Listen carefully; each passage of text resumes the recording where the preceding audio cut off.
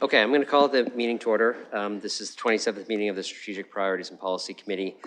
Uh, I'm going to start with the land acknowledgement. The City of London is situated on the traditional lands of the Anishinaabe, Haudenosaunee, Lenape-Pewak, and Attawandaron. We honor and respect the history, languages, and culture of the diverse Indigenous people who call this territory home. The City of London is currently home to many First Nation, Métis, and Inuit today. As representatives of the people of the City of London, we are grateful to have the opportunity to live and work in this territory. Further, uh, I wanted to say that the City of London is committed to making every effort to provide alternate formats and communication supports for meetings upon request. To make a request specific to this meeting, please contact sppc at london.ca or 519-661-2489, extension 2425. I will start with uh, disclosures of pecuniary interest.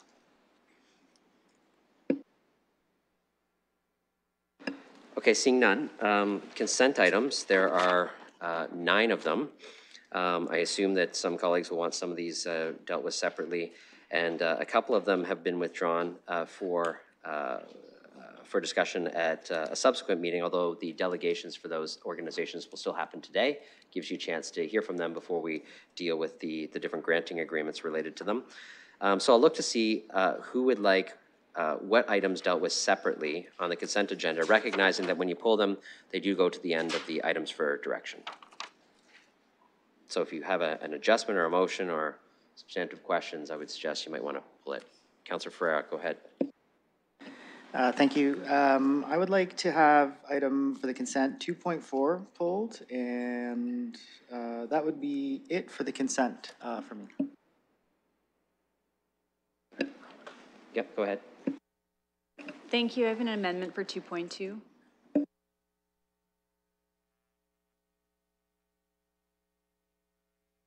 Others? Oh, Counselor Stevenson? I'd like to pull 2.3, please.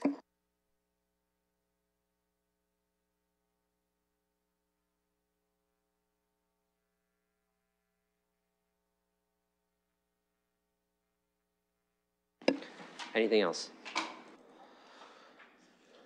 I, I will just note too, uh, Mr. Mathers, uh, it will be a little bit delayed arriving here today, so if you're going to ask questions on any of the items related to his, I would suggest maybe we pull them and put them later. If you don't have questions, that- that's fine.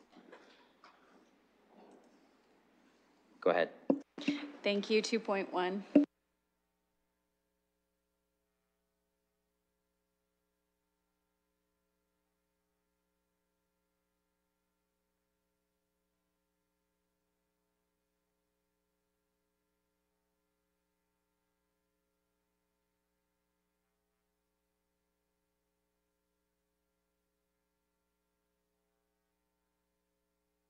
So all that's left is 2.8 and 2.9. I will say 2.8 is one that Mr. Mathers would make comments on, so if you've got comments on that, we should deal with it separately. If, no- if nobody does, then that's fine, we can proceed with just those two items. No? Okay. So it looks like we can uh, look for a motion to uh, deal with 2.8 and 2.9. Um, We could do those together as consent. Counselor Cuddy is willing to move, seconded by Counselor Hopkins. Uh, I'll just ask if there's any discussion on either of those items. Okay, seeing none, we're going to open those two items for voting.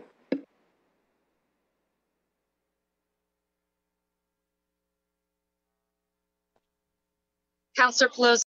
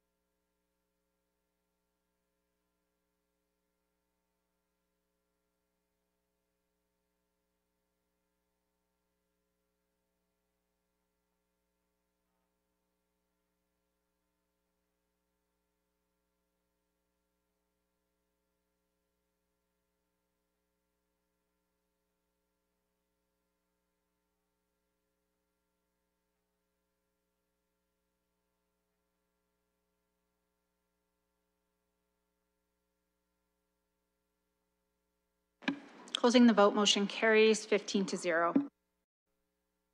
Okay, so those items will be dealt with at the end of items for direction. Uh, That moves us to scheduled items. The, the, the first scheduled item we have is 3.1, which is um, the public participation meeting on the consolidated uh, fees and charges bylaw.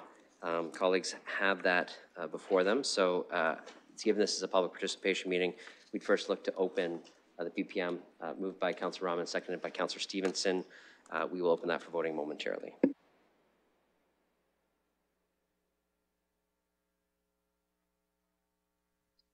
Counselor Peloza votes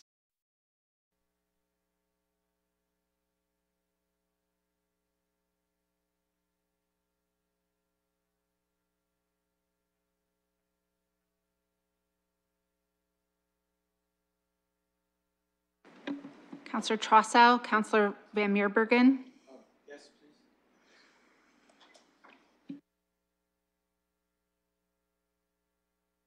closing the vote, motion carries 15 to 0.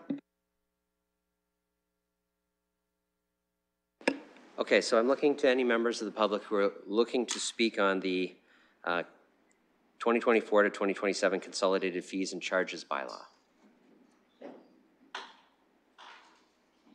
Going once, going twice. Last chance to speak, either online or in the gallery. Okay, I'm going to say there's no public speakers to the uh, fees and charges bylaw, so look for a motion to close the public participation meeting. Counselor, our Deputy Mayor Lewis, seconded by Counselor Cuddy. We will open the closure of the PPM momentarily.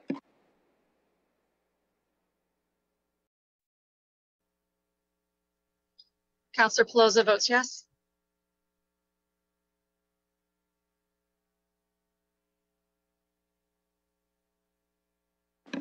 Closing the vote, motion carries 15 to 0.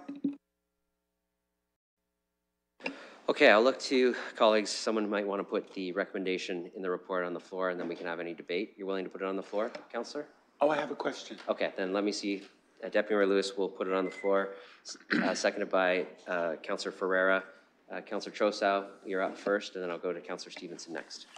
I, I wanted to ask if this would be an appropriate time to make suggestions about how to bet, better um, alert the public about uh, some of these items in terms of putting additional things on the portal. Because if it is, I'd like to make, 'em- I'd like to make a, a small friendly amendment to, to um, add some things to the portal. I might need to just clarify exactly what, what, what you're asking to do, to the I would- portal uh, online, or yeah, like yes, to I- get involved, or, yeah. I would like the information about residential um, rent, rental applications and information to be more visible to the public in terms of where it goes. I would leave that to uh, the portal, the port, the portal staff. I would also like to see the same thing for the, um, for the, for the residential Airbnb um, license program, which, which does not currently have a, a online component at all. Counselor, I think, I, I think I understand what you're saying. So I think what we have before us is the approval of, uh, of the fees and charges. Um, If you want to talk about how we display those i- in different forums, I think that would be something that we could bring forward at a subsequent meeting. I'm just kind of, I'm looking to staff, because I, although I see that you're linking them because we're talking about the fees and charges, the report before us really isn't about how they are displayed and where, but I can ask the clerk which is the relevant um, which is the relevant uh, committee to bring that forward for consideration, because I think I understand that you're looking for uh, some information that in here to be displayed in different ways and publicly available in slightly different ways. So let me find out that information. I'll tell you where you can go.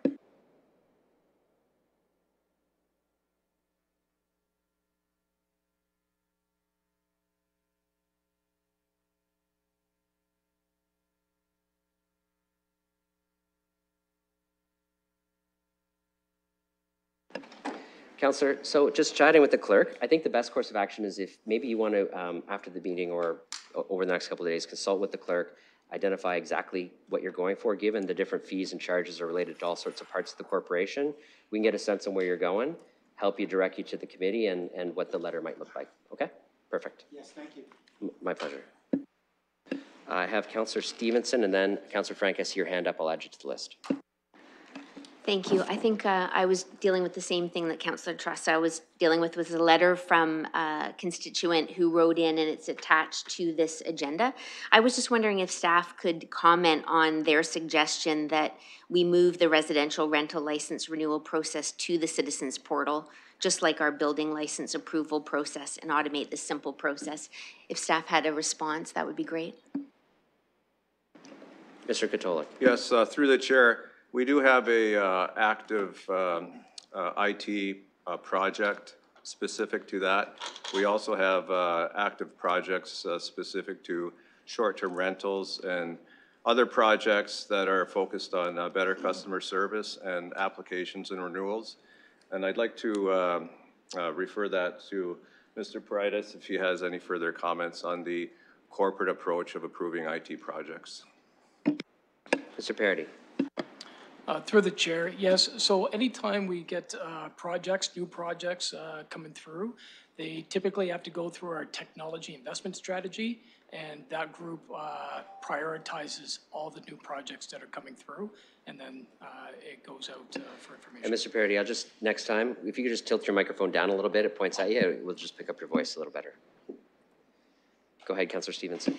Thank you, that's great. Seeing as it's an active project right now, if I understood you correctly, do you, any estimate on to when uh, we would expect to see that or who I could follow up with uh, to have an update on that project?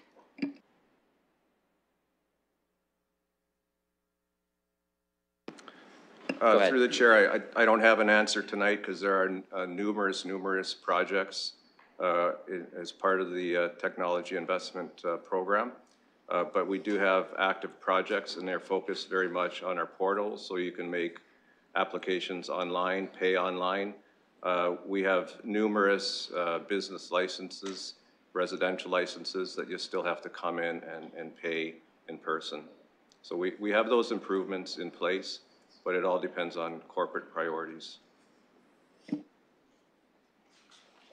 Thank you. So if I understand, there's no need to bring anything through another committee regarding this. And uh, would you be the one that I would follow up with to check in to see where we're at on this particular one that's been requested by the resident?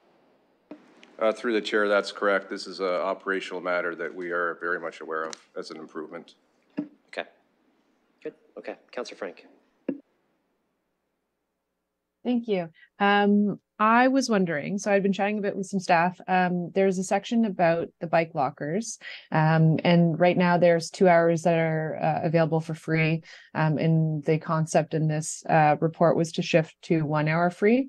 Um, and I was hoping to make a motion to keep it at two hours free, um, understanding that the lost revenue is about a thousand dollars. Um, but I think that the value for having two hours free secure bike parking downtown um, is probably more than uh, a thousand dollars. But I'm not totally sure, and I didn't have enough time, unfortunately, to chat with the clerks because I don't know if that would be really difficult, uh, given that there's a bylaw associated with this. But um, I was hoping to make a motion to keep two hours free bike parking in this fee schedule. Just give me one sec, Counselor Frank. Um, certainly that is something that we would do at committee because the direction is bring the bylaw forward to council. And so this would be the place to make the change, even if it is a little bit complex, um, because uh, uh, this is essentially the process by which we recommend the fees and charges bylaw to council for final approval. So just let me, um, just let me get a, a little bit more information for you and I'll, and I'll, I'll get back to you.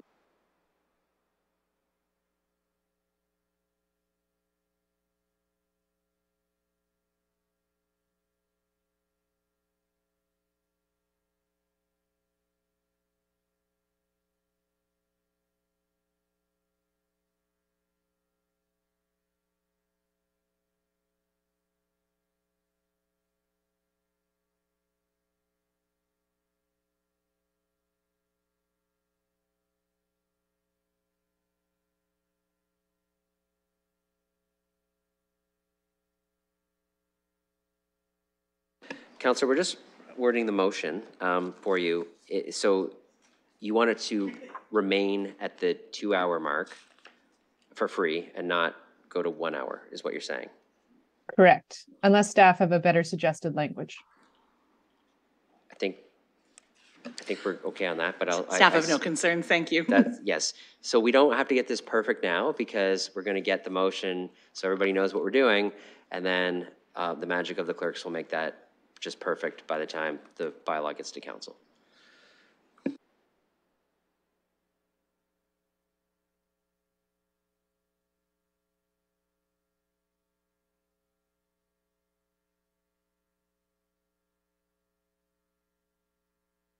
So this is the way it's worded. I'm just going to see if this makes sense for staff and then the council, if you're okay with it. Uh, Motion to amend the fees and charges bylaw to allow for two, uh, the proposed, I think it should say proposed fees and charges bylaw, to allow for two-hour free bike locker parking. Yes, I see nods from staff. That's good for you, Counselor Frank? Yeah. Okay, I look for a seconder for that.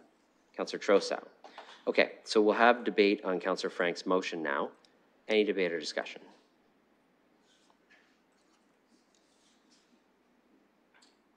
Counselor Hopkins. Yeah, thank you, Mr. Chair. I just can't help but ask the question since uh, I think it's only fair to um, have a better understanding why they, they were reduced from one hour to, to, uh, from two hours to one, other than just uh, as a cost saving, and just a little bit more content to it, through you. Go ahead. Thank you, Your Worship. As this program is discussed with previous councils and being established, the intent was for us to try to recoup as much cost as we possibly could, knowing that most of it would not be recouped through user fees. So part of it was that direction. The other part was to attempt to encourage turnover so more people could try that hour for free. But what we're actually seeing is most folks who choose to use it are then paying to extend after the free period is done. Staff have no concerns with extending the two-hour free limit through 2024. We can review as the program is reviewed in the future. Okay, I don't see any other speakers, so we're going to open uh, Counselor Frank's amendment for voting.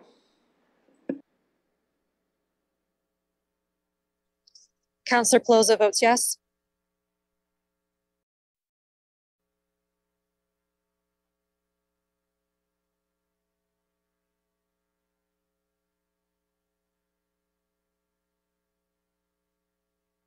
Closing the vote, motion carries 15 to 0. Okay, I need a mover and a seconder for the as amended motion, or as amended fees and charges bylaw. Uh, Counselor Ferreira, seconded by Counselor Cuddy. Any further discussion on the fees and charges bylaw? Counselor Hopkins. Yeah, just a quick um, a comment and uh, maybe a, a, a question too. First of all, thanks to staff. It was a big, heavy report, and I didn't go through every fee. So just to let you know, but I do appreciate the work that went into it. And, and just glancing through it, I did um, recognize we're looking at 420 fees. We've um, discontinued a few, we've added a, a few and we're mainly increasing most of them.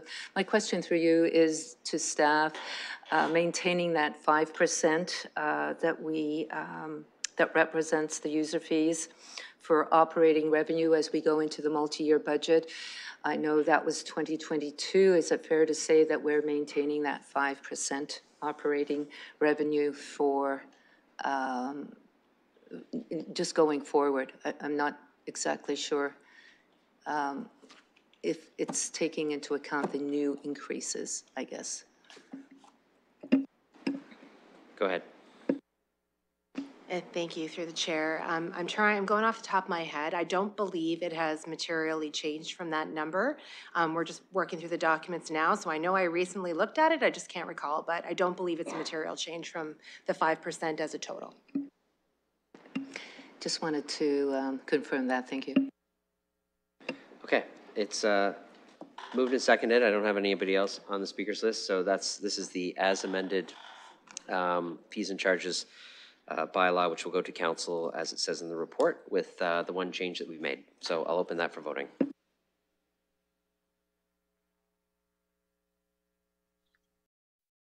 Yes.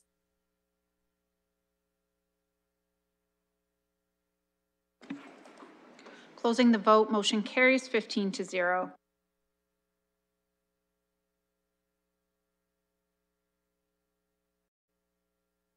Okay, next we have um, a public participation meeting on water and wastewater rates. I'll look for a mover to open the PPM for that.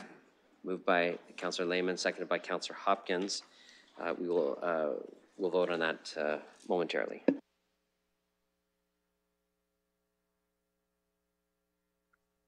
Councillor Peloza votes yes.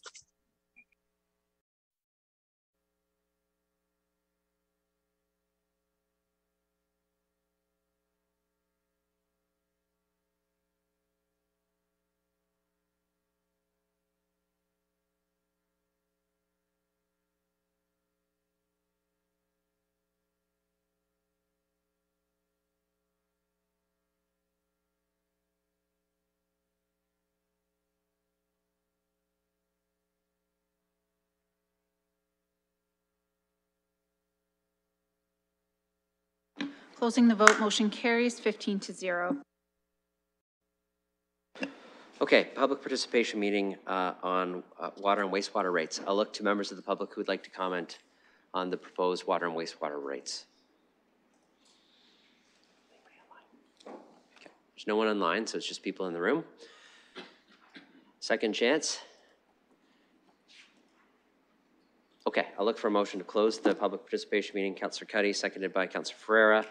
Uh, That'll open for voting in a moment.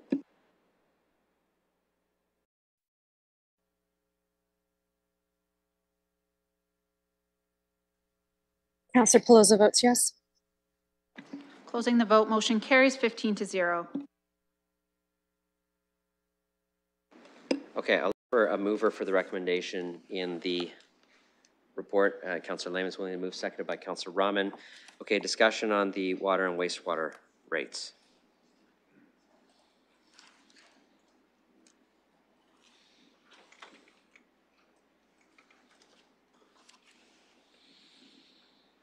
Okay, all right, so seeing none, we're going to open that for voting. Counselor Peloza votes yes.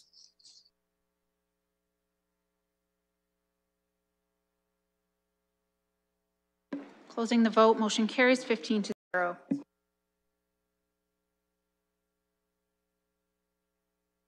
Okay, now we're on to uh, our delegations um, from uh, a few organizations uh, who are here to uh, share updates with us.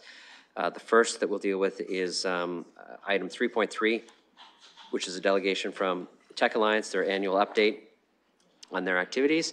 We'll just get the presentation pulled up, and I'll invite Christina Fox to come up and, and present um, to us now.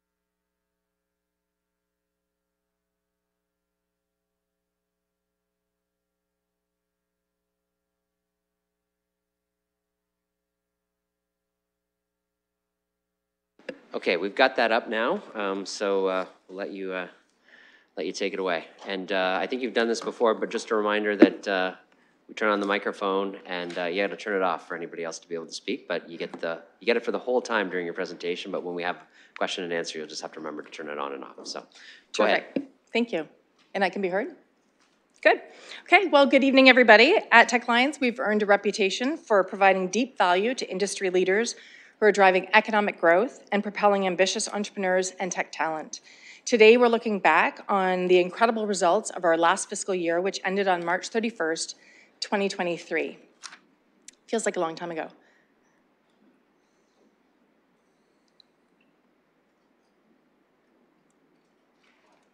We'll just get you some, Okay.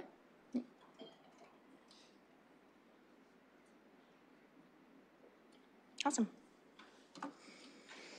Okay, so Tech Alliance empowers world-class ventures and fuels growth in Canada's innovation economy. We champion and coach entrepreneurs, amplify and impact businesses while fostering an equitable and vibrant technology community of innovators. As the lead voice for London's innovation economy and as the centralized resource for London's innovation economy, Tech Alliance radically eliminates obstacles and increases speed to success for the most promising startups and the highest potential scale-ups generating prosperity right now. The Greater London area has what it takes to be among Canada's top ecosystems. It has a population that's educated, diverse, technical, has ease of mobility to other parts of the country, the US, and the globe, and has investable wealth. Here you'll see our three strategic priorities. They're guided by our, our evolution for the past three years, and they will direct us towards the next moonshot. Our city boasts high-tech employment rate with over 16,100 jobs um, in the technical industry last year. Reported by Techna, Canada welcomed record numbers of tech talent migration to this region, and London was named number eight for largest in migration by city. London was named twice consecutively on CBRE's top 10 emerging tech markets in North America, up from 10 last year to the spot number eight this year. This is not by accident. Built by founders, Tech Alliance is the place for dreamers, innovators, and world-changing ideas, and forging strong connections with City Council and City staff. Our board of directors, comprised of passionate industry leaders, alongside an accomplished team, are joining us in the gallery and on YouTube. Go ahead and give a wave, gang. For the first time, um, for many of you, I'm presenting to a number of new members of council, and I want to thank you for your curiosity and deep appreciation for London's competitive innovation economy, and for your funding as we continue to build momentum as a vital resource in London. I've been with Tech Alliance for four years, and we've worked side by side with you to strengthen our economy, executing against the city's strategic plan, and partnering on minister visits and advocacy opportunities. The next few slides are glimpses into our active community collaboration, engaging over 5,000 innovators, industry leaders, and entrepreneurs. In the spirit of prioritizing diversity and equity, there are glass ceilings still to shatter for women in tech. So in person, we called more than 125 women and allies to action on International Women's Day. Amplifying London and celebrating groundbreaking innovation, we hosted our third annual Limitless. A slate of incredible award recipients were awarded that evening. On our list of winners went on to receive investment from Dragon's Den, landed on the Globe and Mail's top growing companies in Canada, and closed a $2 million seed round. Activating funding and co-creating uh, for ventures led by Equity Denied Founders, Tech Alliance flowed $600,000 in cash to ventures focused on the green economy, resulting in 127 FTE, 23 million in combined revenue, and almost 2 million combined capital raised. Our organization focuses on stimulating strong economic returns, and we've launched genius economic stimulators within the city, like the London Innovation Challenge, to accelerate companies, tech talent, and industry leaders. This past fiscal, with industry forefront runners, we awarded $40,000 each to two companies who bolstered London's creative industries. With Western, we delivered liberal arts and STEM-related work-integrated learning placements that impacted local technology industry leaders, and we collaborated with, Fat, with Fanshawe on about a half a dozen different opportunities with their students, alumni, and startups. Fostering an entrepreneurial culture and natural industry collisions, we had almost 9,000 advisory hours delivered, and that's up from 2,700 hours uh, when I first joined the organization. That demonstrates the value of our mandate as the place for entrepreneurs across 45 different events, more than 5,000 bums and seats. All in all, we bring people together, we facilitate connections, we deliver education, and we publish and amplify compelling stories right here in London. In putting business first, we saw an excess of $106 million in capital raised by technology companies in the Forest City. In fact, capital raised by innovative ventures has increased almost 5,000% over the last four years. This is one of our competitive advantages. We saw a 10% increase in the number of new startups exits, mergers, or acquisitions in the tech sector, and we saw a 79% increase over the last three years. In fact, we had a 30% increase, or we had 30, 30% more new startups than Communitech. In collaboration with other folks in the, in the ecosystem, you can see that collaboration truly is in our DNA, and we upped that number to 166 last year. We've made good on our brand promise, and we've made remarkable connections to policymakers at all ranks of government who keep placing bets on made in London unicorns. Prioritizing and widening pathways to critical resources, including talent, we had strong student and professional newcomer interactions and made significant ecosystem referrals. For jobs created, posted, and promoted, we saw 2,600, with 143 unique employers posting on our job board. We cultivate and foster a thriving technology community of founders and their teams, industry leaders, capacity builders, ecosystem partners, investors, and tech talent. We are committed to a regional culture anchored in diversity and equity. And in closing, bright minds with big ideas come together physically at Tech Alliance headquarters with an unmatched spirit for global challenge, problem solving, and putting London on the map. This indeed is where innovation thrives. Thank you.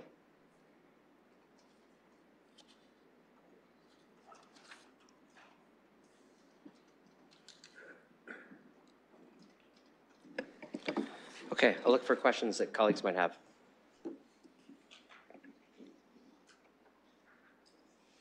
Go ahead, Councillor Lehman. Thank you, Ms. Fox, for uh, your presentation today. I just want to ask a couple of questions, uh, just to get a gauge of how the tech industry is doing in London right now. Um, Approximately how many jobs would you identify that are within that tech industry within London? And how does that compare uh, from last year and five years? Where's the trend going? Thank you. Through the chair. Uh, we reported 16,100 jobs, uh, tech jobs in London. That's up, I'm guesstimating and going on memory, from about 13,100 two or three years ago. Um, that indicator of the 16,100 jobs is actually one of the reasons why London landed on the top 10 emerging tech markets in North America. Yeah, so incredible. Thank you. So have you, uh, we've always had envious eye of Waterloo, obviously, right? And, and their uh, tech hub. And what I've always seen as an obstacle is reading, reaching a critical mass. Because we want to attract tech workers to this region, but they're afraid if they leave Toronto or Waterloo, they'll get out of the loop. Would you have, would you, in your opinion, have we reached the critical threshold right now that we are big enough with this industry within London right now that that concern of prospective um, employees um, might not be as severe as it was a, a few years ago, or, or is this being a sought-out place now that we have so many interesting um, tech companies uh, doing great things? Thank you. Through the chair. I would say that, uh, you know, maybe 10 years ago, that was certainly a concern, or even five years ago, that might have been a concern. What we do know in healthy ecosystems around the world, that it does require a couple of anchor firms to draw talent in. And what they need to know is if that place of employment doesn't work out for them, can they bounce to another place in that city? So it's a very good point to make of would people leave Toronto, Waterloo, Silicon Valley, or other places in the world? And I do believe that, um, that, that that's behind us, that we are seeing the critical mass of, of tech talent migrating to this region, and that was reported in TechNA, showing it was major um, in-city migration to Canada from the US, and in particular to London, landing at number eight on that list as well. Um, and I think it's one of these things that we certainly should be proud of.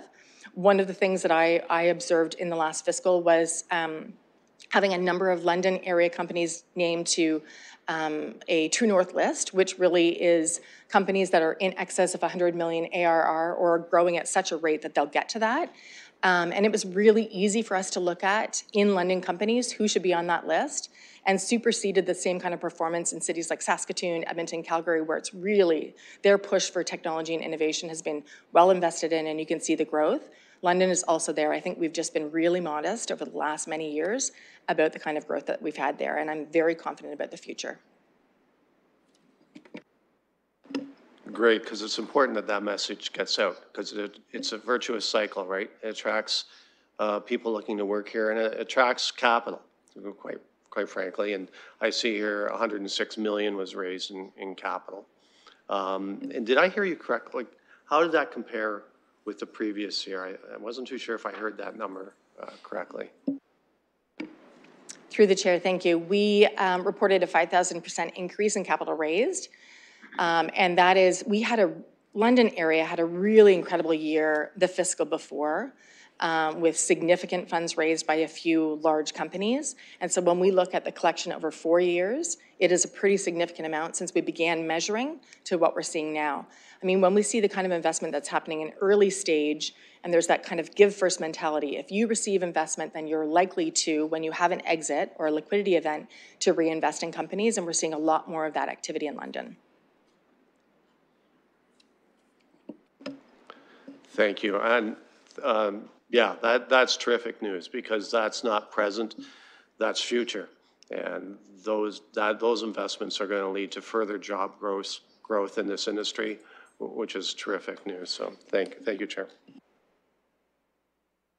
Okay, other speakers, I have Councillor Stevenson and then uh, Councillor McAlister. Thank you for being here to share with us. Um, my question is, can you just give me a little history on how long the organization's been in existence and if you see uh, that there's been a shift as the city evolves and becomes a bigger player in this space, if you see a, a shift either that's just happened or that's going to happen in the near future? Thank you. Through the chair. That's a really great question. The organization has existed for uh, more than 20 years and started in its early days, a bit more like a chamber, if you will, um, bringing together technology, and at, at, that time we would say high tech um, technology together and really uh, convening people who were building an ecosystem. Uh, over the course of uh, time, it, the uh, Tech Alliance has attracted other funding sources, including through the Ministry of Economic Job Development and uh, Job Creation and Trade, I'm sorry. Um, and through that investment, about uh, 13 years ago, we became what, what's called a Regional Innovation Center. So there's 17 of us in Ontario. And we don't normally, as a team, lead with that we're a regional innovation center because we are an, an, awful lot more than just that funding source, but they do provide stable funding to the organization. And I would say, just in my time over the last four years, we have had a pretty massive evolution. Uh, you know, I came into the, the role about four years ago, and a pandemic started uh, about six months into my, my tenure, and at that point, we were at a, a, a a period in time where we were really changing the composition of the team, what we delivered in community, the composition of our board, um, even our location. We're now located across the street uh, from City Hall, and we originally on the campus at Western. And so getting really serious about who our customer is, if you will, founders, tech talent, industry leaders, um, it was really easy to sunset things that were no longer serving those folks and get really serious about the things that were going to propel London to the next, um, you know, high ecosystem in Canada. I do think we're on the way, and of course I, I need to be saying that, but I do have that feeling that we're on that way and the numbers actually show that. So when we think about the way we show up in community and how we work one-to-one with companies and how many companies we work with and the value that we bring, I think it's just very different than it might have been even five or six years ago, and particularly in the last three years as we've changed the way that we, we uh, go to market, and in particular, how we collaborate with others. You know, there was a time, I'm gonna really go on memory here, but I remember reporting at one point that we were working with about 71 collaborators, and then it was 92 collaborators, and this year 166. We're able to do that because we are careful about stewarding those kinds of relationships. And while we are headquartered in London, we do serve communities in five counties in total, with a great majority of our work done here in London, which is why we're quite proud of the, um, the outcomes that we're seeing for London in the tech, the tech ecosystem. I hope that answered the question. Okay, thank you. Councillor McAlister. Uh, thank you through the chair, and thank you for the presentation today. I appreciate this. Um, I'm wondering if you can provide some um, more insight in terms of the employees um, with these uh, tech firms. What are you finding in terms of what's attracting them to London? What maybe is still detracting them? Uh, just from an attractability point of view for your sector, um, what can we do as a city to be um, more accommodating uh, to attract new employees? Thank you. Thank you. Through the chair. That's a really good question. I think that part of the reason why London is attractive and why companies in London are attractive is because we cover a, a multitude of different sectors. I think I reported in um, our PowerPoint that there's 30 different sectors that we support. If you can think of any kind of technology other than forestry and mining, we're pretty much touching them with um, early stage companies through to enterprise and unicorn companies. I think that's part of it, is there is a great variety and no, no specific specialization in London because there are so many um, strong sectors. Med tech, ag tech, food and beverage, advanced manufacturing, certainly EV is on, on the horizon, but I think that variety is helpful in attracting talent. I do think that when we, when we look at the types of companies who have grown here and how big they've gotten, those companies, particularly in gaming, um, have been a really strong attractor for talent to the community or a retainer for students who are coming out of Fanshawe and, and uh, Western University. Those, I think, are some of the reasons why we're seeing a different um, attraction of talent. Another thing that I think is really important to highlight is our organization works regularly with newcomer professionals in trying to do matchmaking with companies in London. So when we think of the diverse opportunities and the interest in companies and really having fulsome and equitable um, organizations, I think that's also a very um, significant attractor uh, for new Londoners and uh, Londoners who have gone away and come back.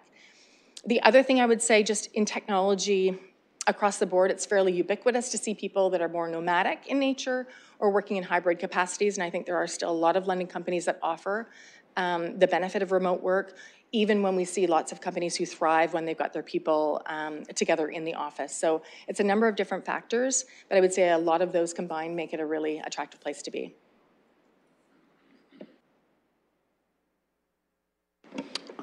Thank you, through the chair. Um, Appreciate your answer. Um, And you actually, on the last bit, just touched on uh, my follow-up that I wanted to ask in terms of um, how you're counting the numbers, because we have seen that trend towards more remote work. Are you finding, you know, companies that have established themselves in London, are people farther afield? Do you see more remote work? Um, Are they directly based in London, or are you seeing a lot of um, surrounding areas and people just um, doing their work from remote locations? Thank you. Thank you, through the chair. Um, specifically to companies we work with, uh, there are a lot of companies that might have been in London and started here and have become nomadic, have either you know, moved to Toronto or Calgary, or Vancouver, or have some base um, here in London or some connection to London, either through Western's Accelerator or Fanshawe's um, incubator. There are a number of different um, um, connections to London that make a, make a company a London company. With regards to staff within um, companies, it, it really is, it varies. I mean, there are some companies that have staff in five days a week, they want to be in five days a week. I think there are a lot of companies that have staff in three or four days a week. Some, we have some companies that are in- thriving incredibly, that have completely remote first opportunities, but still have a headquarter in London. Uh, it really is different. I, I, I feel like I've been saying sort of the same thing over the last couple of years, and I think in a couple of years from now, I'll probably be saying the same thing. Whatever's working for the company and whatever works for them to be able to retain and attract talent, they'll continue to do that, whether that's a four-day work week, uh, whether or not that's, um, you know, paid time off with unlimited. There are a lot of different perks that we see happening in the technology sector that are actually influencing other sectors outside of technology.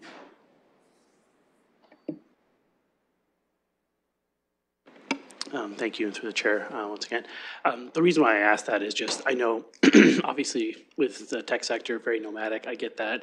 Um, I think from my point of view, and I'm not sure if my colleagues feel this, but I'm just trying to get more of a real sense for the economic impact, because obviously, we have the tech um, companies based here, um, but in terms of where employees are located, you know, are they in our surrounding um, counties or farther afield? Um, And I, I don't know if you have that data, but I just find it interesting for a field that's traditionally nomadic to see what those tangible economic benefits are. Thank you. Thank you, through the chair. Uh, A great question. I would say, uh, when we think about the support that we provide in the counties, uh, certainly our, the bulk of service is to London-based companies.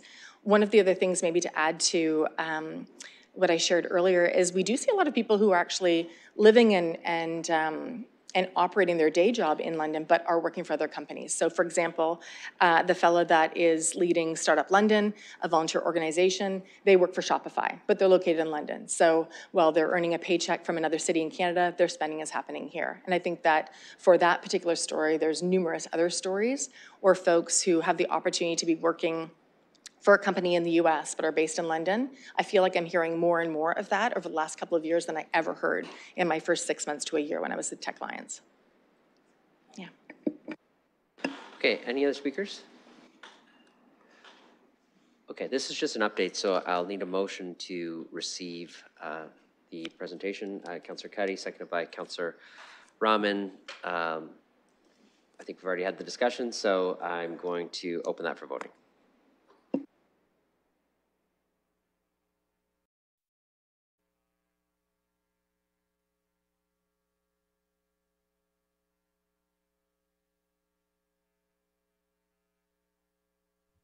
Counselor Peloza votes yes.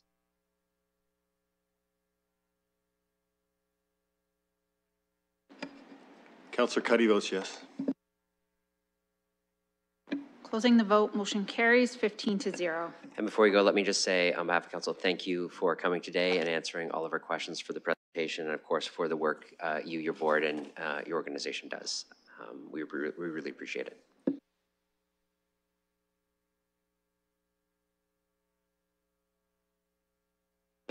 Okay, next, uh, we have the next delegation, item 3.4, which is um, the, uh, the annual update from the London Economic Development Corporation, um, Kapil Lakhotia.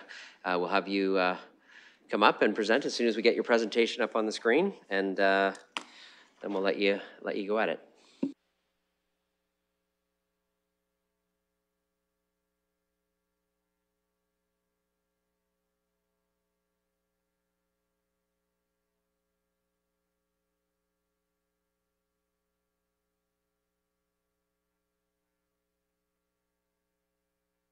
Just one sec. You're, you're, I think your microphone's not on, but you're projecting as if a microphone was on. Unfortunately, unfortunately, people at home can't hear you, so um, we'll get you to take that. Sorry about that. Uh, Good afternoon, and I'm delighted to be here to share some uh, highlights of our work this year. As you know, LEDC contributes to the growth of our economy through new investment attraction, retention and growth of local companies, workforce development, and business engagement. And these functions are guided by detailed strategies, such as providing access to capital, talent, space, training, etc., and measured by key performance indicators. Our work focuses on developing industry clusters that generate the highest economic activity in the region. These clusters not only create direct jobs and investments, but also drive spin-off economic activity through supply chains, construction, retail, hospitality, and much more. We also have referral mechanisms in place, so companies outside of these core areas are also supported by other local agencies. So far this year, LEDC has facilitated close to $145 million in expansions and attractions. Companies making these investments have reported over 1,600 new jobs added to London's workforce. It's, an, it's also important to point out that these figures do not include the major regional investment with Volkswagen PowerCo in the St. Thomas EV battery plant. While LEDC played a key role in attracting Volkswagen to the region, we only report jobs and investments made in the city. The Invest portfolio seeks to attract new investments, while Accelerate portfolio helps established companies scale and grow. We do this by connecting companies to infrastructure, funding sources, regulatory and permitting processes, research and development, and assistance with talent recruitment and retention. This year, we saw major growth in automation, advanced manufacturing, and food processing areas. We also keep a pulse on companies that may be at risk of closure due to trade issues, lost contracts, or changes in their industry. Our pipeline of active attraction and expansion files was healthy as companies continue to invest in industrial lands, automation, upskilling, and diversification. Here are some examples of companies that we worked with this year that are new to London or growing significantly throughout 2023. We're fortunate to have attracted some high-profile investments, including WSIB, Andriani, Amazon, Volkswagen, to name a few. New jobs and investments in food processing, life sciences, and advanced manufacturing have helped us further diversify our economy and helped us withstand the economic slowdown and rising interest rates. Access to talent continues to be a major constraint as our region is projecting a need for 40,000 plus workers over the next few years. We continue to help employers with their hiring needs through major job fairs, newcomer attraction campaigns, and post-secondary partnerships. Last year, we integrated London Tech Jobs and London Manufacturing Job portals with both Western University and Fanshawe College student career pages, so post-secondary students can see far more local job opportunities and have more effective engagement with London companies. This year, we launched London Health Jobs portal to market opportunities in the fast-growing healthcare and life sciences sectors. In order to raise London's profile for both investment and talent attraction, we ran major marketing campaigns such as Don't Tell Toronto and Choose London, which has resulted, sorry, which has resulted in thousands of new inquiries over the past few months. We also collaborated with local partners on initiatives such as Happy Hour, Forest City Landing Pad, The Grove at Western Fair, Founders Network, Foodpreneur, and more. And just in its third year, Film London has shown great success in attracting significant productions, including Apple TV, NBC, ABC, and more. Recognizable Hollywood stars such as Greg Kinnear, Luke Wilson, and Jay Baruchel have come to London for productions that have generated over a million dollars in local spending and created over 200 jobs. We've also held industry events such as screen creators conferences, training for background performers, emerging producers, and location providers. And with that, that's it for my formal presentation, and thanks again. Um, Thank you for that. I think it's the first time I've been in a photo with Luke Wilson in a London Economic Development Corporation um, presentation, so that's the first for me. Um, uh, Appreciate the, uh, the presentation. We'll move to questions uh, from colleagues here. Go ahead, Councillor Hopkins.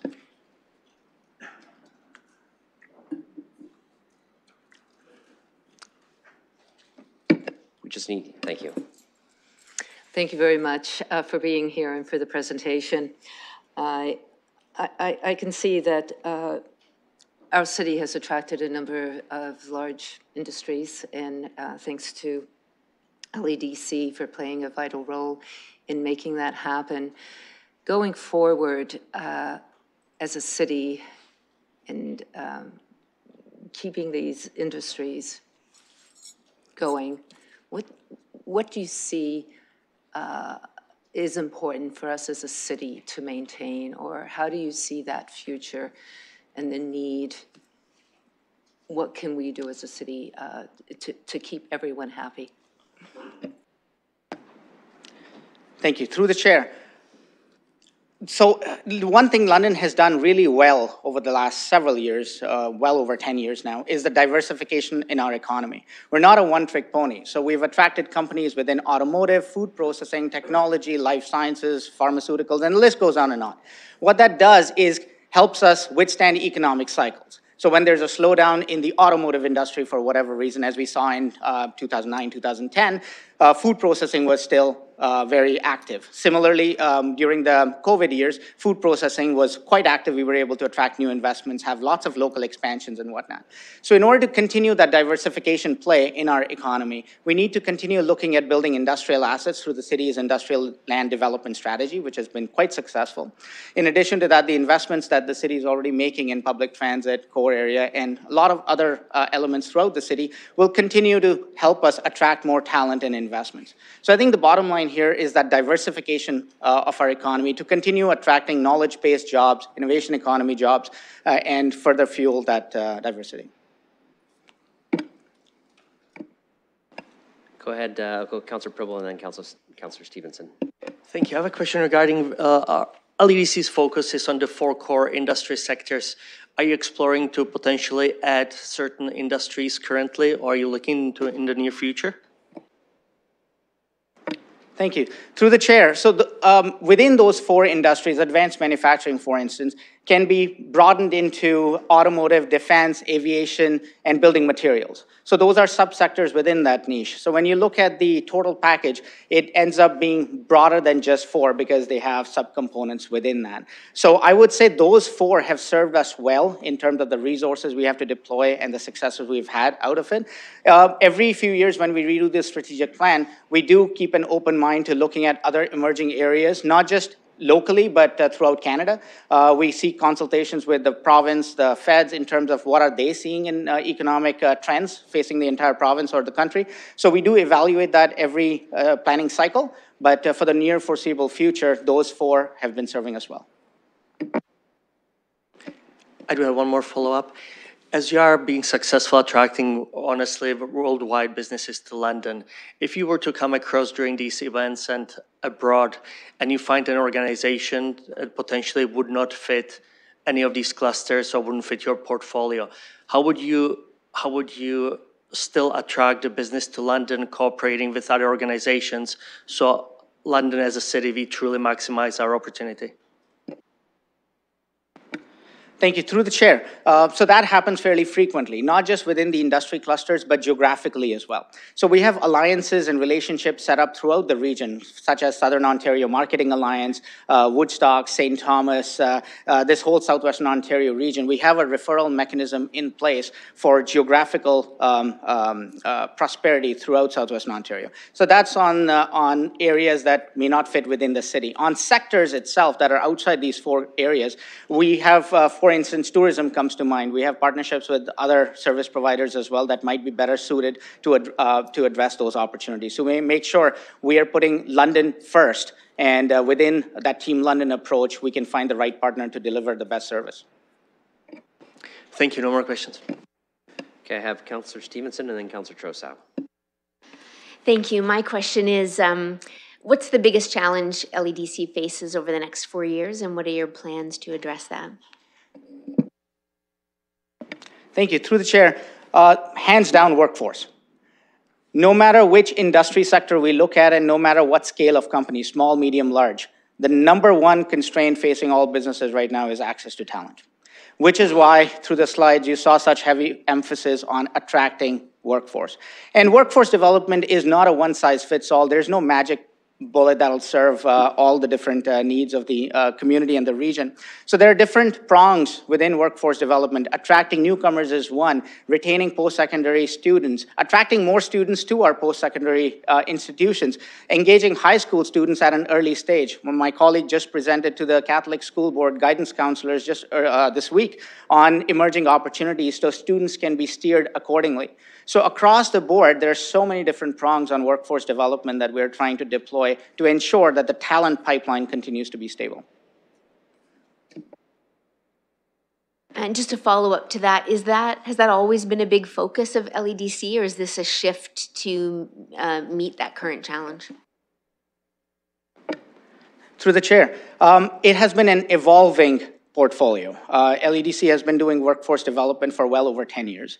Um, since inception, it was added, I would say 12, 14 years, I'm going by memory, but around that time. And it was always a support function when companies are coming in, helping them recruit and retain. But it's grown significantly, I would say, over the last five years uh, to the point where um, our ability to attract more investments and helping local companies grow hinges on our ability to be able to attract talent. I have Counselor Trosow, then Ferreira, then McAlister. Um, thank you. I wanted to, um, ask a specific question about the, um, Don't Tell Toronto, um, um, I don't know, program, whatever you call it. Um, could, could you tell me more about what the purpose of that is and how that fits into one of your sectors? Thank you. Through the chair. So it, uh, it while it's a marketing campaign to uh, market to market London, position it for new investment and talent attraction, its uh, single goal is to attract new talent. Just like I said earlier, uh, the uh, partners we're working with have highlighted areas within Toronto that might be more more um, uh, in sync with the type of opportunities we have in London. So through social media, TTC, billboard ads on the Gardiner, they are targeting talent that might be looking at options outside the GTA, especially in a post-COVID reality where people can work remotely.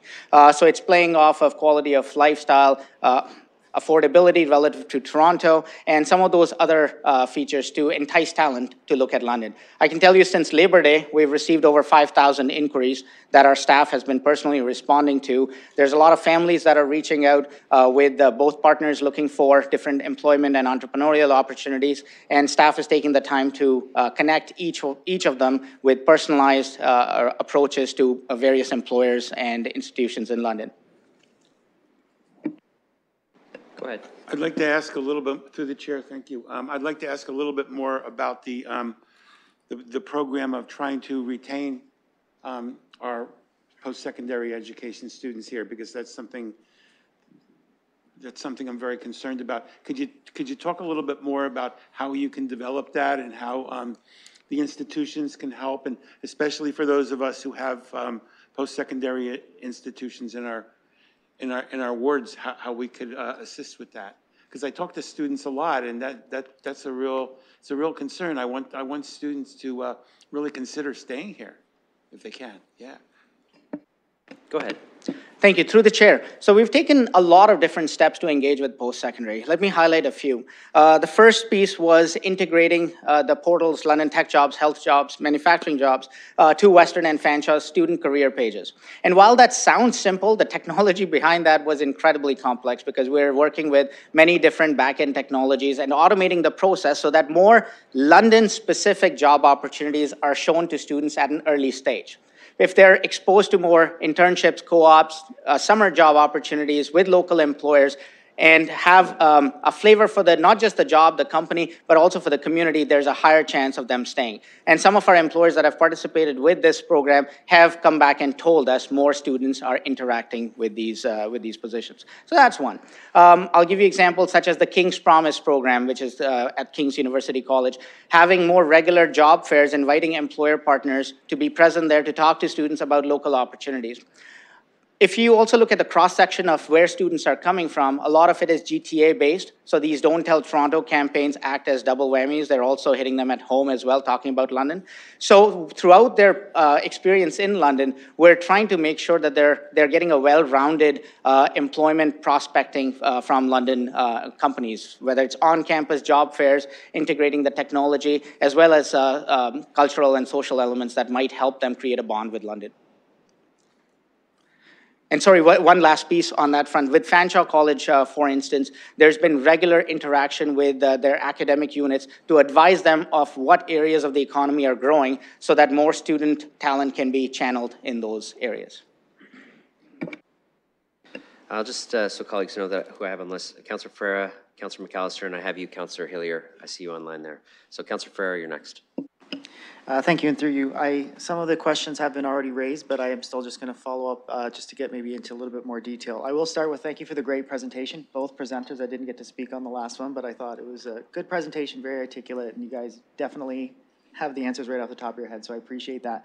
Um, With, uh, with respect to the future challenges and the issues with attracting uh, more talent, I do hear that you say, um, and I, and I, and I see it too, um, it's a matter of getting uh, more individuals, more employees, more workers, and, and that. And I just wanted to touch on the how can the city uh, help with that? So I would believe that you're probably getting feedback that affordability, housing issues, and and just um, the multitude of issues that we see coming before this chamber again and again. So I want to know if you could just maybe expand on that and just give us a little bit more detail, just so we, as council, uh, are just a little more informed as um, what we can do on, on the city side, anyways. Thank you. Through the chair. So every um, everybody who's looking to make a move has unique variables that they're subscribing to. Employment uh, or intracompany transfer or entrepreneurship is part of the, uh, the the mix. But what's also sticky is culture, recreation, arts, and it, it'll be different for everybody. So, I, and I know it sounds like a very motherhood statement, but anytime we have opportunities to invest more in culture, uh, recreation, all of those elements that make it sticky for families when they're moving to London to subscribe to the community, to plant roots here, uh, and not miss back home. There's always that comparison when people move. Well, we had X, Y, and Z back home. What do we have here in London? When we're responding to a lot of these inquiries, we're trying to take that approach and show people the variety of different things London has to offer. So I think uh, from, from that standpoint, ongoing investments in core areas, in uh, recreation, in, in uh, cultural attributes, whether it's dining, uh, entertainment, recreation, all of those elements that make it truly sticky for people when they land here is uh, something that I think will take us far. Uh, thank you for that. I'll just wrap this up really quick. I do want to touch on the Don't Tell Toronto campaign. I have been hearing good buzz on that. It is a controversial statement, but at the same time, that has definitely helped and facilitated with that message going through. So I've had, I've heard good things on that. So I just want to make a comment on that. Uh, thank you, but shh, don't tell Toronto. Okay, thanks. Uh, I have Councillor McAlister next. Uh, thank you, and through the chair, also appreciate the uh, presentation. Thank you for that. Um, I'm wondering if you could speak in terms of the, the quality of the jobs that we've been able to attract. Obviously, cost of living is top of mind for a lot of people, and I'm wondering in terms of um, you know salaries, um, are we competitive in that uh, realm? Um, I'm happy to see that the province is finally uh, showing what uh, the job offers, uh, you know, salary ranges. I think that's a good step because you don't want that mismatch of people coming and realizing, you know, well, the job's not paying what I thought it did, right? So I was wondering if you could speak a bit more in terms of the quality of the jobs that we've been able to attract. Thank you. Thank you. Through the chair, um, I can tell you a lot of these um, uh, facilities that are coming to London, even the manufacturing ones, have a significant head office component with them as well. Uh, so while the volume of uh, jobs within manufacturing are production related, we're also getting um, uh, finance, marketing, HR, a bunch of head office uh, functions as well. I don't have uh, salary data, but what I can tell you is uh, companies have not expressed that they're not able to attract talent because of competitive wages. I think, uh, and of course, there's been a lot of inflationary pressures over the last several years, that, that's well known, but London does compete uh, on the national level in terms of attracting uh, skilled labor as it relates to competitive wage rates. Um, thanks to that diversification that I spoke of earlier, we've been able to attract a wide variety of occupations as well. Um, so that's helped further diversify uh, the uh, NOC codes, the National Occupation Codes.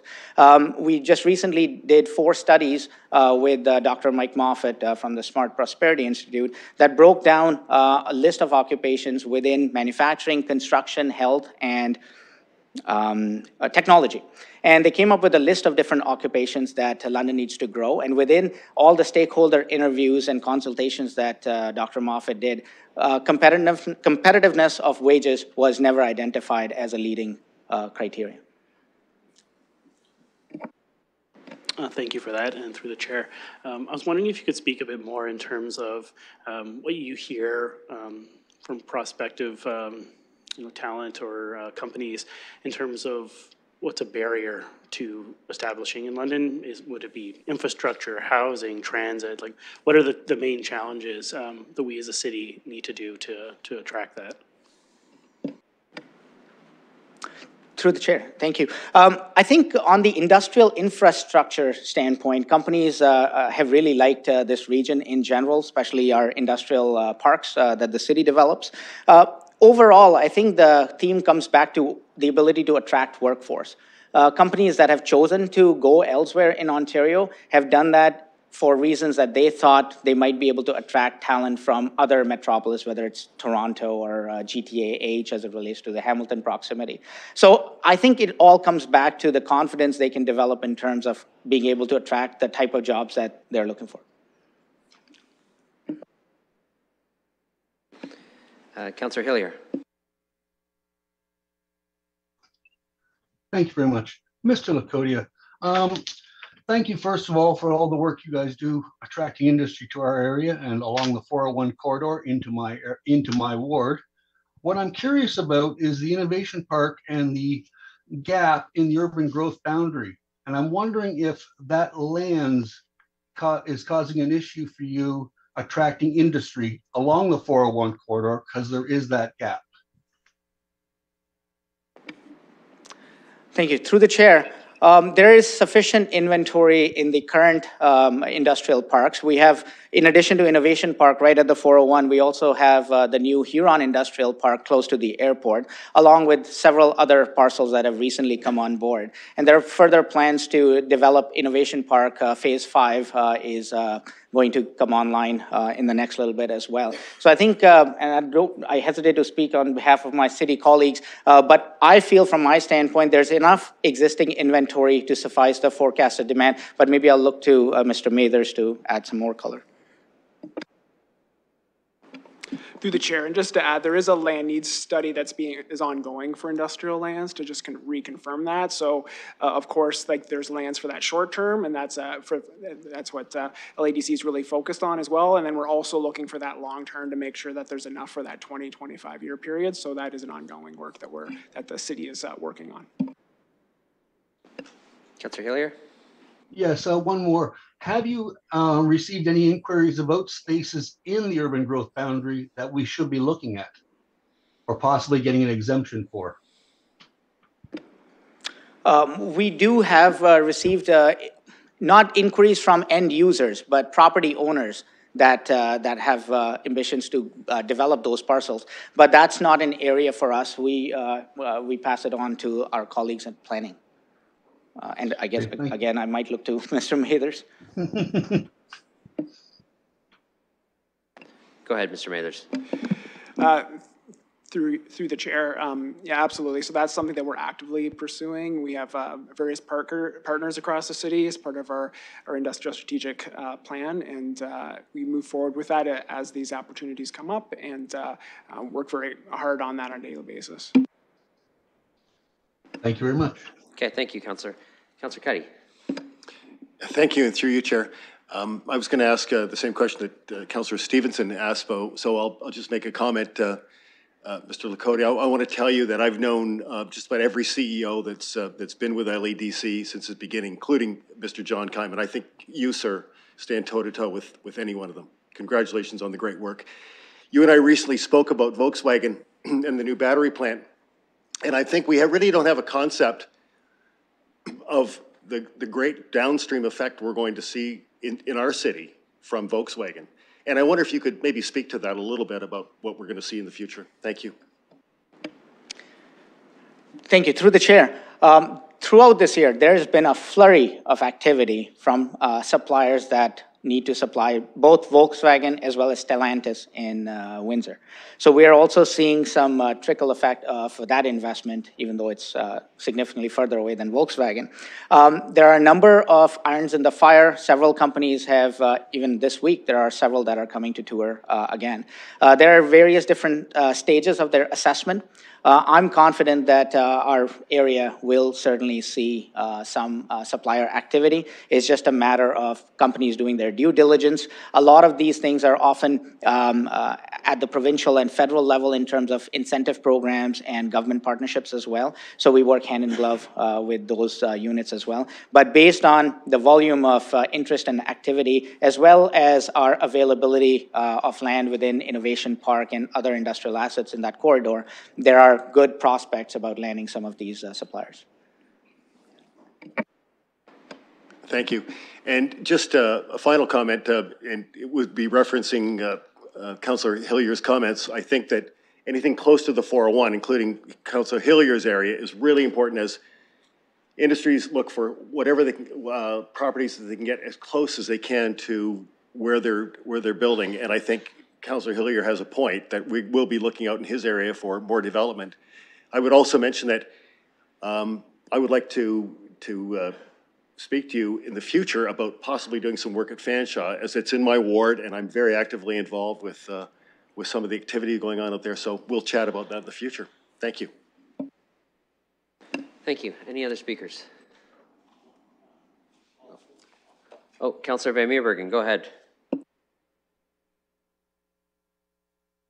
Thank you, uh, Mayor, and thank you, Kapil, uh, for the presentation. Um, I've been involved for quite some time, uh, in the automotive-related, uh, exporting manufacturing sector. Um, and I've spent a lot of time, uh, in Michigan, Ohio, et cetera, uh, speaking with new companies, perhaps to do business with, and quite often, they've never heard of London, Ontario. And when you say it, their eyes kind of gloss over and say things like, um, London, Ontario, that, that sounds like a far away place to do business. Um, Kapil, I'm wondering, um, given that the United States is still the largest economy and it's just an hour down the road for us to access, are we actually proactively going into some of these border states like Michigan, like Ohio, the nearby states, um, with with a London plan for them to digest? Thank you. Uh, through the mayor, oh, uh, through the chair, I'm sorry, um, which also is a mayor. Uh, um, uh, we follow the lead of uh, the uh, provincial and uh, federal uh, colleagues, so whether it's trade commissioners or economic officers that are stationed in uh, various areas, including U.S. Uh, to your point, there are some right in Detroit, Ohio, Kentucky, that whole automotive belt. So a lot of their work involves lead generation and activities such as participation at auto shows and other trade-related events. Um, we have that mechanism where leads are being generated throughout this uh, ecosystem. And when companies are looking at uh, this part of the world, for instance, uh, a couple of years ago, we had Arvin Sango that uh, came from uh, that uh, Kentucky area, which is a supplier to Toyota. Um, so we participate in those type of activities to ensure London is on the radar for companies that are looking at Ontario. Uh, all these recent investments, especially in the EV space, from a federal standpoint, has had a lot uh, of emphasis in Europe and Asia, uh, Southeast Asia, especially in Korea and Japan. Uh, the trends from the federal uh, level shows that we can expect more investment active, activity from that part of the world, especially because with the Inflation Reduction Act and some other Buy America policies, there's a lot of uh, US investment that's actually staying in the United States. And it's not just uh, with automotive, we've seen that with chip manufacturing and a bunch of other areas as well. So overall, as it relates to deal flow and investment activity, we're getting more interest from Europe and uh, Korea, Japan uh, area. Uh, but to answer the uh, question more directly, we're relying on that referral mechanism within that trade commissioner setup uh, in the, the US to ensure that London continues to stay on that radar. Okay, thanks very much, Kapil. Okay, I don't have any other speakers. Seeing no one else looking to add anything, uh, we need a motion to uh, receive uh, the uh, update. Um, Councilor Rahman, seconded by Councilor McAlister. I don't think there's any discussion on that, so we'll open that for voting. Peloza votes yes.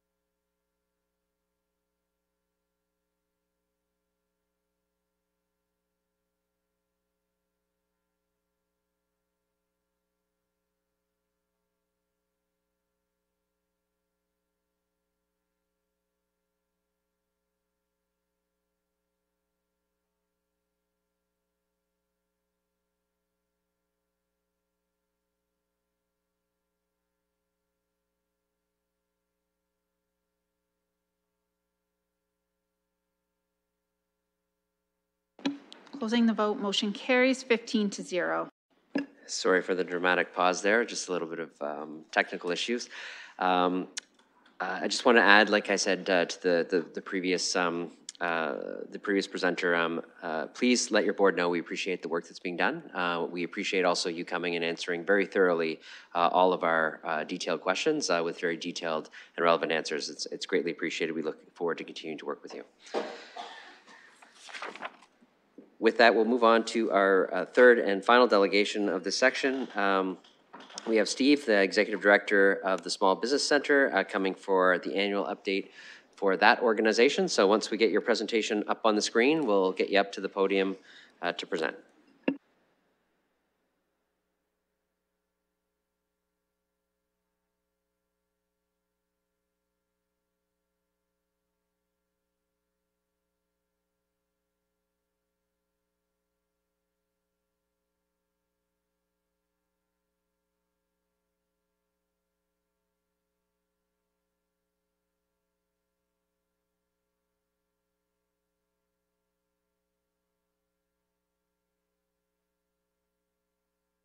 Right, we'll invite you up now, Mr. Pellerin.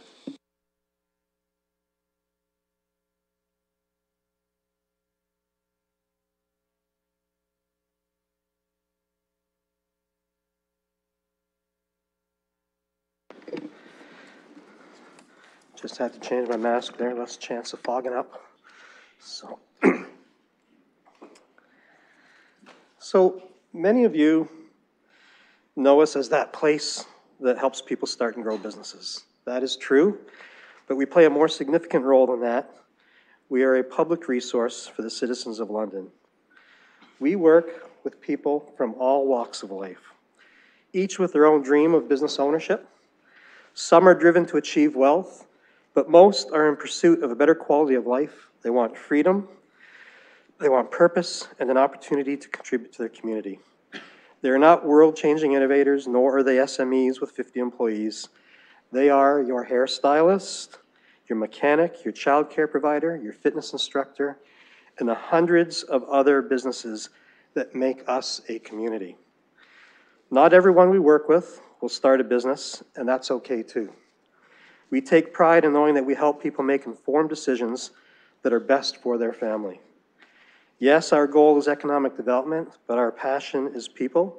We want the business community to represent the diversity of our citizens, and we believe everyone should have an opportunity to pursue their goal of business ownership. We have a unique relationship with the city. The city was a founding member of the corporation in 1986.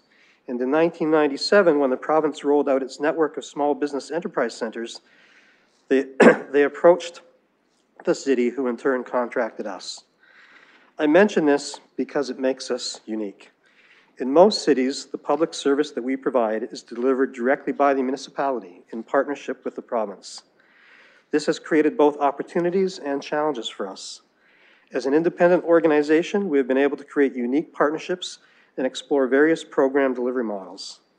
On the downside, we not have the same access to municipal resources, and we have fallen behind other cities in the support provided. So who do we serve? At first point of contact, 23% are at the investigatory stage, 44% are startups, and 32% are existing businesses.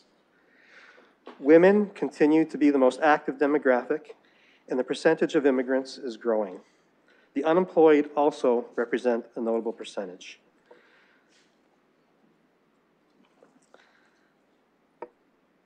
You can see our most active business sectors are food-related and retail. This is a direct result of where we've been able to secure additional funding to invest in programming.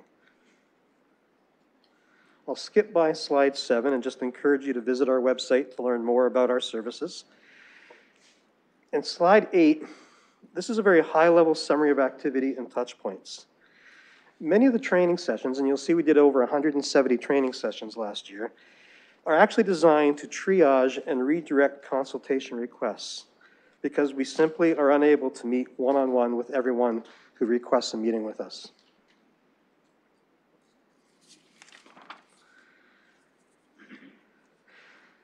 Now, this slide, this is where I start to get really excited.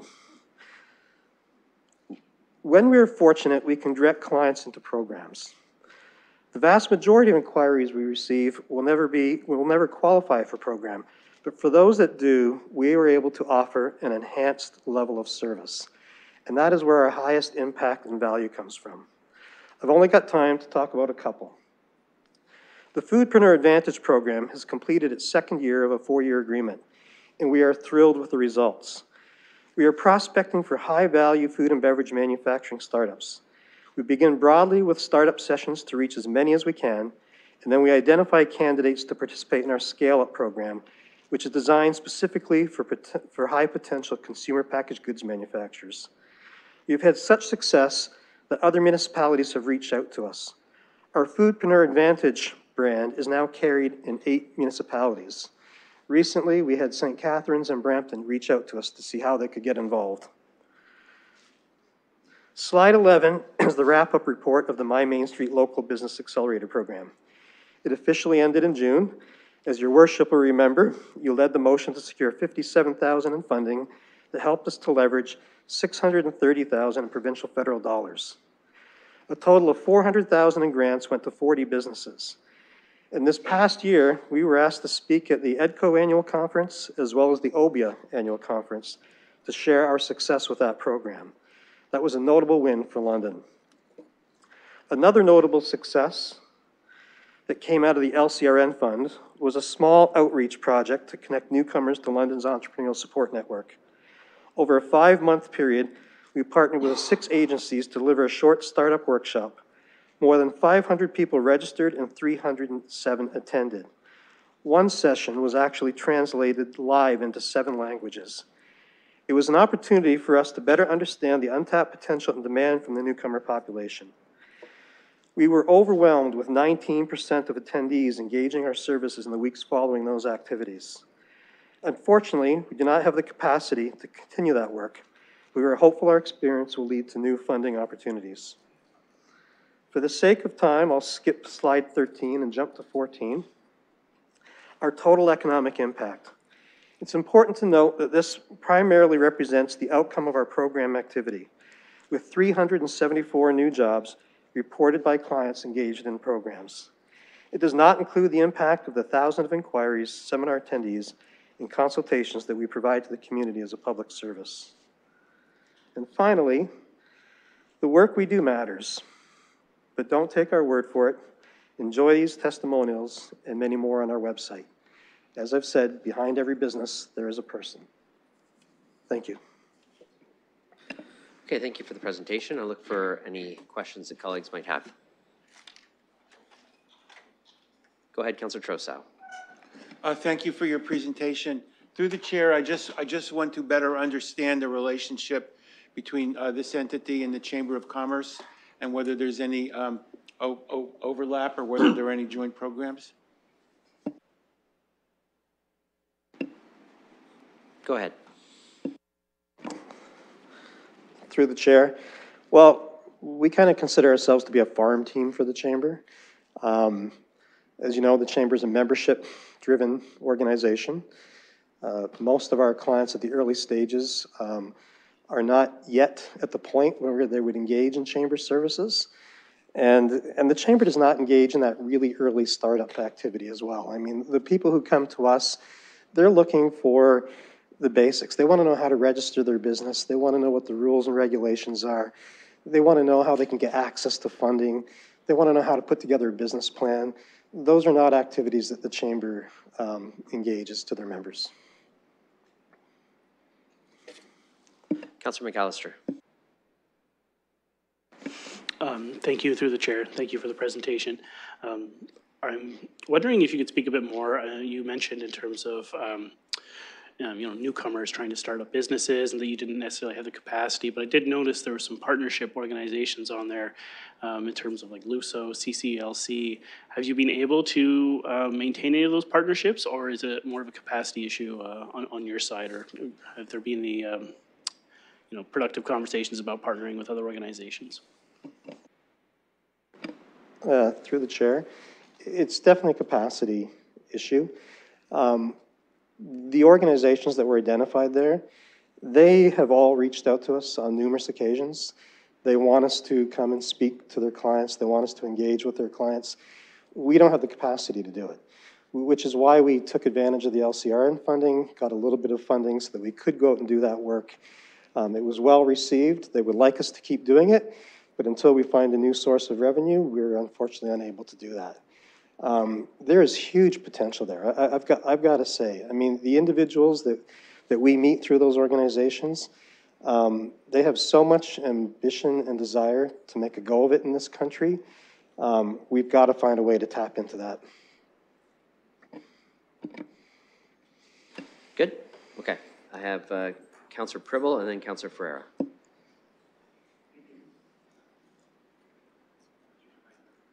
Oh, we might just need your microphone there. Okay, thanks. Recent articles state that during the last 20 years, even though Canada, Canada's population grew over 10 million dollars, we are sorry, 10 million people population-wise, we actually have uh, 100,000 less entrepreneurs. And we know small businesses are tremendously important to local communities, municipalities, receiving the tax dollars locally at uh, incomes as well. What are we doing, you know, if we look at the CBA coming up, uh, if we look at the economies of scale, a lot of things are going kind of currently against the small businesses. What initiatives are we implementing, introducing to make sure that we, in these young people, we kind of uh, open up the spirit to be entrepreneurs and to try to stay in the local municipality and open up their own businesses and become entrepreneurs? Well, the- short answer would be that we're not doing enough. We're not doing enough initiatives. Um, The, the fact that the population is growing and the number of businesses is declining um, does not actually surprise me. And the reason being, we're losing ground to a lot of big corporations. I mean, Amazon, you know, others, like we're, we're losing ground there. But when you also take a look at where our population growth is coming from, i.e. the immigrant population, we know that recent immigrants are much more likely than second and third generation immigrants to start new businesses. However, they are even more likely to exit after the first year, okay? And that, and that is because it's, it's overwhelming, it's complicated, um, they may lack the financial resources, the knowledge. And to me, that all comes back to having structured programming in place for them. And it's just something that we're not doing enough of. I don't mean London, I mean generally speaking. We put a lot of emphasis on those high-growth, high-potential sectors, but we don't spend enough time thinking about those local jobs, those local community businesses that also need that kind of support. Things like the CEBA were great, but as you know, the CEBA only came about because suddenly the world paid attention to the fact that these small local businesses were hurting and suffering. But we're not out of the woods yet. The- These CEBA loans are, are coming due. And many of the businesses that we're talking to are ill-equipped to deal with that, especially at the current interest rates. Um, There's still a long way to go. But if you're going to ask my, I'm going to be biased in my answer, but if you ask me what the solution is, it's going to be more structured programs that reach more people.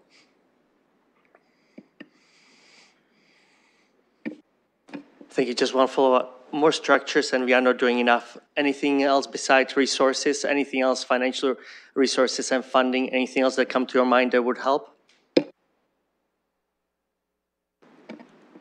Well, not, not everything within our control. I mean, clearly, things like the interest rates, access to, to labor, um, some of the, some of the labor requirements that, that make it difficult for small employers to compete with larger employers.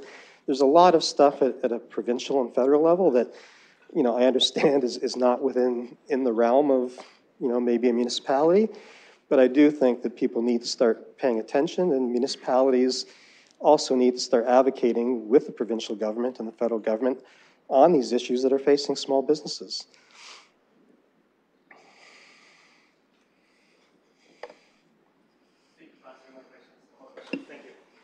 We still might- might just check your microphone, make sure it's off for me. Um, I got Counselor Ferreira next.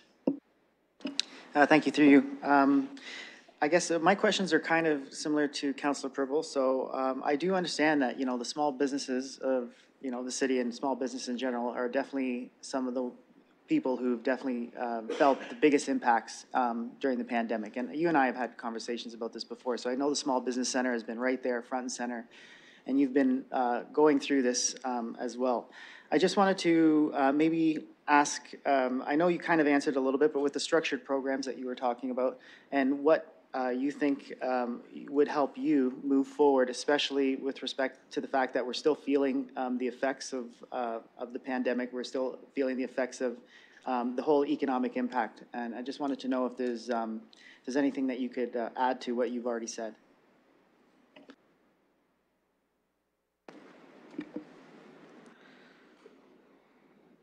Through your chair, sorry, can you just clarify, like, you're asking specifically what we need? Is that what you're, like, I'm not sure what the question was. You just need to give him the- your, the microphone back. Um, I, basically, I, I understand that, um, like throughout the pandemic, you know, I know that the Small Business Center had challenges everywhere leading up to even people coming into the building, into the door. So I wanted to know if you maybe could give a, a better picture of, uh, maybe just a summary of where we were to where we are right now, the outlook, and then, um, what you think, uh, where we'll be, I guess to say it generally, um, in the future. I, I, I- just want to know how, um, I, and like I said, it's kind of speaking to Councilor Pribil just a little bit.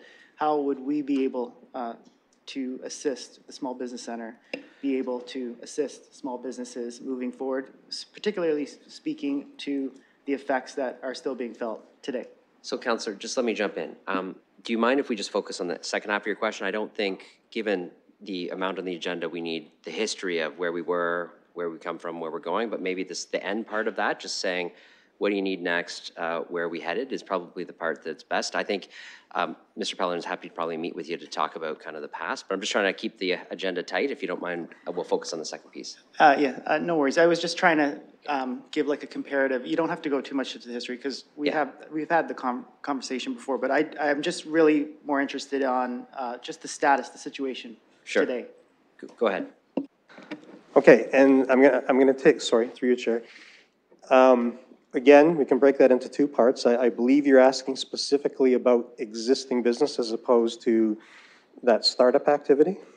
Okay, so, so with regards to the existing businesses, um, yes, we often hear that, that the biggest challenge they're facing is access to capital, access to financing. Um, but, but our experience shows us it's, it's actually the availability of their time. Okay, they- they, they don't have the time to properly work on the business because they're too busy working in the business. And it would absolutely, you know, amaze you how many business owners out there have really poor, even basic financial understanding of, of their situation, let alone their operational situations. There's a lot of businesses that just, you know, they're so busy, they don't have time to actually work on the business. So that's what we do. That, that's the primary role of the Small Business Center. But to do that, to, to get a business to take time away from their business, to take time away from their business, we have to entice them. And, and we entice them with programs, we entice them with financial offerings, we entice them with leveraged offers, offers through, through, through provincial programs, et cetera. Um, that's what it takes. It just, it just, just takes more time. That's the bottom line. It takes more time to spend one-on-one coaching with businesses.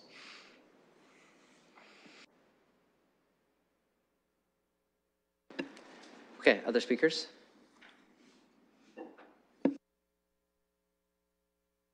Okay, great. Then I need one of those motions to receive the, uh, the update. Uh, I'll have Counselor Pribil and Counselor Rahman do this one, and uh, we'll open that for voting as soon as it's ready.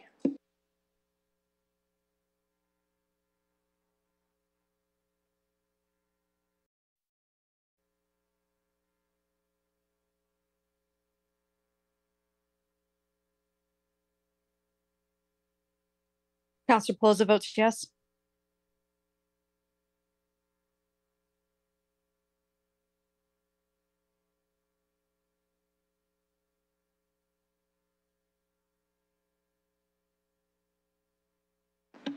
Closing the vote, motion carries 15 to 0. And thank you very much for uh, the presentation, as well as to you, the board, and uh, all the uh, staff uh, at the Small Business Center for everything you do to assist, uh, you know, important, uh, growing segment of uh, our business community and, uh, and all that you do to help new entrepreneurs navigate the way uh, through uh, the challenges and opportunities of uh, business ownership. So thanks very much, Steve. And thank you for the opportunity tonight.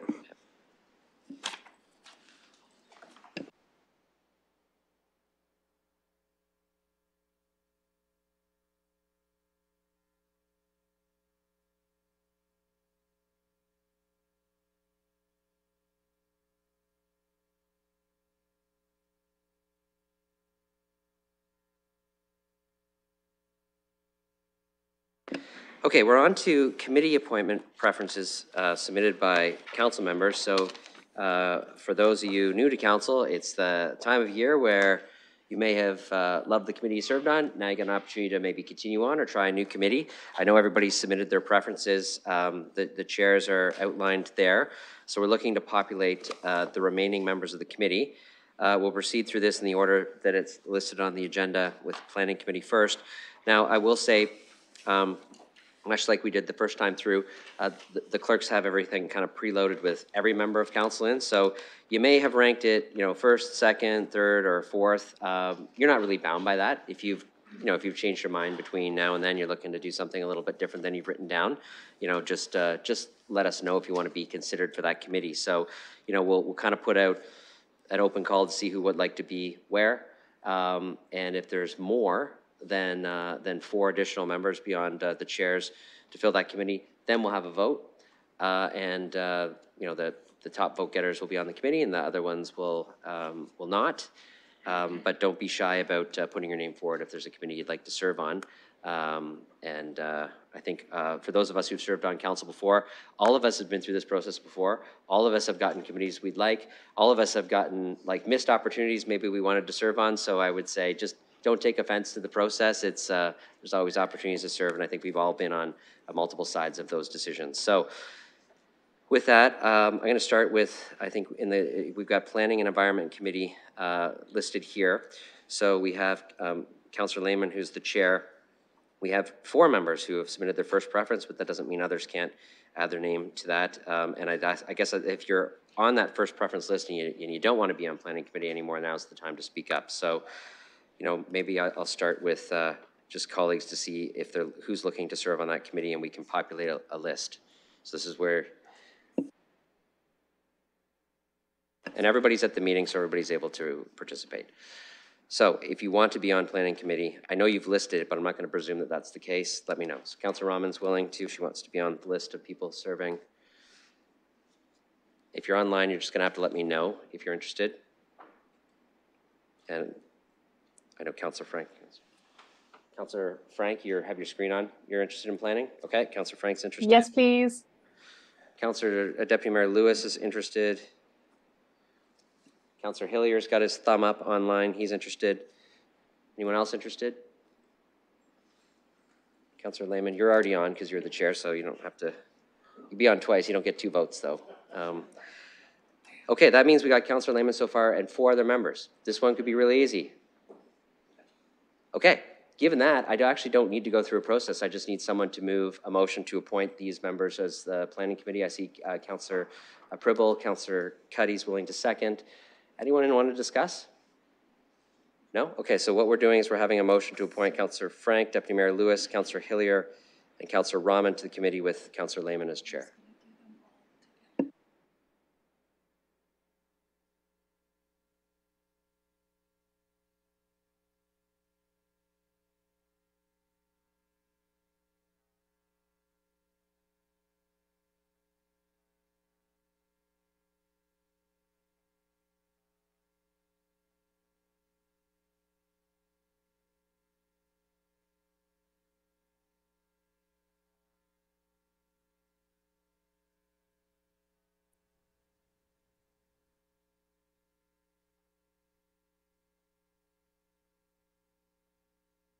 And Counselor Peloza, I saw that you ended up leaving and then ending up having to come back into the, the Zoom meeting there for a moment. I'll just let you know before we open a vote that we're, uh, we're in the process of, uh, we've got a motion to appoint Counselor Frank, Deputy Mayor Lewis, Counselor Hillier, Counselor Rahman, um, uh, to the Planning uh, and Environment, or the Planning and Environment Committee with Counselor Lehman already serving as the chair there. So that's what's going to open momentarily. Thank you. I did see that. Okay, perfect. Um, Okay, so we'll open that for voting.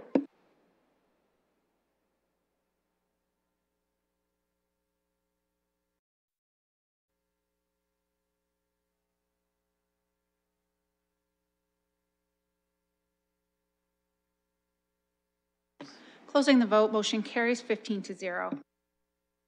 Okay, next on to Civic uh, Works Committee. Um, Got Counselor Hopkins uh, serving as chair of that. I'll look to others who are looking to serve on the Civic Works Committee. Counselor Trosow, Counselor Pribil, uh, Counselor Ferreira.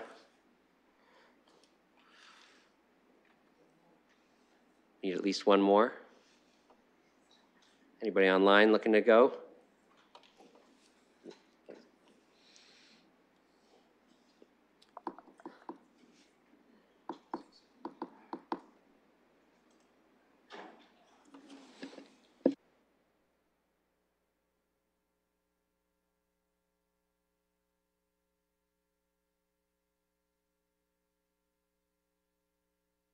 I've seen this before in a previous council, and sometimes people are holding out for a committee that they may or may not get. And sometimes if we can't decide on one, we could always flip that one down to the bottom as well. Councillor Trosow? I'm wondering if the deputy city manager involved might want to give just a little bit of a promo for how exciting this committee is. I like the idea of putting the deputy city managers on the spot to promo the committees that they serve. It's kind of like a, it's kind of like a, the Don't Tell Toronto advertising campaign. Don't tell anyone about how exciting Civic Works Committee is. Um, Unless colleagues are looking for a little bit more information on the Civic Works Committee, I, you know, I certainly allowed, I could promote that, but I'm, I, I'm gonna, I'm gonna assume that most committee members know what the committees are. I'm just looking for some guidance, colleagues. Counselor Peloza, you have your hand up? Sorry, thank you. Just to preface it, I'm not at this time able to take on another committee. But um, I would note that due to our numbers and committee vacancies, that some counselors are required to serve on more than one committee. So if you're holding that back, some will need to serve on more than one.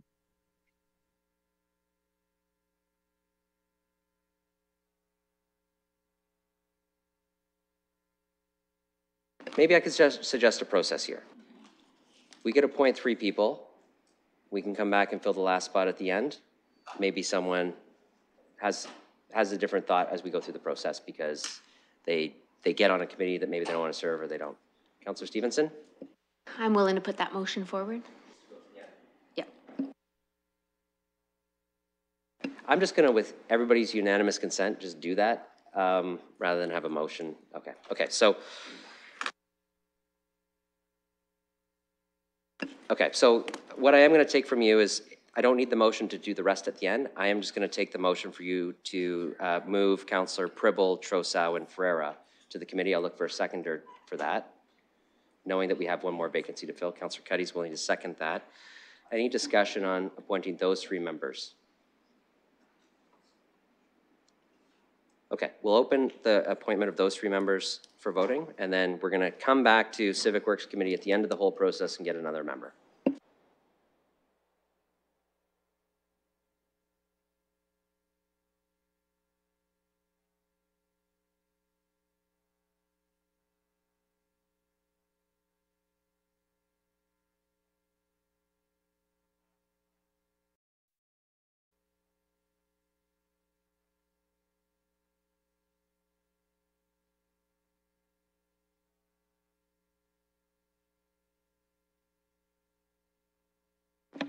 Closing the vote, motion carries 15 to 0.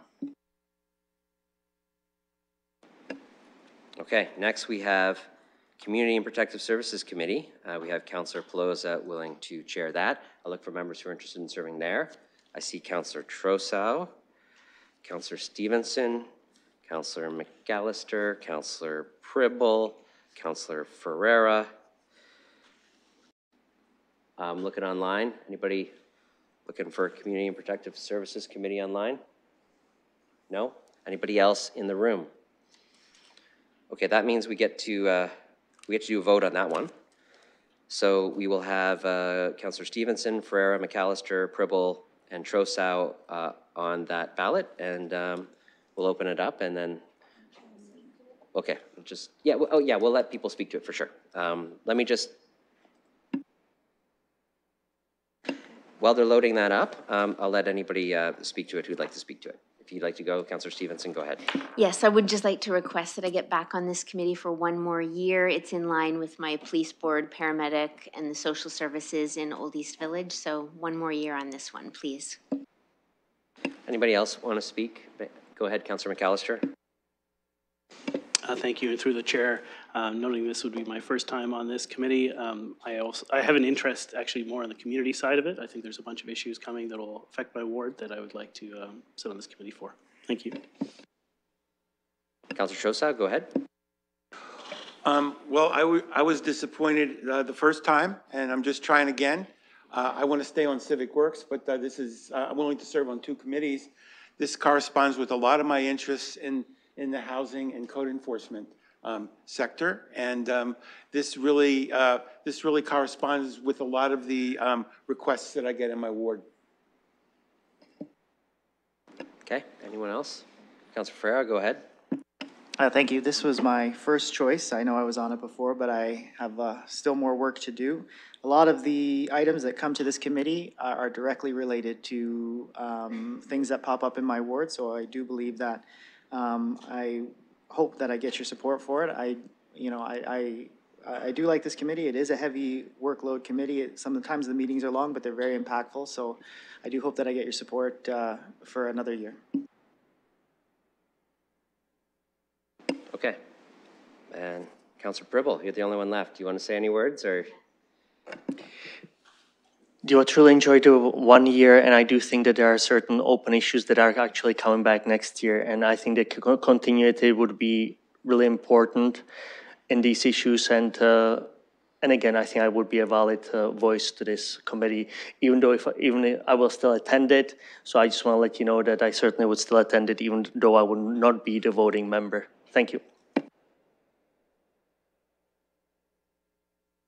Okay, that's everybody. I mean, other members of council can weigh in if they want, but probably, probably not going to happen.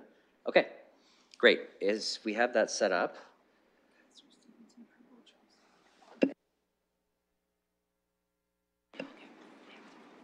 Okay, so everybody votes for four of the five, right? Okay, got it. So when the vote opens, you're going to pick four people. Got it. Okay, we're going to open that vote.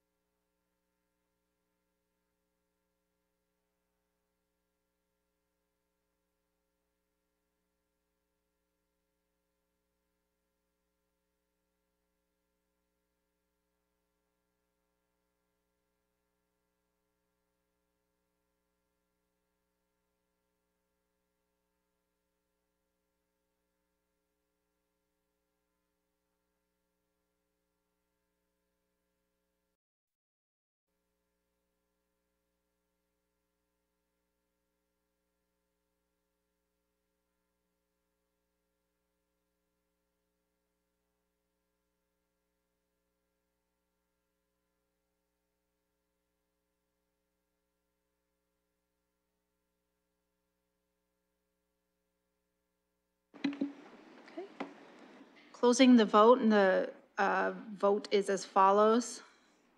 Coun- Counselor McAlister, 15. Counselor Stevenson, 8. Counselor Pribil, 13. Counselor Trosow, 9. Counselor Ferreira, 15. So the result is Counselor Ferreira, McAlister, Pribil, and Trosow being appointed to the committee. Well, not appointed yet because someone has to make that motion. To do that, Counselor uh, Ferreira is willing to put those names forward, seconded by Counselor McAlister. Um, Any discussion on, uh, that'll take a second just to get up.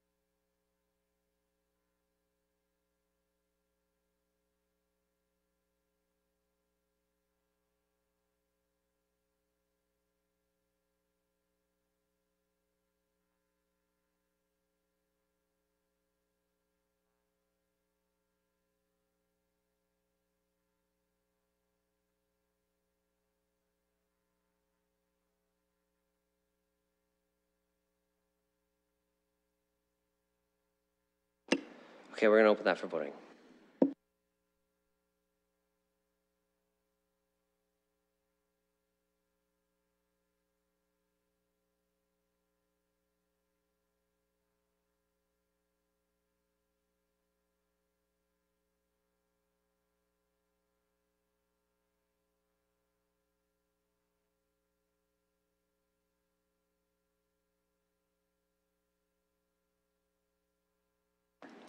Counselor Trosow, Counselor Ferreira.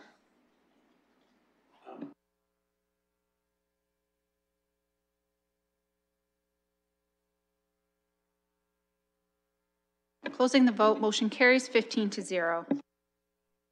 Next is Corporate Services Committee, uh, requires uh, four members. Counselor McAlister is serving as chair. Uh, I'll look for those who are interested in serving on that committee. Counselor Stevenson, Counselor Cuddy, uh, Counselor Van Meerbergen,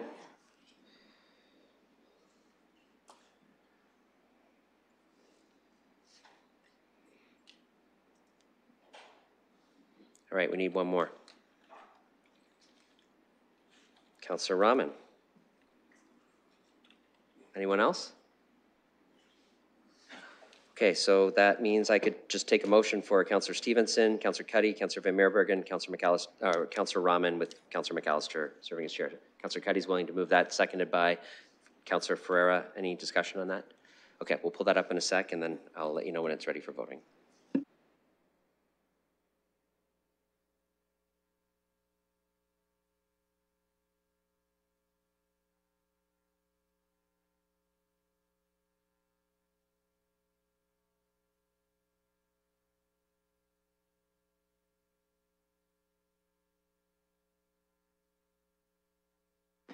Vote yes. We're not quite there yet. I'll let you know when.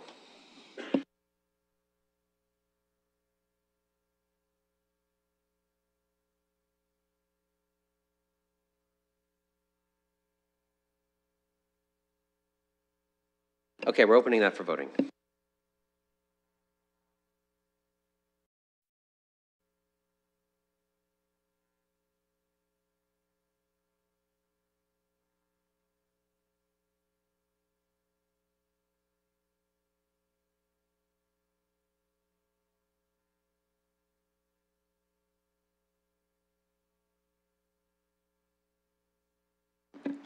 Closing the vote, motion carries 15 to 0. Okay, and now we get to loop back to Civic Works Committee. So after all of that, is there, s- we need one more person for Civic Works Committee. Counselor Hopkins, you're, uh, you're the chair. You going to make a pitch? I'm Okay, going to make Counselor a Hopkins pitch. wants to make a I pitch. have uh, served on Civic, uh, oh, f- two times in the past. It's an exciting committee. If you like spending money on lots of needed infrastructure projects, please join me. Who's looking to serve on Civic Works Committee?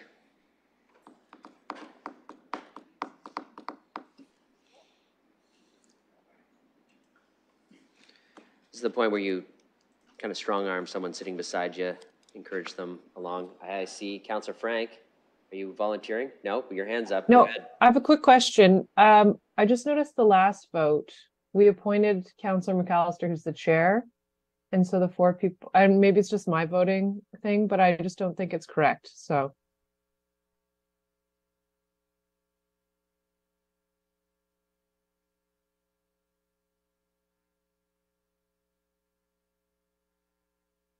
Uh, that's good. Good catch, Counselor Ra- um, Frank. It was Counselor Rahman who got missed, so w- we're going to loop back and just appoint Counselor Rahman to the Corporate Services Committee. Um,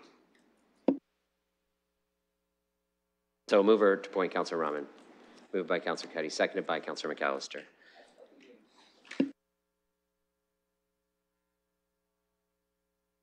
Counselor McAlister, you tried to do what Counselor Lehman did, and that's get on twice, maybe votes, like, uh, okay, so that's ready. We're going to open Counselor Rahman to the Corporate Services Committee for approval.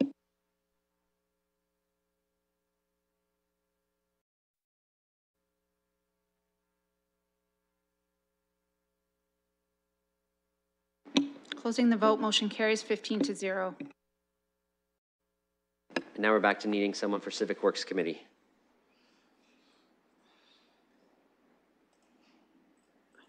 This is, this is the point at which, although I didn't do it before, this is the point where the deputy city manager can pitch the upcoming exciting items may be coming to Civic Works Committee this year and see if that entices anyone. Do you want to just highlight a couple of things? Thank you, Your Worship. I'm trying not to take this personally, so we take this like a Dragon's Den opportunity. Uh, So Civic Works will be looking at another record construction year. We'll be continuing work on our rapid transit projects. We've got some massive expansion work planned to um, provide wastewater servicing for growth.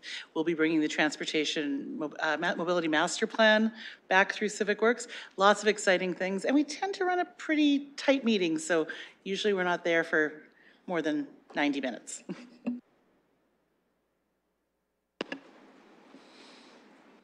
All right, I'm looking for a volunteer.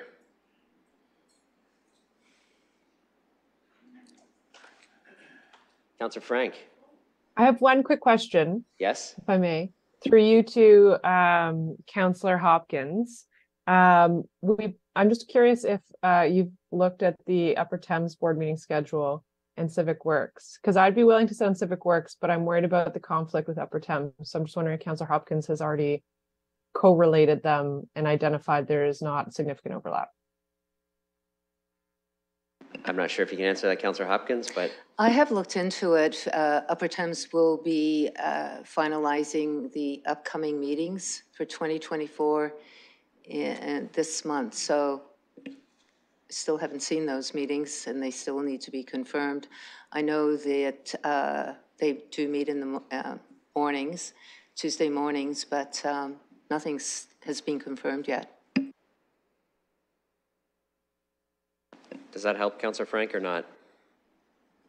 Yeah, I mean, I'm willing to send Civic Works because that pitch from uh, the deputy city manager was just too good to say no to. But um, I just am worried a bit about Upper Thames, but perhaps something that's something Councillor Hopkins and I can speak with Upper Thames about. I, I think that's fair, and I will tell you, I don't think any colleague would take offense, given we really need someone for the committee and getting you on now. And if there's some sort of conflict and we need to strong-arm someone else in the future, we can always make a switch, but hopefully it will all work out if you're willing to serve on Civic Works Committee. Counselor Hopkins had something to add? Yeah, there'll be two of us that will have a conflict then, but I'll leave it at that.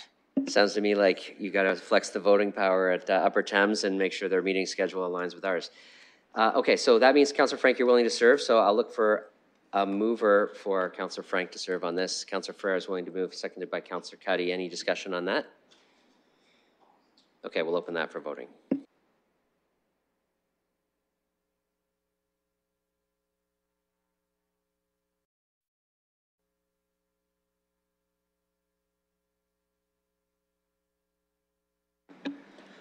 Closing the vote, motion carries 15 to 0.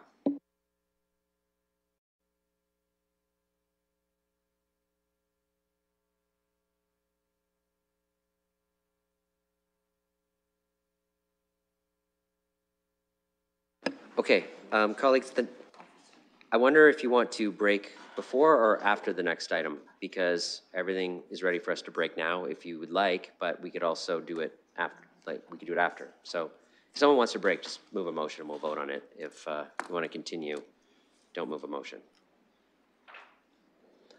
Looks like everybody wants to do one more item before the break? Okay.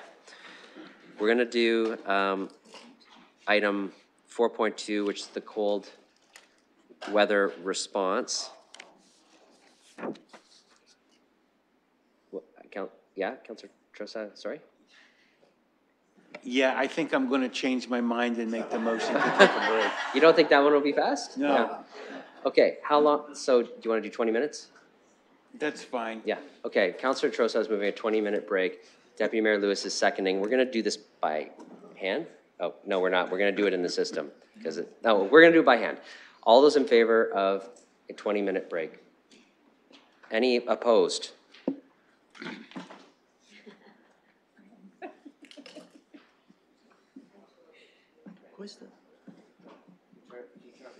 Oh, sorry. Motion carries. Okay, 20 minutes.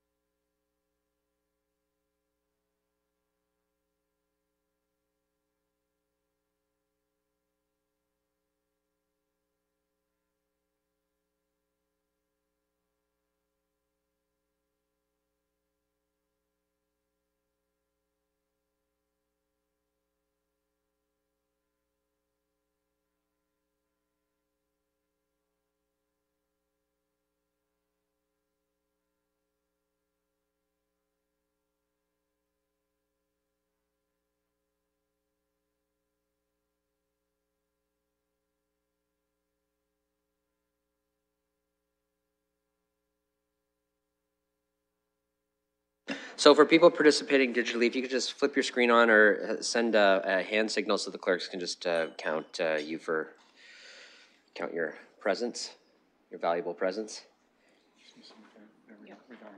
I see, I see heart symbols and high fives and a lot of other stuff. Okay, thank you. Um, so we're back, uh, we're back here. I'm, I am gonna circle back. There's one thing we missed on one of the items. I had written a piece of correspondence related to the committee appointments. We just have to receive that. So I'll look for a motion to receive. Counselor Rahman, seconded by Counselor McAlister. As soon as that's ready, we'll open it for voting.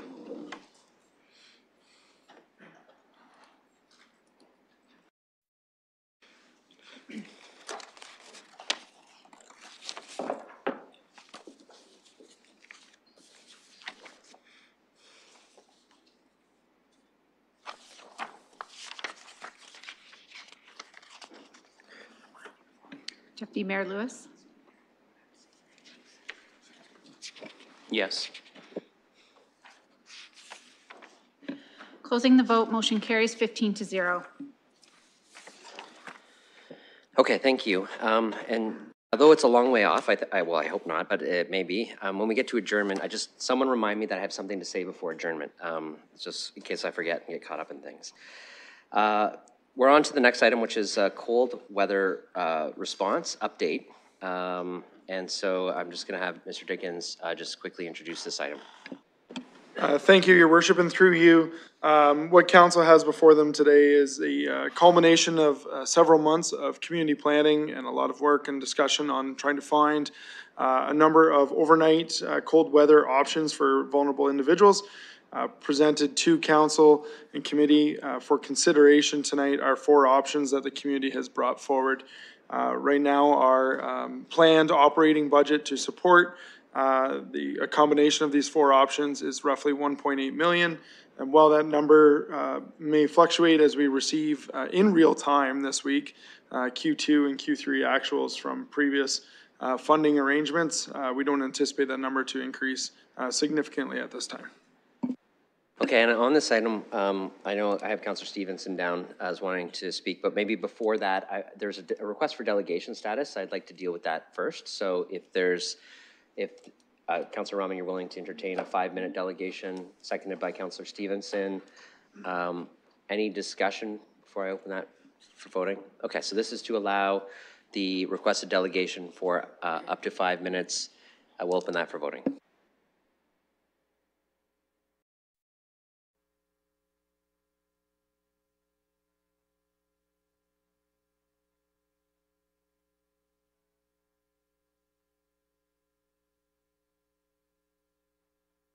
Closing the vote, motion carries 15 to 0.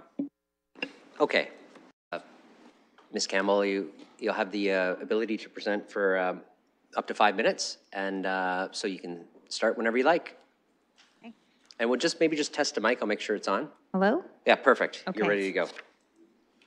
Thank you for the opportunity to speak. Um, I'm here with other people who are uh, supporting uh, these words. I'm here with Ed Wilson, the chair of our board, uh, David Rather from uh, Werner Place, uh, which is also Bishop Cronyn's location. Uh, I have a colleague, Rob, here, as well as Karna Trentman from CMHA STV.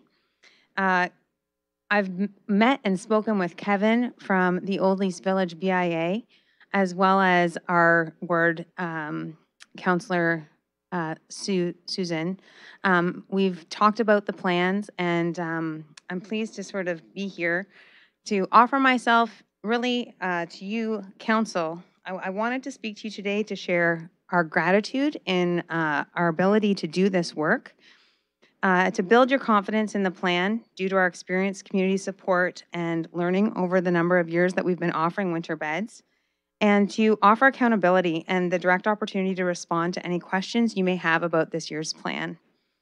Our community needs these services desperately. Ark Aid Street Mission has been an active participant in the All of Community Response um, Health and Homelessness effort, and uh, many of our staff uh, some of our frontline workers and even some of our community members have had the benefit of sitting in those meetings and rooms.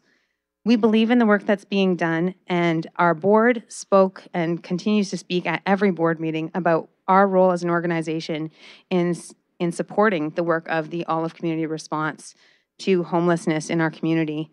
We uh, understood very early on that as we look for system transformation in our city, that Ark Aid would need to continue to provide the winter beds that we've been active in, in serving our community and delivering for the last three years. Our board determined not to put a hubs plan forward uh, for this year, knowing that we would need to put all of our resources into supporting a winter plan. Never did we imagine that we may be the only service provider um, adding beds this year. Um, I think it speaks to the capacity issue across our sector that Ark Aid is the one organization that will be hiring up to 100 new staff to provide the spaces that are necessary. This is not a small challenge. We've been through it, this challenge before, and we've learned a lot. But this time, because of the health and homelessness experience, we have more support. We have support from the police services where we have better communication, and they've talked to us about this plan and how they'll be able to help us with transition times through the um, the core area uh, police officers. We've talked with um, LHSC, a partner that we've never worked with directly, who's helping us with the HR planning and onboarding. We have the support of CMHA and the work that we're doing together to make their space available uh, for 24-hour service. Well, they do the day space and we would operate the night space. And we have the support of our encampment table with all of the folks who have helped us to define the problem and come together with a solution, as you see in the report. So we hope that Ark Aid is demonstrating our community capacity and our desire to support this whole of community response in this way. So I simply just wanted to bring that to you. Um, We believe that the community needs to understand that this is a realistic view of what system transformation may require.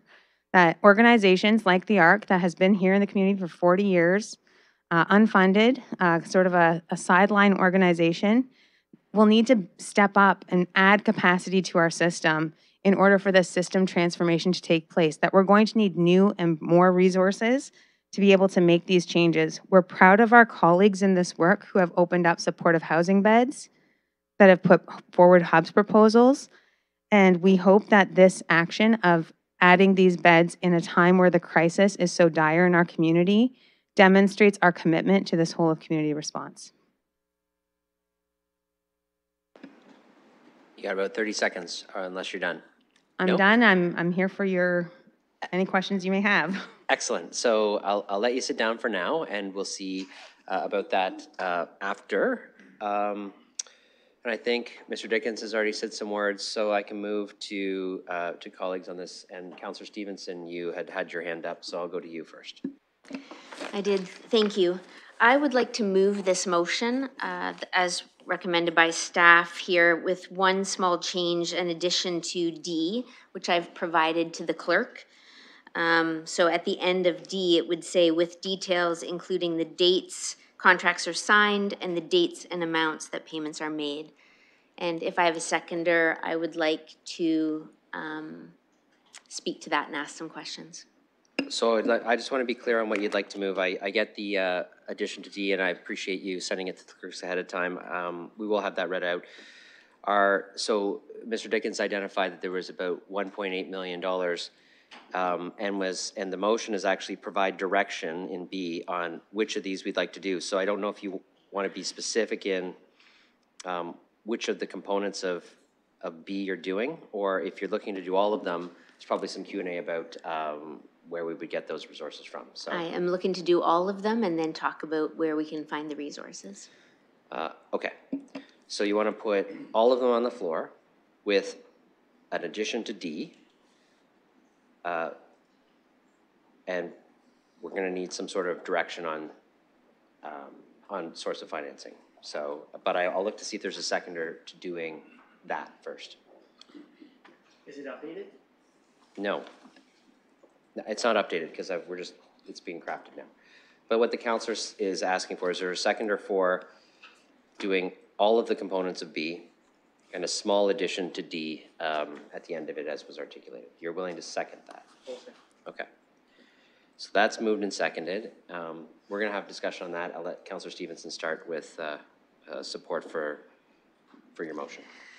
Thank you. Yeah, so I have to start with a huge thank you to Ark Aid, to the leadership there and to the board, because but for this, you guys offering to do this, we are in a very dire situation in our unsheltered population and all of London.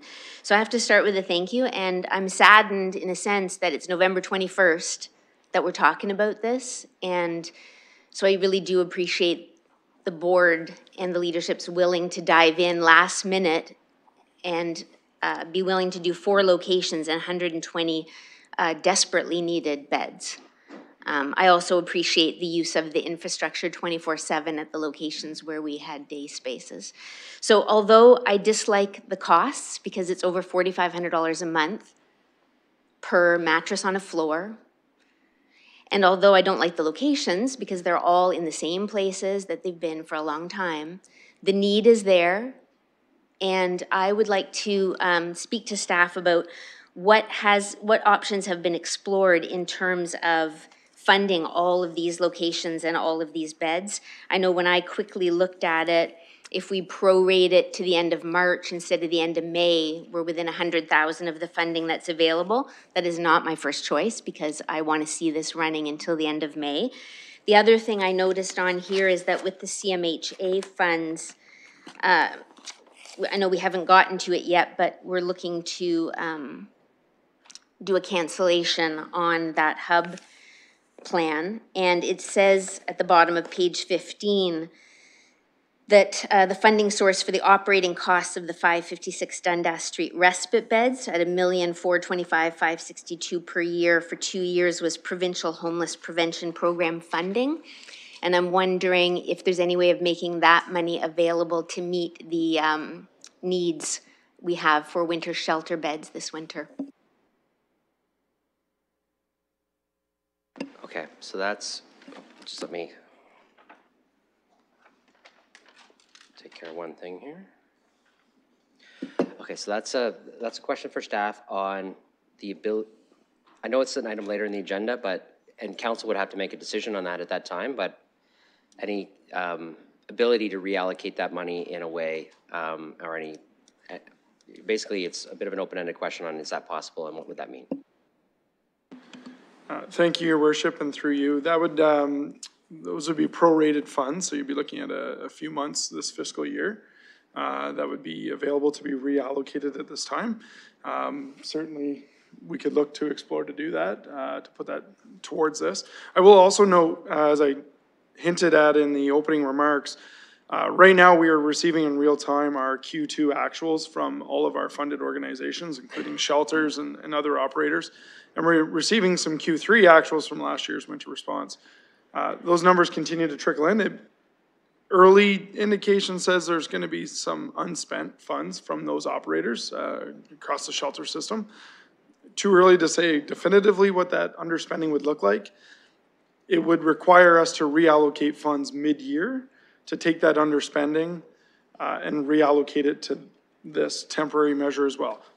Could certainly look to do that, um, but it would just be a practice we don't typically do in terms of that, taking the Q2s and uh, mid-year and reallocating them to another project so quickly. Go ahead, Counselor. Thank you. A follow-up through the chair. Um, Can you just explain the proration of the uh, homeless prevention program funding? Because if we had it all to give out for two years, I'm just wondering uh, what's stopping us from committing to the end of May? Thank you. And through the chair, the uh, HPP, or the Homeless Prevention Program funding, uh, does operate from April 1st through to um, March 31st of each fiscal year. So we would be able to prorate the amount from J- January, December to March 31st, and then look at um, the, uh, the additional two months in next year's allocation, which has not yet been confirmed by the province. Thank you. Just still help, help me understand how we were able to commit to it for the hub, but not for this. I'm just wondering um, what the difference is.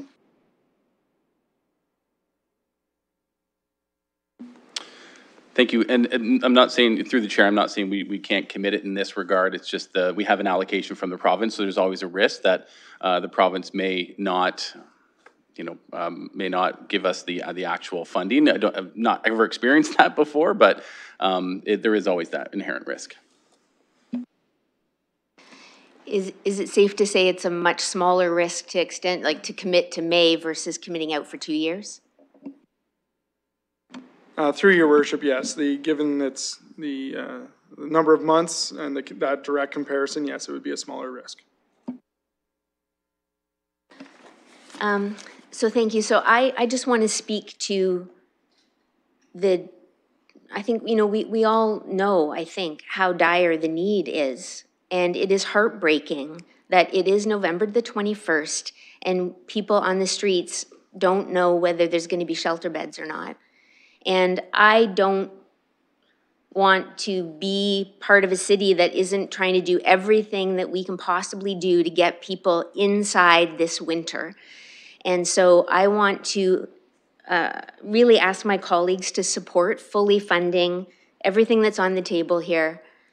Um, and also to explore still how we could possibly use that Bob Hayward YMCA. Um, that is another question I have for staff. You know, we, I hear residents say all the time, what about this building? What about that building? Can't we get people in here? Can't we get people in there?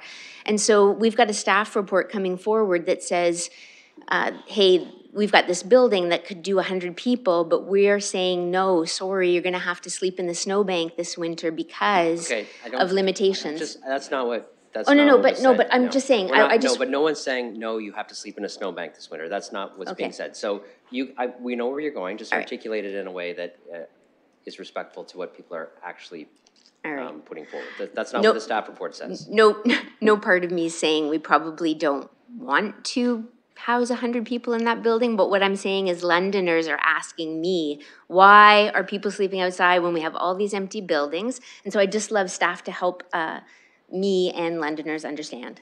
So it's details about the Bob Hayward. Um, You articulated in a report, but could you provide more details on that?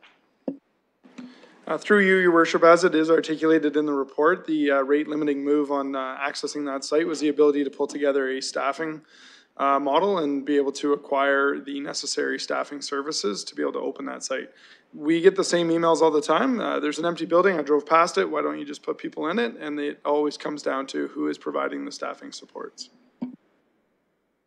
Counselor, you got about 40 seconds left on this. Okay, so my question is, is there a motion needed here, or will staff be continuing, uh, continuing to work to find ways to staff that building and to come next month with, uh, a solution to that? Because there's so many people saying, I would work it, I would volunteer at it. Uh, is there ways to put calls out to the community and to this whole of community, say, let's find a way to do this?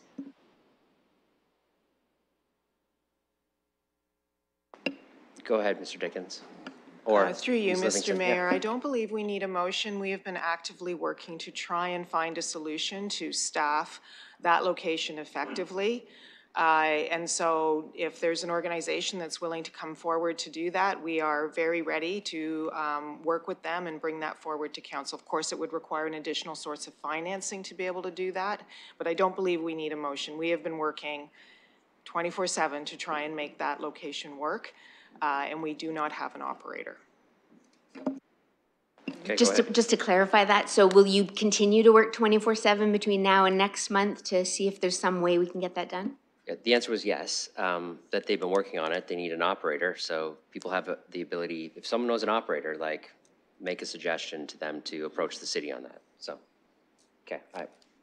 You got just about 15 seconds left, Counselor, or, okay. All right, I got a bit of a speakers list. Uh, I have Counselor Pribil, Deputy Mayor Lewis, Counselor McAlister, Counselor Ferreira, and Counselor Franke. So I'll start with uh, Counselor Pribil.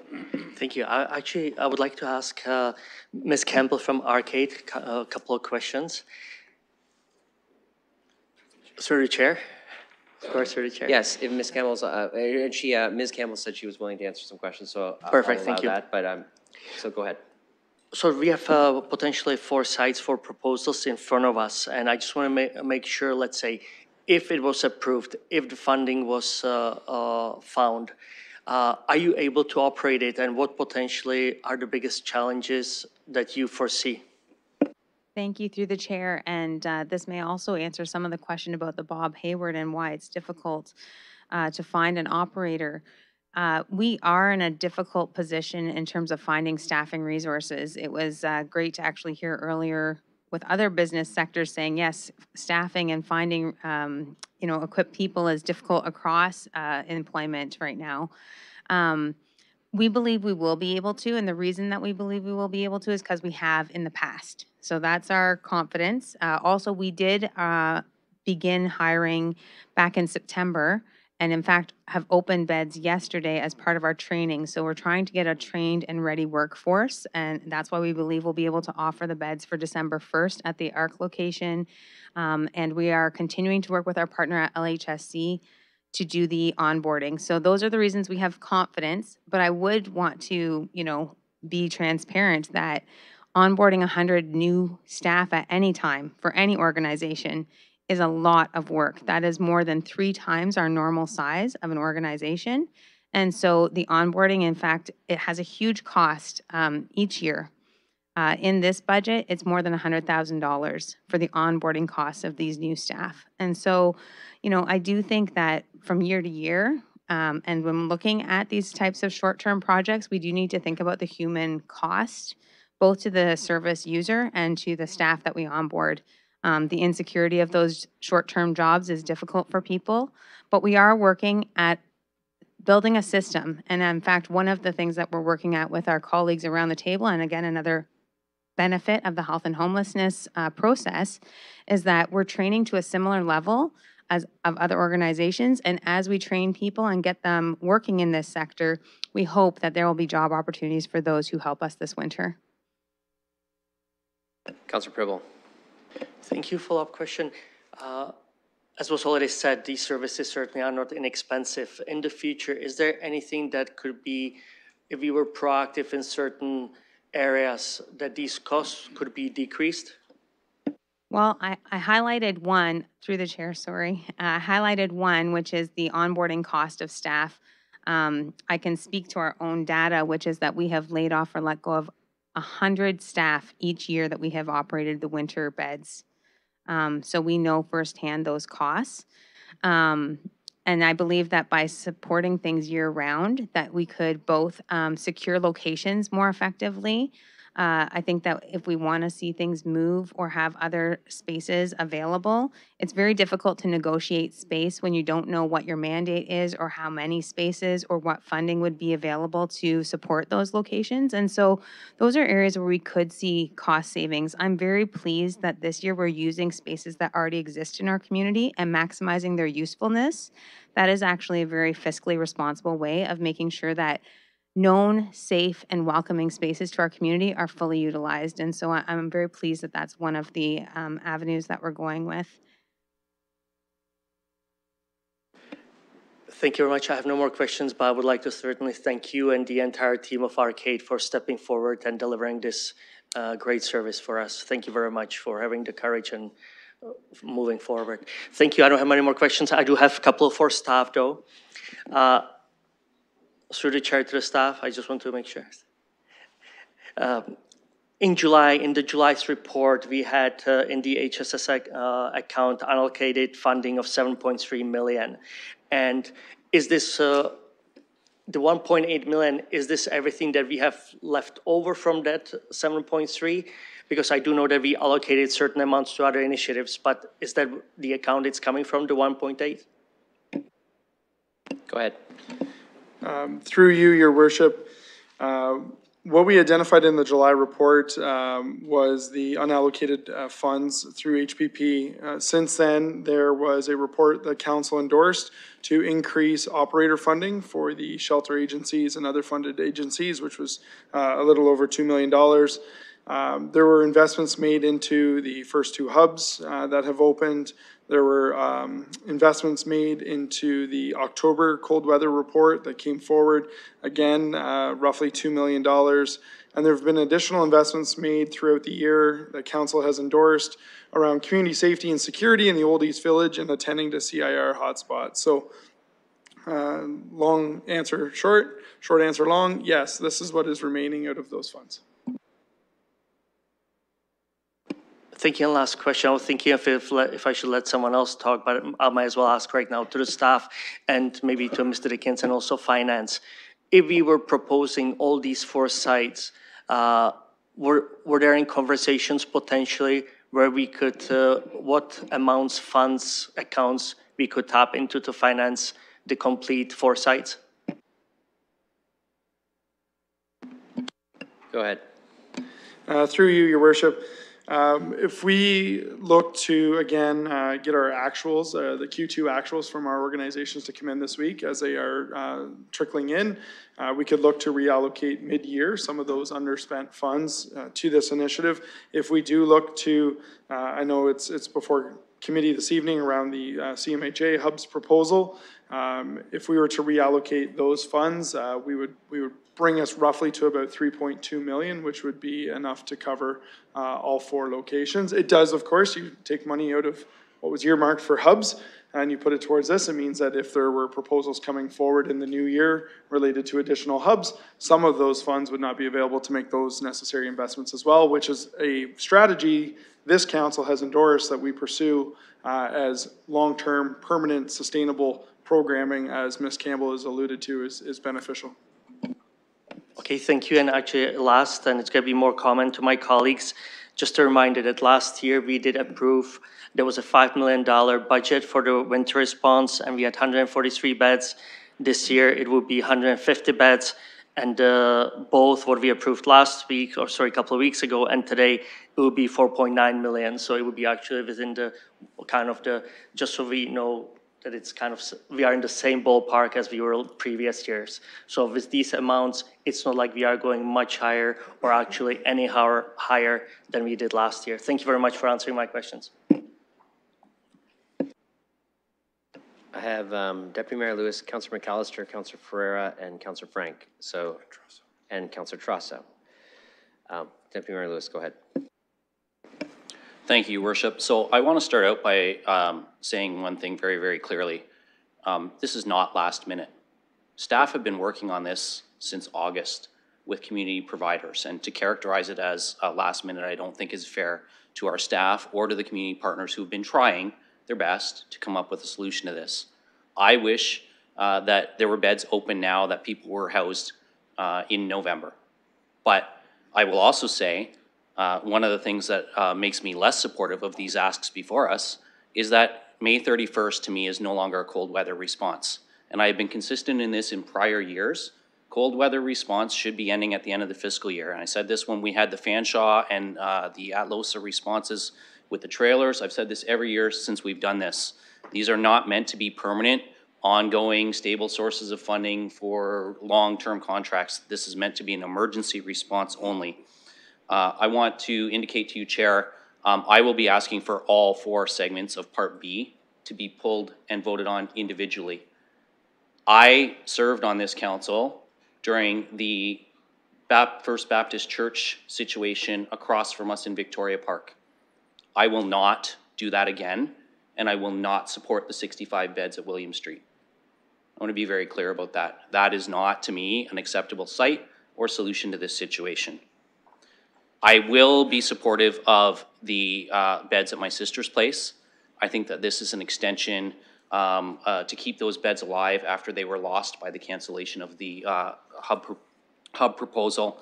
Uh, But I am not prepared, as staff have indicated, to start reallocating funds because I believe there is opportunity still for uh, CMHA or another proponent to still come forward with a revised unsolicited hub proposal. And I do not want to close the door on getting a third or perhaps even a fourth hub stood up uh, in the next six months as the first two start standing up uh, in a couple of weeks. So I'm not going to trade long-term solutions uh, for short-term spending.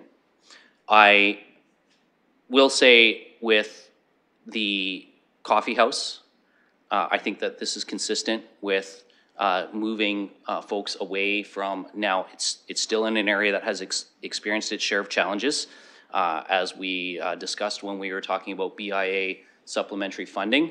Uh, But I can generally be supportive of trying this location as a spot uh, that's outside of the OEV and the core uh, as an opportunity for a few beds.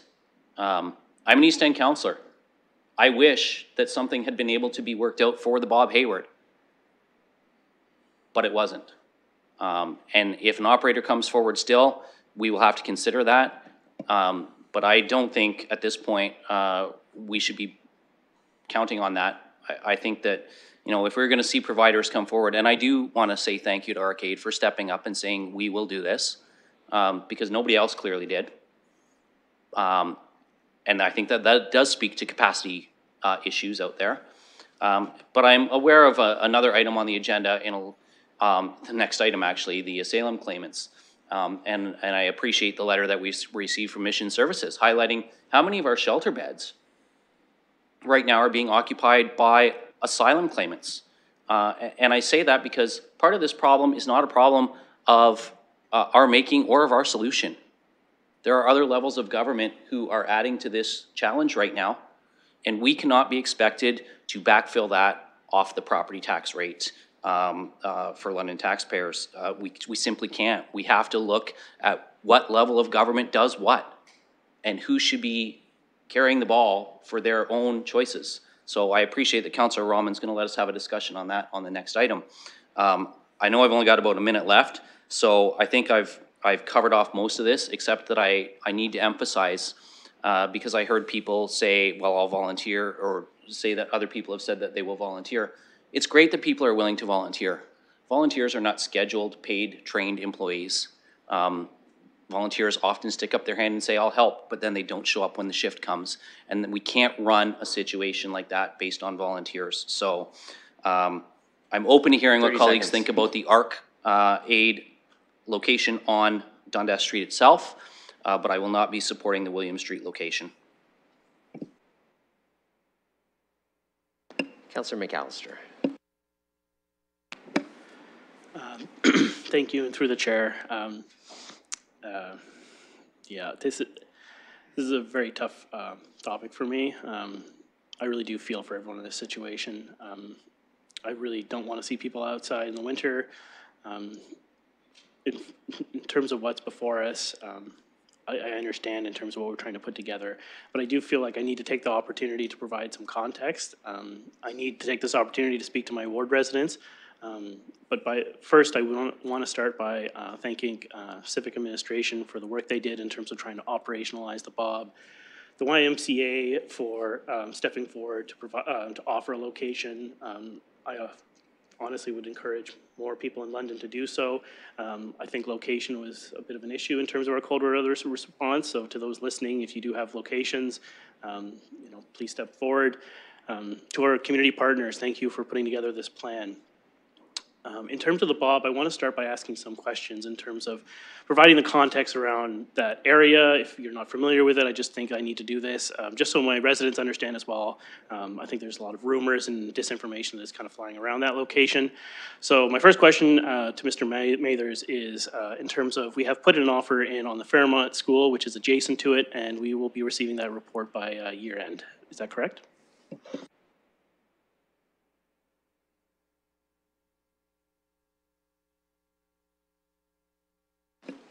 Okay, go ahead. Through the chair, we've put in an offer. We have not heard back from the school board, so we don't have a timeline on that. Okay, um, thank you. Um, in terms of the Bob itself, is uh, ownership still retained by the YMCA?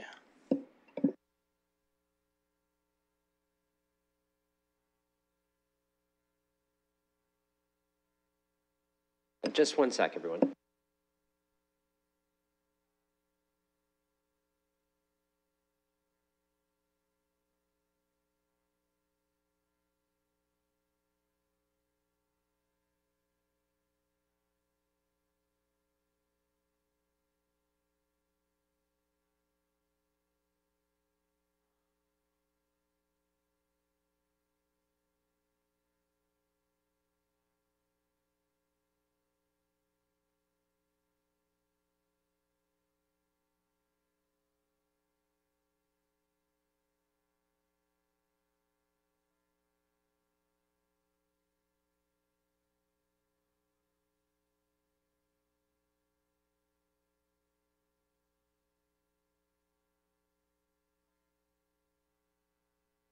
Okay, go ahead. Uh, Through you, your worship, as it relates to this report, um, the YMCA of Southwestern Ontario still owns the Bob Hayward facility. Okay, and thank you for that. Um, What I'm trying to do is paint a picture and express um, what's coming from my ward in terms of that location. I understand um, it is not currently operationalized for the plan before us, um, but I would like, from my ward's perspective, to see a more longer-term per- um, use of that land. Um, The Fairmont is currently, we're, you know, we put an offer, we're waiting to see. uh, By, Counselor, Hayward is closed. I just, I, I just need to, to just, let me just wrap this up. I will be very concise with Okay, it. just- But I'm I, just, I was, ju- I just want you to use your words cautiously about property acquisition. Okay? Okay. I am just saying, in terms of a long-term solution, we have always said housing is the solution. It is a large plot of land. I do not have a lot of developable land in my ward. Um, Maybe, you know, Mr. Mr. Mathers wants to speak to this more, but that section of East London is the former landfill, not a lot of land. And I hear constantly from my ward, housing, we need the housing. And I understand what's before us in terms of a shelter system, but I just want to make that known and let my residents know that they have been heard in terms of long-term um, use of that land, that that's what they would like to see. In terms of the plan before us, um, I know the coffee house, I've spoken with Karna, you know, you do great work at the coffee house, I appreciate that. I won't speak to the other locations because I'm just speaking to the one on Hamilton Road. And I know uh, the coffee house, um, you know, you serve a vulnerable population, really good reputation.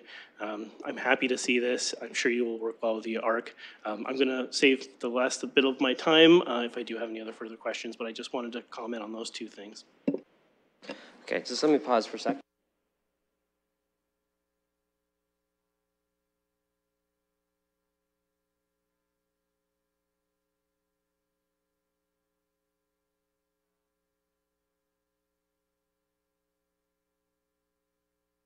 Councilor McAlister, could you, I know this is a little unorthodox, could you just join me at the front with the clerks for one sec?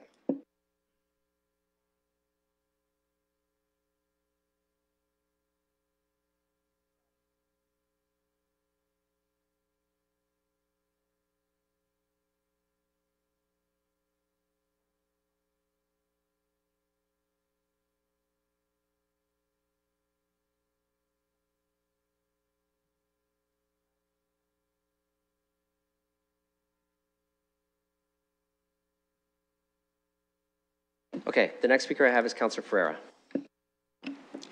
Uh, Thank you, and uh, through you. um, I do appreciate the sentiment uh, here of trying to bring as many beds uh, forward as possible. I, I do know that we need that, and I'm glad to hear that from council. I also want to look at our, uh, look to Ark Aid. I appreciate you standing up and being the lead for this, because we do desperately need it. And to staff, I know you guys have been working 24/7, um, right into the early hours in the morning, trying to uh, figure out a plan that actually works. I do want to say, I am also not um, interested in taking funds away from monies that is supposed to be intended for the hubs in our long-term plan. And I do see that we got a $1.8 million budget that we have to work with. So um, I would ideally like to see um, 696 Dundas, 731 Hamilton Road, and 566 Dundas be funded. And I'd like to add some things to that um, as well. Uh, But going to the William Street, uh, my big issue with the William Street is, uh, number one, uh, it won't be open until January 1st, and it could be even later because there's possible delays with, po- uh, with possible code enforcement, or code considerations and other delays that, that are in opening. And I fear that if we were to fund it with 1.472 million, I believe it is, and we have those delays, we'll find ourselves funding a cold weather response and all the money really going there, and it opening up maybe midway through um, when the cold, midway through the time frame of the cold weather response. So I, I would like to just um, ask colleagues here just to step a little bit and be a little cautious on that because that is a big risk, the way I see it. With the other locations, um, I do see that some of these, lo- these locations should be ready to um, start right away. I do understand that uh, the coffee house might have uh, some um, startup um, issues or startup uh, things that they need to do. But I think that it would be wise to uh, fund these three um, uh, locations, which would put us under the budget, because um, as it is right now, if we were to fund everything, it would be over $3 million, and like I said, we only have the $1.8 million. I do want to ask um, to staff for the engagement piece, Um, and I just wanted to know, I do see that there's supposed to be uh, community engagement from the lead agencies, and I just wanted to know if, what exactly does that entail? What kind of engagement is that? Is that canvassing? Is that um, some type of other format of communication with the community? So uh, I was wondering if staff could uh, give me an update on that. Uh, Through the chair, thank you. Through the chair, um, we would be looking to the lead organization, in this case, the ARC, and- and undoubtedly with uh, support from CMHA, uh, to ensure that as part of a funding arrangement, that they have a uh, community engagement or neighborhood engagement uh, plan in place. Uh, The more robust or the more, the more broad that community engagement becomes, uh, probably becomes an issue of resourcing and staffing for these organizations to be able to do that uh, extensive of work on top of trying to stand up and open the spaces to get folks in out of the cold. So uh, we do not at this point have, uh, at least to my knowledge, uh, a detailed engagement plan from uh, these organizations, but they have uh, committed, and the ARC has committed that that would be part of their uh, onboarding and opening is to ensure they're engaging with the neighborhood and also ensuring that they're accessible if uh, through their operations, the neighbors uh, have questions or concerns. Those are uh, practices that uh, the ARC and CMHA currently also have in place for existing programs. Thank you. Uh, With respect to the time uh, going to May 31st, when I originally read the report, I too uh, also thought that maybe it would go a little bit longer. And my original thoughts was perhaps maybe opening at seven rather than nine, so allowing people to get off the street much sooner when we need it to, and maybe uh, shortening um, the end date. So I just wanted to ask on the end date, um, how, um, how much is that end date required from the community side? Uh, Through the chair, uh, the encampment uh, table that is part of our whole of community system response, uh, those organizations, those frontline outreach workers um, have made it really clear that uh, that is a, that's a big priority for them, is that uh, services do extend into the spring, into the end of May. Um, That's not a scientific end date, but it is acknowledged that uh, March is fairly unpredictable when it comes to weather. April's often quite wet uh, and usually quite cold. Uh, And as Ms. Campbell alluded to, when you're, when you're recruiting staff, uh, you would want to make sure you have some runway for that onboarding and support pieces.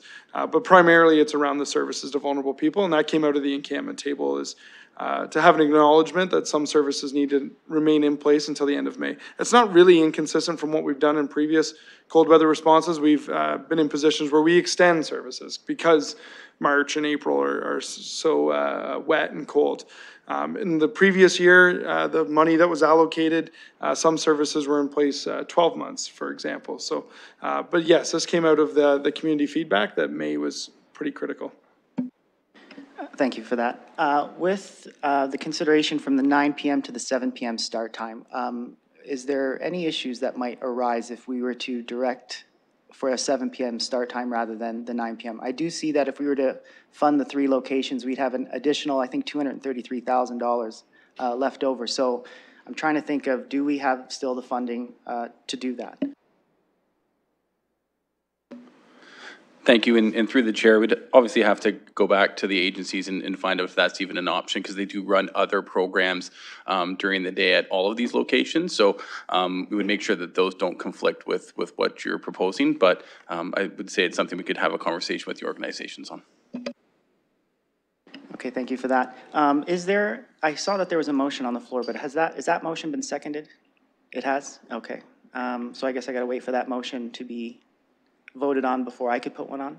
Or I could make an amendment? Counselor, given some of your comments where you're supportive of some components to the other, I've already been asked by one member of council to divide Part B into the segments, so that means some could be approved, some could not be approved, depending on how members of council vote. So um, I, I, so far, that seems to delineate it for everybody's decision-making at, at this point, um, but I can certainly divide it further if, uh, if, if, if that's not compatible with where you're, you're looking to go.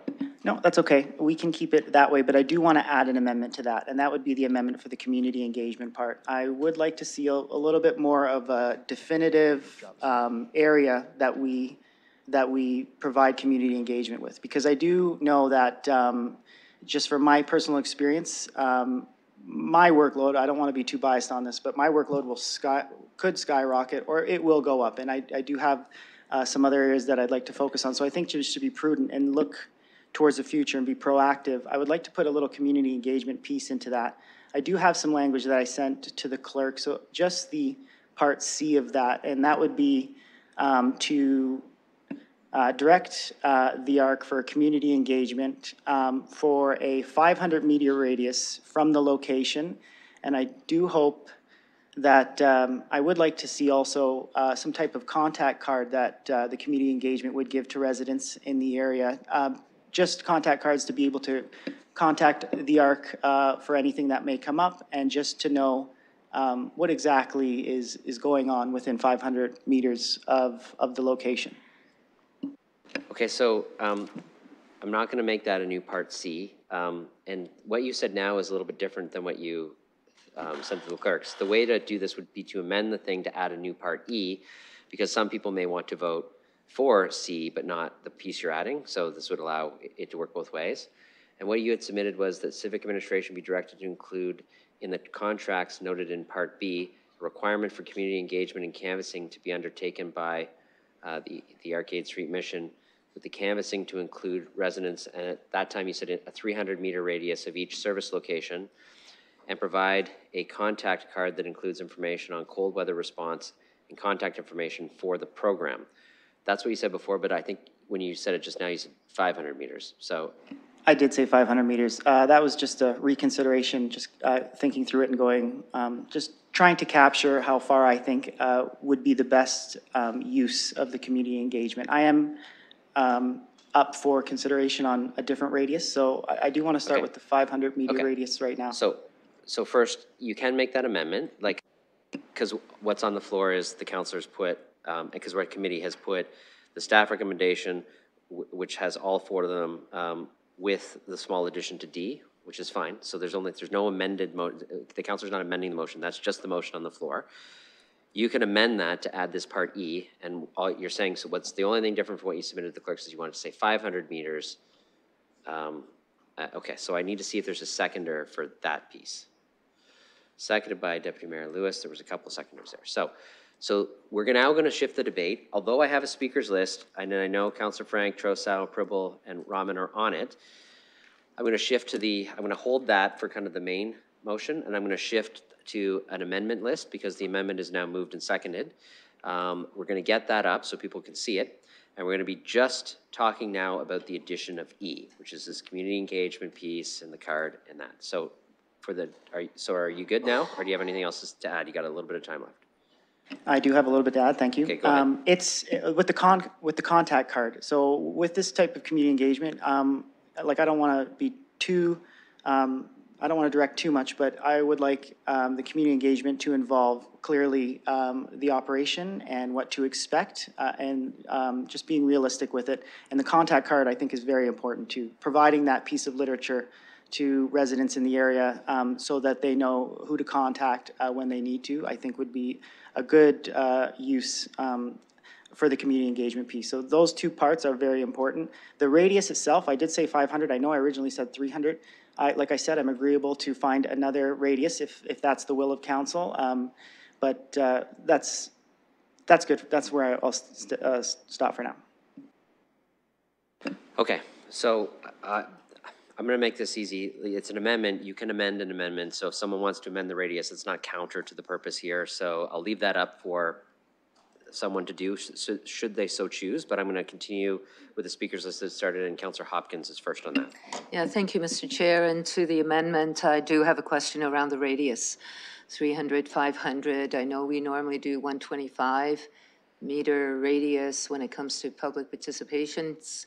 The Planning, I just want to have a better understanding because I would think the radius here is important in terms of expense and um, the amount of time and effort that goes into that. So I, I, I think we need to understand exactly uh, what the counselor would like to see here in, in terms of radius and, um, because that will depend on my uh, support or not. Okay, I'll let the counselor answer that. Um, I- and I don't think we need staff to comment, like the, yes, there are official radiuses in the Planning Act. We're not bound by any of that for something like this. So Counselor Ferreira. So I did start with the one hundred and twenty meter radius, and then I went to the three hundred, and then I went to the five hundred. And my intention, just increasing that radius would be to ensure and just kind of hedge our bets, uh, mitigate our risk on, make sure, just to make sure that we can cap, we capture everybody, every party who might be interested in knowing and having that knowledge. So that's why I just increased the radius, uh, just to have that bigger net to catch, just so we, so I feel more confident that we've informed, um, everybody that should be informed. So it is the 500 that, the, that you would like to see? Yes, that's what's in the motion. Um, and if someone wants to change that, they can amend it. I have, uh, Deputy Mayor Lewis next.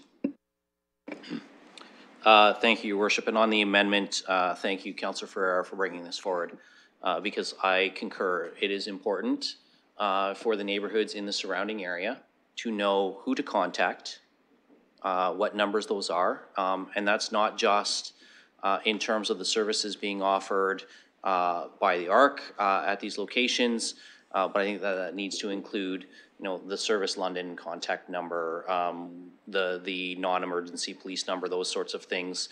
Um, Because when we see these sorts of, of locations established, there are sometimes um, what I'm going to call spillages of issues out into the neighborhood.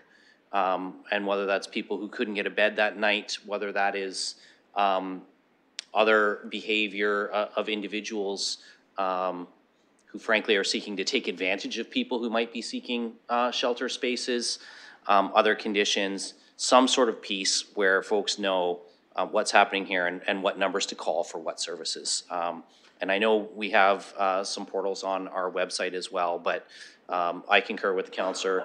Um, the people who suddenly get their inboxes filled with questions are the people around this horseshoe. Um, and we are not 24 7. Uh, and on a Saturday afternoon, when somebody has a question, they need to know who to reach out to and contact. Um, and it might be on a Saturday afternoon in an urgent situation. So they need to know who to reach out to and contact. Um, I, um, and I will say, I prefer the larger radius in this case because this is not, you know, a planning application where a building is going to be built and then the construction is going to go away. Um, there will be a changing dynamic uh, around these sites uh, for a number of weeks. Um, and what that looks like, you know, quite frankly, I don't think any of us can fairly know. Um, we have some ideas, I'm sure. I'm sure our partners uh, in the gallery have some ideas, but I, I want the public to know because it is important that at the end of the day, they know who to reach out to. Um, and a simple postcard in a mailbox is a great uh, tool sometimes when people don't know where else to turn. I have uh, Counselor Trosow, then Counselor Pribil. I always, uh, through the chair, I always have difficulty with these numbers, trying to figure out where that arc's going to fall, and if it goes through someone's house, do they get the notice, uh, or, or, or not? Why don't we just say what area we want it to go to? Why don't we just say the area bounded by this street, this street, this street, and this street, and let's err on the side of getting some additional notices out, because if we're doing things like introducing people to Service London, there, there's positive things for doing that any, anyway, uh, is there a neighborhood association there who might, who, who might help us with the distribution? Um, and I'd also say that where do we think, if people are not gonna be able to get in and they're there, where are they likely to go? And let's, let's, let's, let's just figure that out too. Are they gonna go to Meckman Park? Are they gonna go, uh, somewhere down Central? I, I don't, I don't know. But the, I, I think the important thing I want to add to this discussion is, let's decide what neighborhood we want to send it to, and just say it's the area bounded by, and not worry about the meters. Yeah, that's it. Okay, I have Counselor Pribil. I would support this if this, if this was kind of a September, October, one thing. And second thing is if this was permanent and not temporary. I actually have a question through the chair to Ms. Campbell. Is this, whatever the radius is, having all these, and again, three, potentially four locations, and now you and your staff canvassing all these homes, is it actually feasible? So go ahead.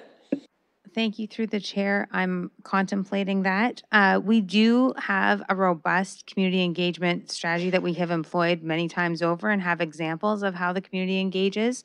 This weekend, we hosted an open house and had many community members come through from in Old East Village talking about our winter response plan at 696 Dundas Street. We also, um, when operating out of First St. Andrews, have learned from that experience to canvass the neighborhood. It was a one city block radius that we did on all sides. Um, and that was in person, knocking on doors, talking to businesses, offering an outreach card and a meeting. We had a meeting before opening services, explaining what was happening, how we would provide support. Um, we also have included in our budgets a community safety role that involves those transition times when people are coming in and out of space and um, being present and visible outside of the space before people can get in, uh, and also um, anticipating some of the challenges that we see typically the cleanup in the area, uh, disposal of things, what to do when people can't come in, redirecting people. Those are every year's challenge. Um, that's not new for this response. And so we have developed those strategies. Some of that is anticipated. I am concerned about five, like a full kilometer. I'm just kind of picturing like how many, I don't really know how many houses that is and what that resource would look like. But certainly engaging neighbors is incredibly important to the success of any intervention. Um, and we do already have an outreach card that we give out to our neighbors and do respond in Old East Village. I think the BIA folks could even maybe speak to how we respond to our, our neighbors as best as we can. Um, I am questioning a number of things, like how quick would you want a response? How- What does that response look like? Am I responsible for the neighbors, you know, yards and cleaning up around their yards as well as uh, sort of our own locational uh, responsibility, which I'm very familiar with taking care of our own location and making sure that that is clean and, and maintained. But trying to take care of where any person who may be seeking services or not, and all of what may or may not be um, thought of as part of the consequence of having services in a neighborhood is is a little bit out of the scope of what we can do. What we always do and are consistent in doing is responding to a person in distress, and that is something that we can do. Um, if that was needed 24 7, like even the overnight hours, my understanding is that we don't have any outreach teams that operate all the way through the night. Um, that those are emergency services, but if we needed to establish that for this winter response, that would potentially be an additional cost. Thank you. And based on your answer and being end of November and also this being a temporary measure, I will not be supporting this motion. Thank you. Okay, I have um, Councilor Rahman next. Thank you, and through you. Um, Thank you for this discussion, Counselor, and uh, I appreciate that you're sharing the concern based on the workload that you experience as well, because I do uh, know that you've shared that before, that how it can be considerable, especially when we're making changes like this uh, that impact your neighborhood, so I understand that. Um, I just want to comment on two things. One is we are talking about this being the responsibility of Ark Aid due to the overnight spaces, but most of these places are either operating as day spaces or operating in some other capacity. So I think that uh, some of that engagement could maybe be shared a little bit more between a number of organizations, and I'm seeing heads nodding up the top. Um, so I do think that that um, there's a willingness perhaps to to explore that on some other levels, and and uh, I, I do I do see the value of providing the direct neighbors and as many neighbors with information, but again, worry about the 500 meters a little bit more, um, just because I want to make sure that, I, I agree with Councillor Trosow that I think it might be better to define neighborhood blocks or streets, because I do think that we might be uh, un- unintendedly, maybe we missed somebody or we missed because of the radius, but we should have gotten to them. So I just want to be a little bit more, um, more specific about that. And I think we have the opportunity to do that since we're at committee. we can be more specific before we get to council. So the intention is that we want to over-communicate how to get in touch with agencies. Absolutely agree.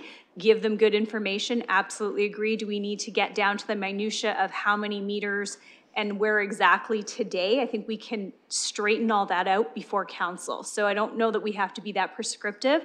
And I think it allows us to have some good dialogue with the people that are doing the good work in these spaces already, because some of this may be some things that they've already engaged in, in terms of the day spaces or in, in the other services that they provide.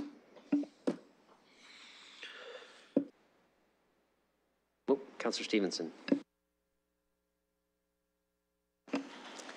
Thank you, and through the chair, can I ask what the timing expectation is on this? Is this to be done early? This organization has a lot of work to do. Uh, Uh, There's no timing in the motion, so um, I'll look, look to Counselor Ferreira to comment on that.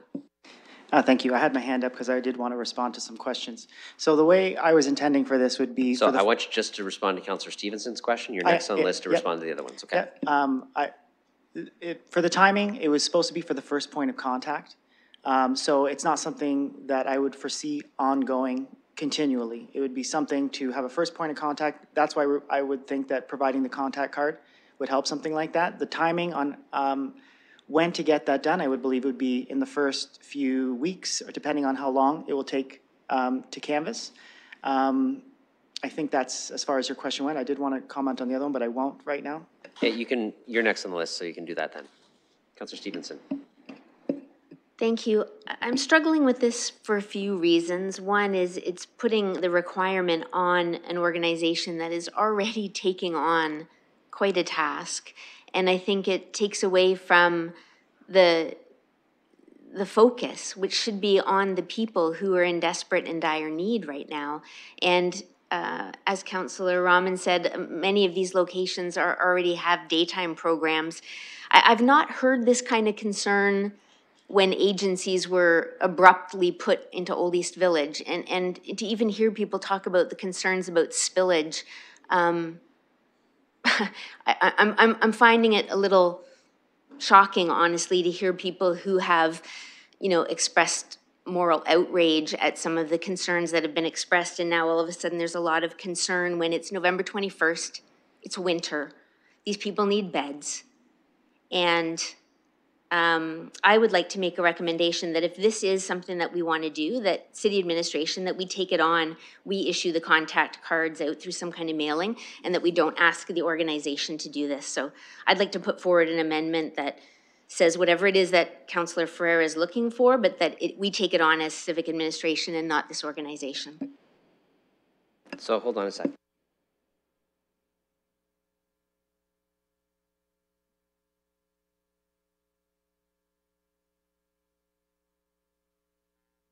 So that's, with the utmost respect, um, that is not what Counselor Ferreira has suggested. That is a very substantial change in who would bear the cost of it. So what I'm going to suggest is you can do that, but you defeat Counselor Ferreira's motion first, and then you can put that on as the alternative.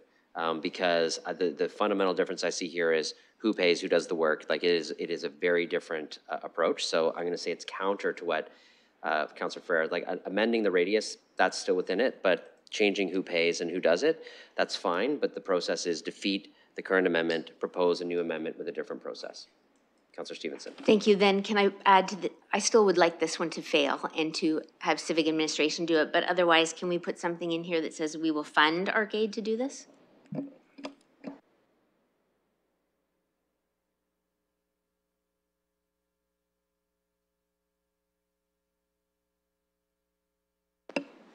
So I don't see that as counter, um, because, uh, you know, unless Councilor, not what Counselor Ferreira says, but, um, adding an additional service to the organization, I think is, what you're saying is you would like to add some cost to support them in doing that. Um, I would see, I think, I don't see that as counter at this point, so I would see that as, um, as a complementary amendment to the amendment.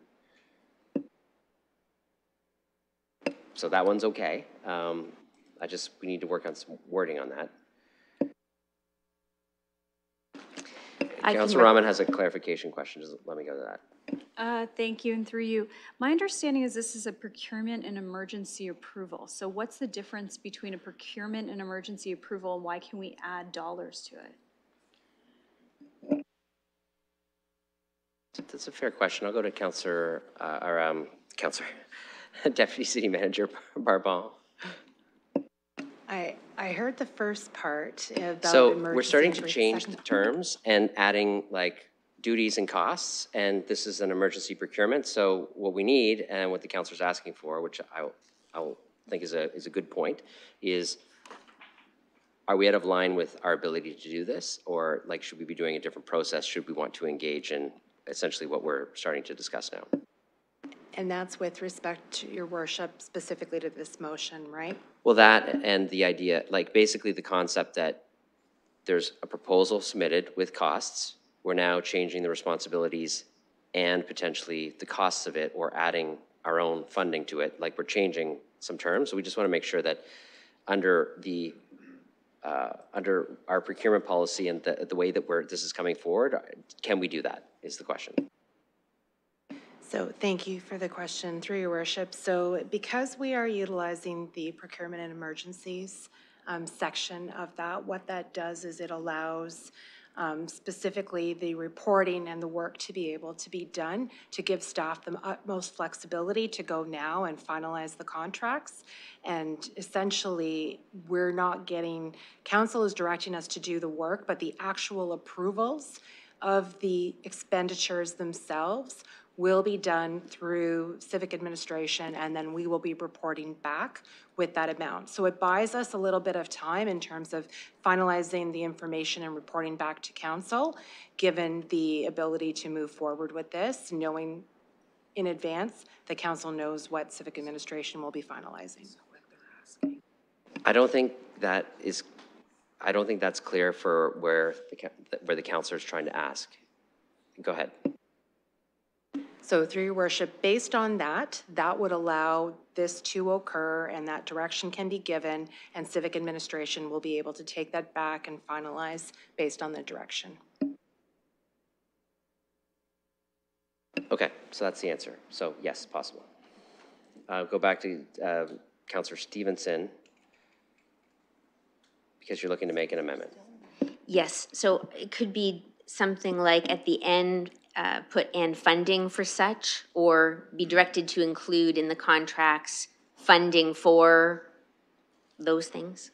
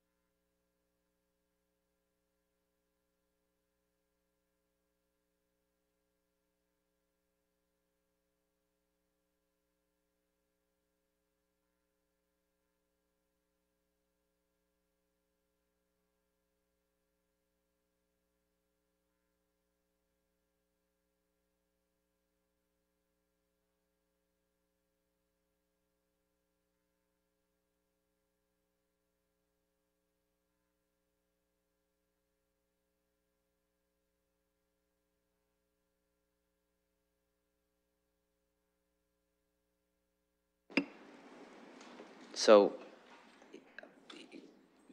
Counselor Stevenson, you, you want to change this to a mail-out, because currently the basis of the motion is that it's, it's, it's canvassing that's being done. So uh, we're interpreting, interpreting you as saying, adding the cost is like, say, we're paying for the cost of the cards, but you're saying you want to change it so that it's now a mail-out from civic administration, or from the city of London to wherever, to the area.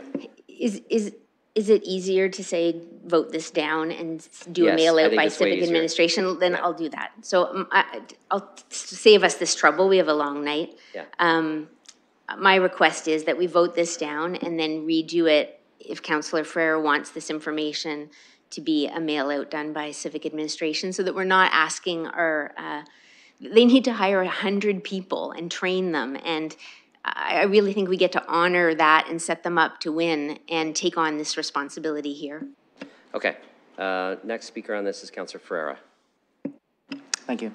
Um, The report itself did speak to the community engagement component, and I'm, uh, just going back to Mr. Dickins, that involves a canvassing component as well, correct? Mr. Dickins. Uh, Through you, your worship, where we've tried our best is to um, mimic or align with the hub's implementation plan. And that's why these are not recommendations, these are options for council because we consider the geographic locations. We've tried it in, in many ways to align ourselves with that. The community engagement for the whole community system response has looked entirely different. It's been community consultation sessions, open houses, drop-in sessions, uh, launching a website, an online portal, all of those types of things. In this regard, we would be looking at um, direct neighborhood engagement in that immediate surrounding area. It's what CMHA and, and the ARC do currently. The ARC canvasses the city block that surrounds their property, they, they engage with folks. I, I can't speak to its effectiveness or, or what the response time looks like. But if this motion is to distribute information, um, with contact details, certainly that is uh, a component we can assist with as civic administration, without a doubt. Uh, It would then become clear expectations around, should the neighborhood call that contact card, what are, what is council and or this motion anticipating those expected results or response time would look like from the provider? Thank you for that. Um, That's how I interpreted as well, the direct communication with uh, residents. So that's why I thought we should be a little more prescriptive on exactly how that community engagement piece exists. I, I figured it's in the report, so let's make it a little more clean and concise. Because I do understand that other agencies have done uh, canvassing as well, but I would like to know the area that is covered with respect to the radius versus neighborhood streets. I, I am okay with changing uh, a radius component, I- as long as we do capture um, the appropriate amount of houses. The reason I went to the radius part first is because the coffee house, if you look at the street, it's kind of on an angle, so you don't really get that block. It doesn't fit very well, so that's why I did go that route, but like I said, um, just to have that community engagement piece, just so we can be proactive about it, that's really um, what I'm looking for. Originally, I thought the canvassing should be done by us, counselors ourselves. Um, I know that I can canvass that area in less than a day. I know I could do all four locations in a day myself. But I didn't want to put that on us because I didn't think it would be, uh, you know, considering the workload that we have already. So that's why I wanted to bring that into that. But like I said, with the radius component piece, if we do want to change that, uh, we can. And if council is willing, and if council wants to do the community engagement piece ourselves, I'm more than happy to do that as well. Okay, I have Counselor Trosow next.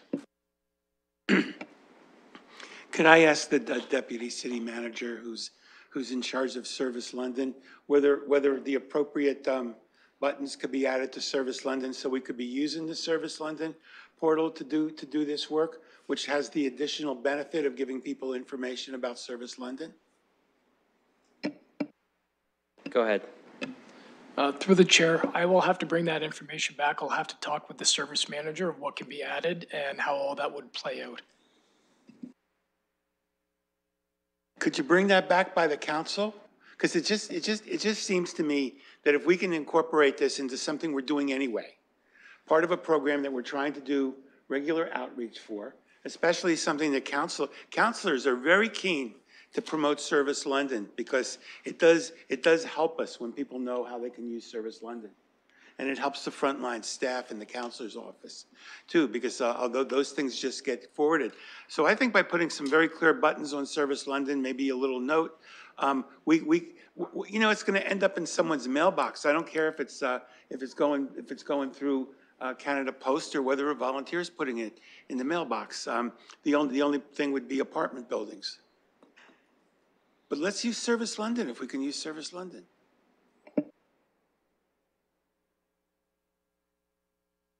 Okay. Counselor Ferreira, you got, you got a tiny bit of time left, but go ahead. Oh, and then I'll go to Counselor Lehman. He's just holding his pen up. No, sir, you gotta be careful. Go ahead. Okay, thanks. Uh, Sorry, through you. Um, I do see that there is a will to engage with the community, however the form is. So if, if the counselors who want to do that can just articulate that a little bit more, I, if the seconder is willing, I will pull that, as long as there is that community engagement piece. So before I do that, if you would be willing to just speak to that, and I do want to look at the seconder as well to make sure the seconder would be okay with that before anything. Um, So the seconder can agree, but we all have to agree to to let you drop the motion because it's in the care and control of the, the, the- the committee now that it's been made, moved and seconded. So if you're looking to withdraw that, that's fine, but you had a, what, what did you ask first? Are you looking to do that now? Uh, Before I would do that, I just wanted to know that there is something uh, that is intended to be put on the floor that does, uh, does do what it is that we're trying to do, just that community engagement. So if, if, if, if I could, through you, to the counselors who are willing to do this, if they could just describe what idea they have for the community engagement part. Deputy Mayor Lewis, then I'm adding myself to the speakers list. Yeah, let, let me try and help here. Um, Can I suggest that colleagues, we are talking about adding um, some community engagement, some information sharing, uh, but we're trying to wordsmith it on the floor, and we have an opportunity to bring something back at council. um, That gives us all an opportunity to just reflect. So I would encourage the committee to allow the withdrawal, not, to not, for none of us to put anything else on the floor with this, and to go away and think about it and come back to the council if there is a desire to include a, com- uh, a communications contact card strategy of some sort. Think about that in the runway we have bef- between tonight and council. Um, and, and just make the decisions on what we are going to fund tonight in terms of beds. Okay, I'm going to ask, I'm going to speak, um, so I'm going to turn the chair over to Counselor Lehman. Uh, Go ahead, Mayor. So I'll just be clear. This um, is part of the reason why we have long meetings. Um, Everybody's got the same intent. We're trying to overcomplicate it with a whole bunch of pieces. We have ward budgets. It's very cheap to print cards. Like, I will come and help the counselors who have this, like, drop cards in their neighborhood. Like, I'm, I'm willing to spend some time doing that. Like, we, this is not complicated. We can go help with this. So I support everybody just letting this motion be withdrawn. You've got colleagues who want to support. We all care about this issue. Print some cards, ask some of us to help. I'm willing to help. So I think that that is a way where we can go out there. I'll go with Counselor Stevenson, I'll go with Counselor McAlister, I'll go with Counselor Ferreira. Book some time off. We can work together, get some cards out, information to the public. That's all we're trying to do here, so people have a contact card. Design something, I'll help you get it out. Uh, I don't think we need to overcomplicate this and have the meeting go longer than it needs to go. I'll return the chair to Mayor. Counselor Ferreira. Thank you. You said that on the record, so I'll hold it to you. Um, I, if that is the case, then I would be more than happy to do that, so we can work offline for that. So, as, uh, just looking at the seconder again, we're good to pull that, I'll pull that, and I guess we need to vote on that. Okay, so does everybody agree that the counselor can withdraw the motion? No? You want, okay, okay. Okay, so no one objects to the withdrawing of the amendment. So the engagement piece is not going to be extra.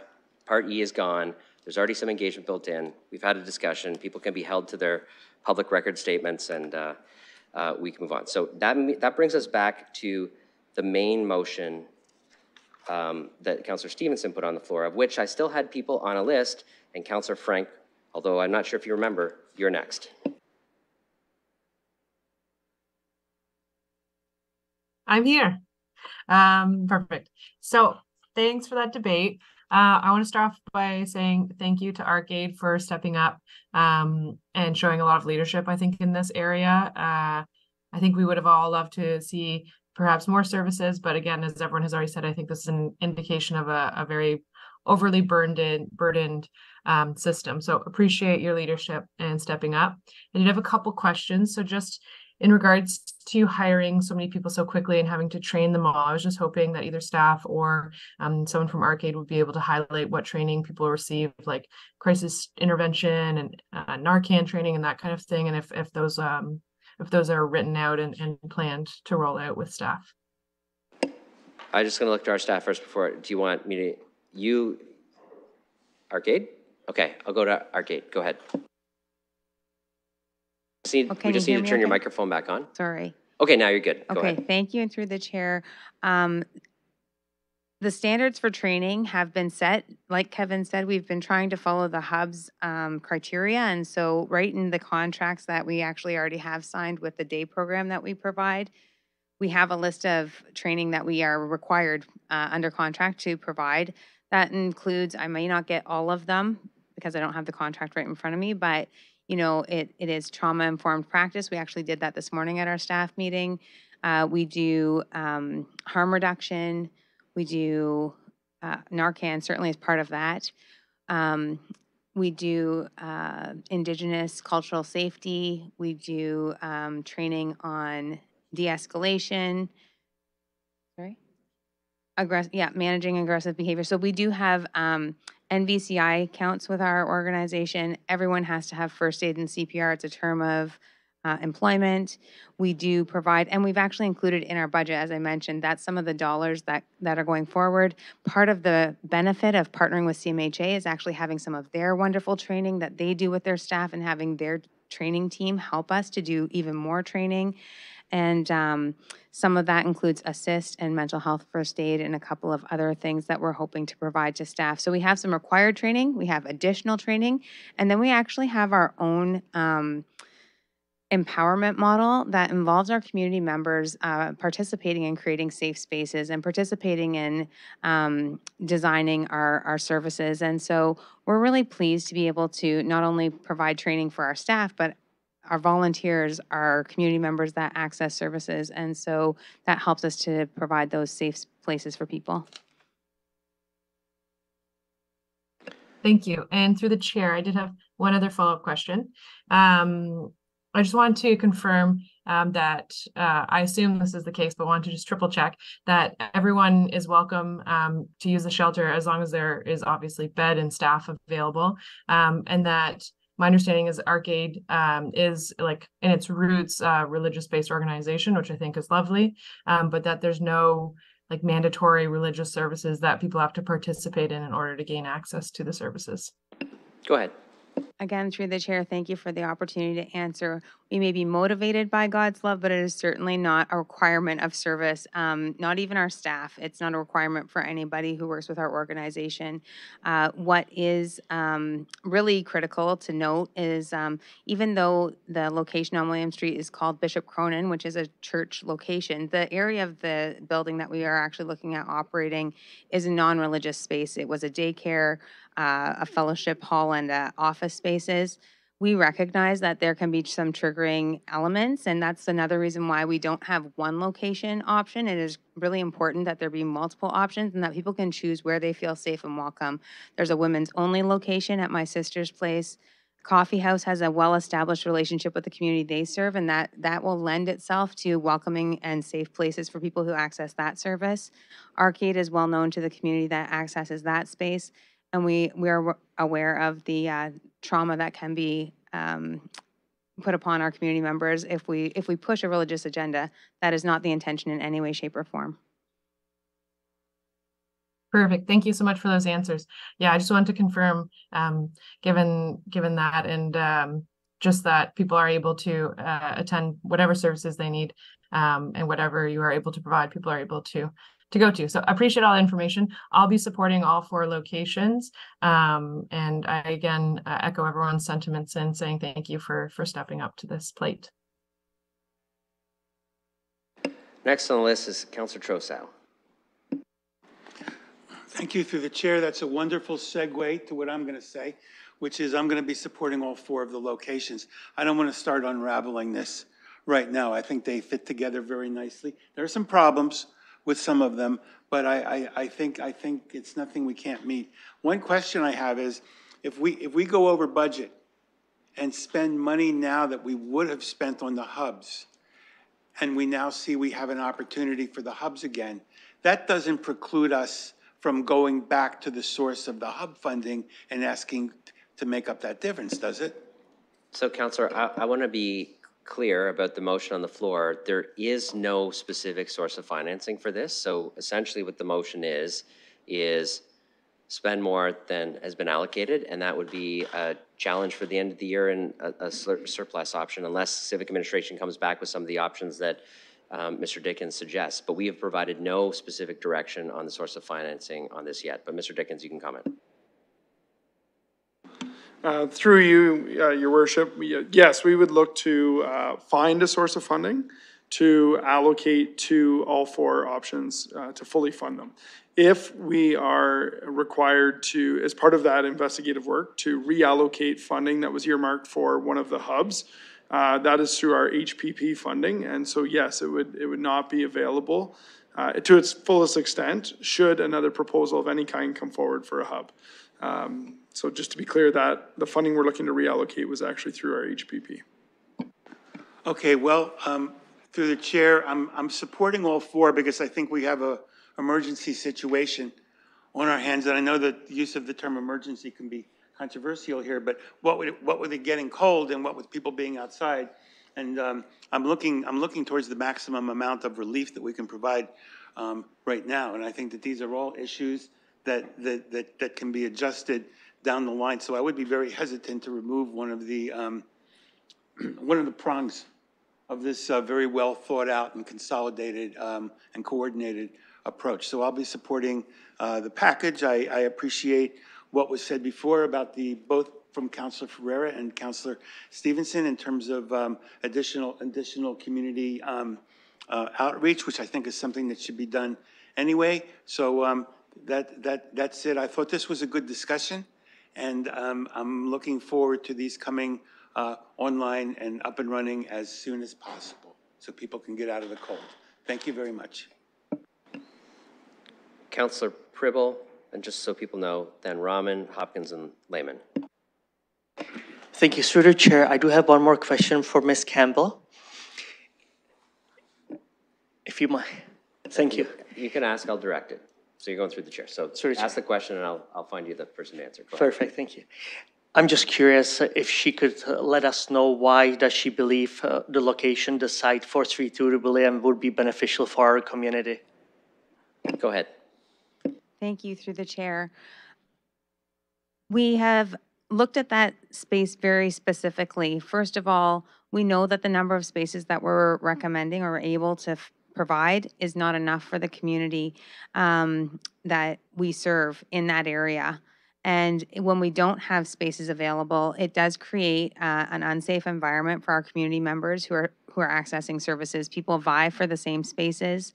It does create sometimes violence, even at, though we do a referral process. People will try to um, position themselves to be getting space, and it is always a challenge for staff when you're closing a program or turning over space and not having additional uh, resources to offer to people. And so um, the walkability of that location, the actual infrastructure that it's on three separate floors and there's bathrooms on each floor and there's accessibility to the outside that is um, separate but also fenced off is really helpful um, in terms of people management. Um, there's kitchen facilities which allow us to take care of sort of the, the daily needs of people. And um, with it being a short-term intervention, uh, we also wanted to look at the potential for it to be a long-term location, should that be necessary. I talked about the costs involved of not having sort of places that you can extend at. And um, one of the things that came up at looking at the Bob Hayward location is that there was a March 31st um, end date to that. So to staff up, get that working and, and then have to close it, that would be very difficult. Being able to extend service till the end of May per the encampment table having the opportunity to potentially extend that space if necessary, if it was uh, in service to the community. Um, That location is available for a renewable lease for up to two years. The cost of the lease, we were given a, a list of locations where we could um, seek locations, and the cost per square foot is, is about 50 cents at this location as compared to locations that we uh, looked at and were turned down for that were about 12 to 18 to 20 dollars a square foot. Um, so it just seemed like a good fiscally responsible location. It's um, logistically possible since we prepare the meals and we share resources between our, our 696 location and this location. And um, we felt that it supported the need of this winter's response in terms of walkability, getting people out of encampments, enticing them to a location that they're familiar with, and um, supporting safety for that community at that space. Uh, additionally, we didn't have all the knowledge that we would have needed to make a, a, a stronger plan for other locations that have been discussed tonight. And so this was the location that we knew that we had the relationship and that we could put a, a solid plan together that we felt confident in. That is why it is before you. Okay, Counselor Pearl, you got a bit of time left. Because remember, you spoke before, although it was a while ago. One more follow-up. 30 beds in, uh, at your current location plus 65 at this potentially this location would be 95. Is it potentially to, if I were to see that we address the 602 Queens, the people that are outside and the people on the parking lot, that potentially these individuals who have no roof over their head, that they could be actually potentially housed and we would resolve this situation? That's the hope, isn't it? That's the hope. I mean, the reality is that the number of beds that are being recommended, including the 65, is a far cry from the demand that we know exists. Um, we need to entice some people from encampments that are not at, right behind the ARC location. We need to entice some people who are not doing well health-wise into indoor spaces. Um, the demand is high, and that's why we're looking at this whole of community response, and that's why you're investing so heavily into these long-term solutions. So I don't want to pretend like this is the difference maker, but this is a difference maker for 65 people. That's the reality. This is the difference maker for those folks.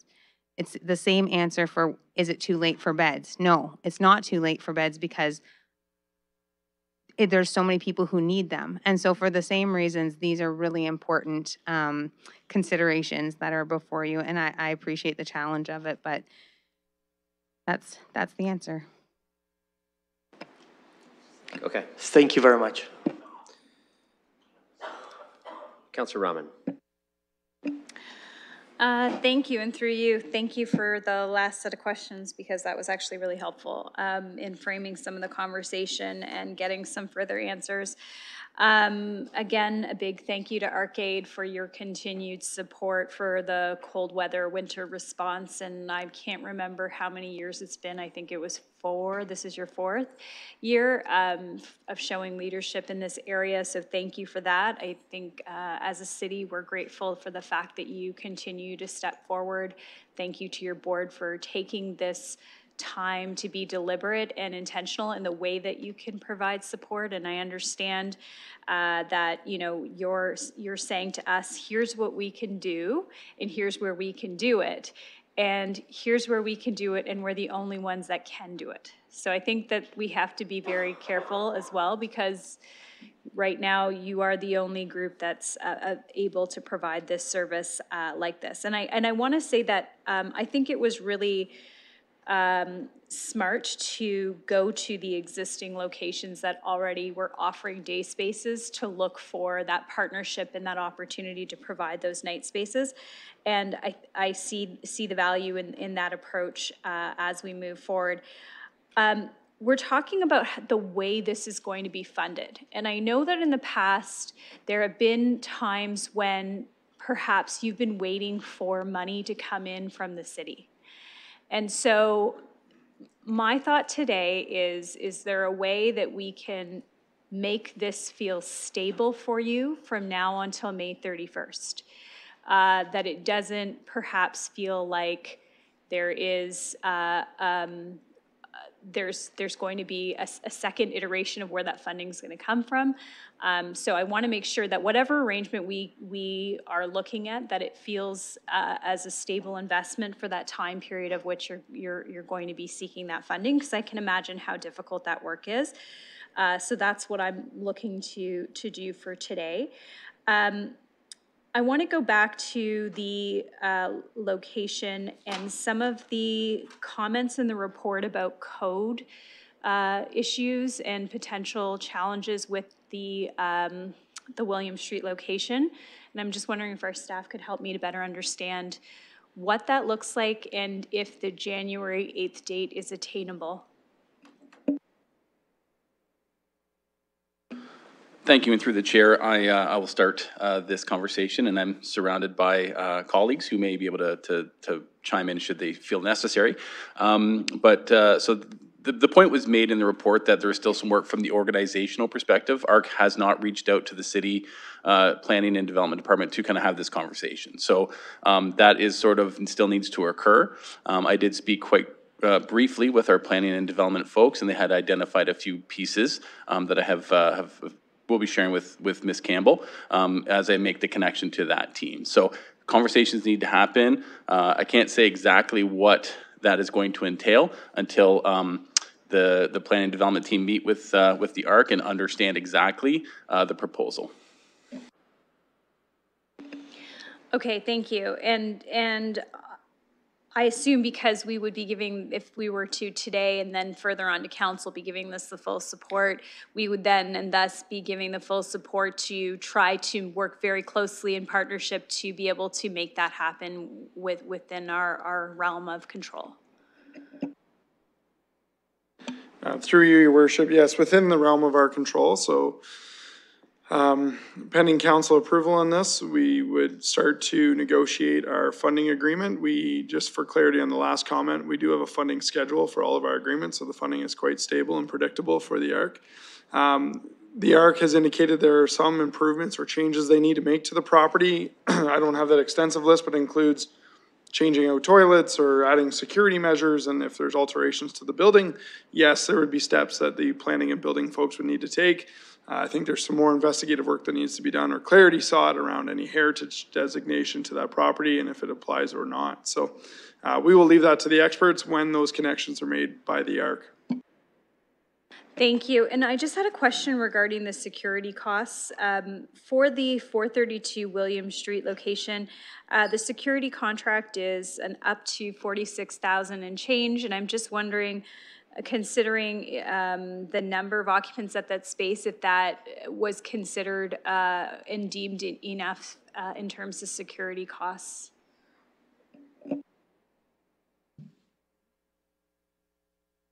Yeah, go ahead. Uh, Through the chair, we've done our best estimate. Um, Our agreement uh, with CMHA for security costs at uh, that location, those locations was something that was negotiated as part of using those spaces. And so that's why it's a full cost for a security person at each of those locations. Our um, pattern as an organization has been to use a community safety approach, which is uh, outreach workers that are trained with some safety protocols that support people outside the building, which we find de-escalates a lot of um, concerning behaviors that that can pop up in and around the vicinity of our space. We did still include some costs for the potential of an incident or something taking place that would require us to add security uh, from time to time, but not as a regular intervention. We've also, as I mentioned, through the health and homelessness table, had great conversations with the police services in the area. And there is a foot patrol in that area uh, that is able to provide support, particularly around transition times. We have a wonderful relationship with the police in uh, OAV and also uh, down in the Soho area. And they've, they've let us know that setting these services up in spaces where they are already frequenting actually allows them to be much more supportive of the work um, that needs to happen over winter time. Uh, they also were very supportive of the maximum number of beds as they uh, divert people uh, in their own work to these locations throughout the winter months. Thank you, and I just wanted to conclude by saying thank you to the ward counselors uh, uh, that are included in this report for their uh, support of the locations in their ward. Counselor Hopkins. That was uh, a wonderful way to end. Uh, Councillor Rahman, and I'll follow up and also thank the councillors. And if you need some help dropping off flyers, uh, please uh, reach out to me. I uh, will be supporting all four um, uh, areas, and the reason I'm doing that is because uh, we need overnight beds. It's that simple. We need more and uh, I am supportive.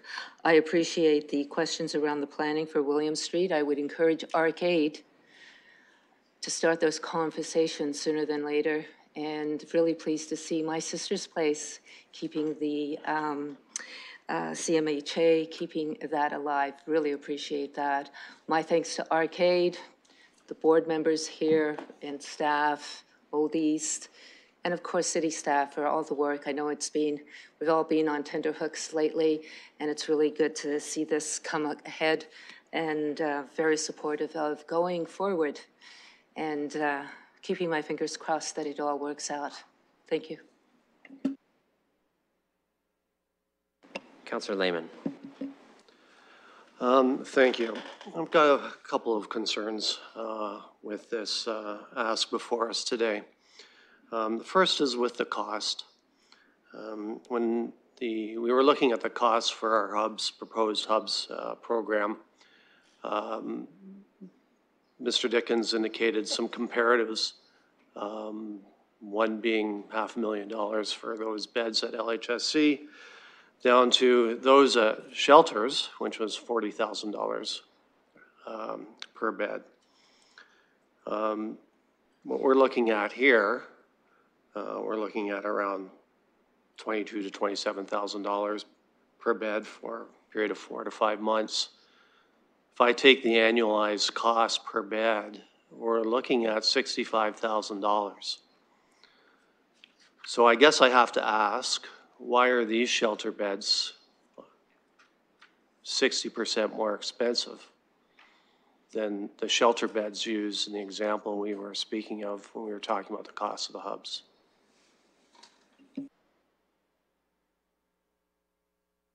Mr. Dickins, you can direct me to where you'd like me to, I don't know if you have that answer, if that's an answer for those who submitted the proposal. Uh, Thank you, Your Worship. And again, just as a reminder to committee, uh, we're in this, uh, uh, in this report, these are options for council to consider. We are reflecting what the community has brought forward. Uh, These are the detailed budgets, or these are the budget figures, the estimates that have been provided by the organization. So I would direct it to Ms. Campbell to speak to why the cost. Go ahead. Thank you, and through the chair, um, I think that's a great question. Um, the cost of these temporary beds are, is expensive because the whole of community, uh, has set some standards around what the staffing ratio needs to be when dealing with high acuity individuals. Uh, we don't know who's coming through our door on a night-to-night basis. We don't know what they're bringing with them. We don't know what challenges they're facing. And so because of that and the unpredictability of who's coming through the door, uh, it's been recommended by my colleagues in this work, um, and I've been criticized in past for not following these guidelines, um, that a one to five ratio is what's necessary when supporting high acuity people um, in these types of tr- transitional, temporary, unknown uh, spaces. And so that's the ratio that we've used in the proposal. That's the number that's before you. One of the benefits of having um, repeated night stays for the individuals who use those stays is that they incrementally improve in every way. Their mental health stabilizes. I don't know if you've ever had a sleepless night, um, how difficult it is to, to be your best self. Uh, these are communal spaces where people are next to each other, and so our, our necessity to sort of be very present and, and monitor that space. Um, you don't know who's sleeping beside you, so for people to, to be restful, we have to have people watching and present for that to happen. Uh, these are mattresses on the floor. They're expensive, expensive, in my opinion, as well. Um, and that's why this should not be our permanent solution. Uh, what is necessary is permanent supportive housing What is necessary is, is places where people can be, and we're working towards that. I'm pleased that I'm part of that, but until that happens, this is what people who do this work every day are telling me we need to be working towards is this one to five ratio and supporting these high needs individuals. These are the same people who struggle to be in those very shelters at the at the ratios that you're talking about because they require ongoing support. They may or may not be able to come back to that shelter space, so they lose that bed. Um, there's lots of reasons why the people that um, use the winter response beds use them as opposed to the services that already exist in the community, not to mention the fact that they are very subscribed to and full, um, which I know you're going to talk about later today.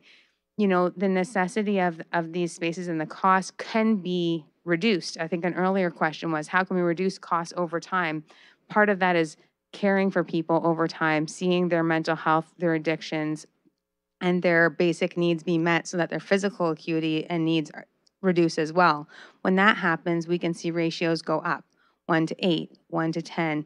Uh, I believe at some of our shelters, it's one to 20 uh, at times for staffing. So I know that that is possible.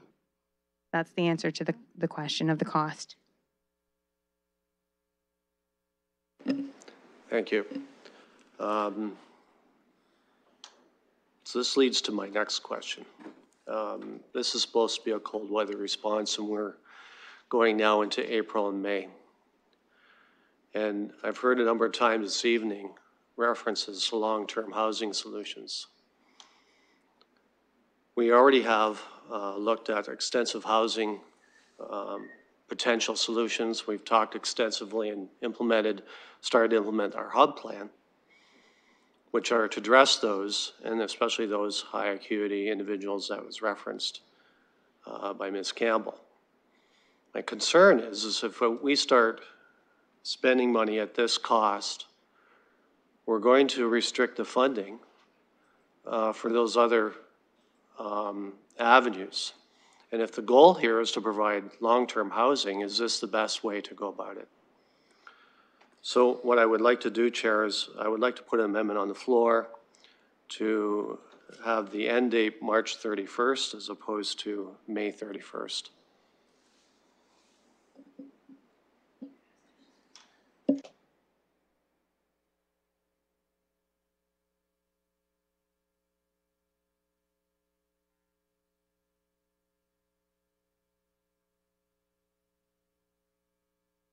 I- Before I can allow that, Counselor, that, that seems like something I'd owe to staff on because I don't know how that changes the costing or anything like that, and I'm not sure, given this, I know this is an emergency RFP kind of procurement, not an RFP, but a procurement process, but I'd like to get some information about what's possible, how that would proceed. Mr. Dickins?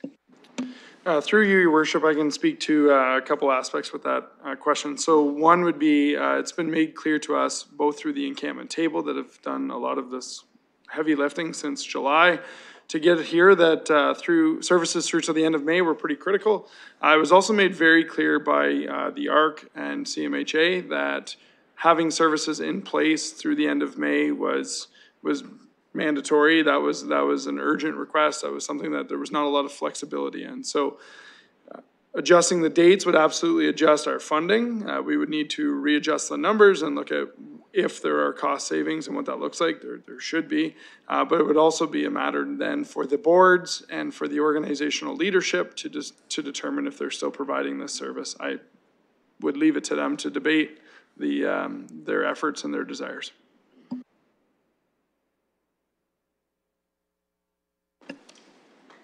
So that, so the, I guess the answer, Counselor, is sure you, you can, but obviously there would be some consequences and uncertainty about it. So I'd like to make that amendment. So I, If, if, if I, if I couldn't amend David's because it was material differently, doesn't this need to be defeated first before that would come forward? Um, so that's not what Mr. Dickins just said. Um, what he outlined is, yes, under the rules, we could do that, but there would be significant consequences that we wouldn't know. So, But, but I'm saying my motion was seconded and is on the floor, and I think it needs to be defeated before one comes forward that goes to March. So I'm going to take that as you're asking me to make a procedural ruling on whether uh, uh, Councillor Lehman's amendment is, uh, is counter to yours and has to be, your, yours has to be defeated before his can be put on the floor as an alternative. So give me a second so I can consult before I make a ruling on that.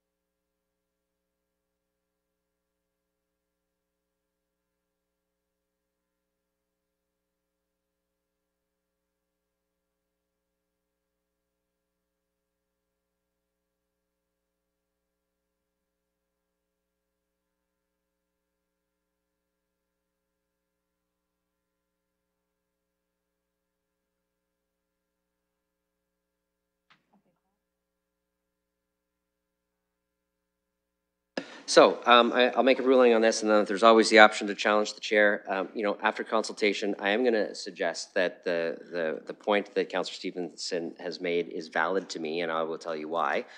Um, The motion on the floor aligns with uh, the bids and the contracts that were put forward. There is an expectation that the service would be provided. Based on Mr. Dickins' answer, there could be some risk based on um, a change to the date that, um, one, the costs will all be different, uh, that's expected, but that there is a possibility that there would not be service provided in some of these spaces because they may not be willing, the service providers may not be willing to bid or participate under a time frame of that contract. So to me, that is fundamentally different. Uh, It is something that council could propose, but we would have to defeat Councillor Stevenson's uh, motion on the floor and then put a completely uh, different motion, which would be approve all of these, probably with a direction to staff to say, we only want to do this to May 31st, we're willing to approve it, but you need to come back with some costs. It would be, it would be something different that we would have to get more information on, but you could do that and provide that direction to staff after Councillor Stevenson's motion is defeated. Up to be challenged, but I'm going to rule um, that that's a good point of order um, ask and that, um, that your motion, Councillor Lehman, would be counter to what's on the floor in a fairly fu- fundamental way, although it doesn't seem like that, so. Okay? All right. No challenges, okay, good. Um, Do you have anything else? You still, you're still on the speaker's list.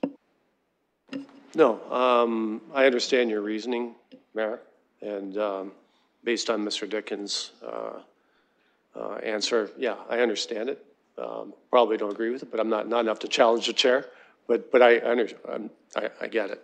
Uh, so I find this very difficult for me, quite frankly, because, uh, absolutely, uh, we need people sheltered in the winter. Um, my concerns are, this is very costly, but this is what happens when you have one person or one organization coming through, um, looking to do fairly substantial work. You know, I mentioned hiring 100 people in a very short period of time concerns me. Um, Again, my concerns of uh, overlapping into our other areas of shelter. Um, I, I think this will impact our hub system, quite frankly, um, because we're starting to get into other areas of financing. Um, So I'm concerned of the ramification, of ramifications in other areas of housing that this financing will, uh, will do. And I don't know if it's the most, uh, I, th- I think we can get more bang for our buck. That being said, we do need, a need, there is a definite need for, uh, for these folks to be housed, uh, over the winter. So I'll, I'll leave it at that.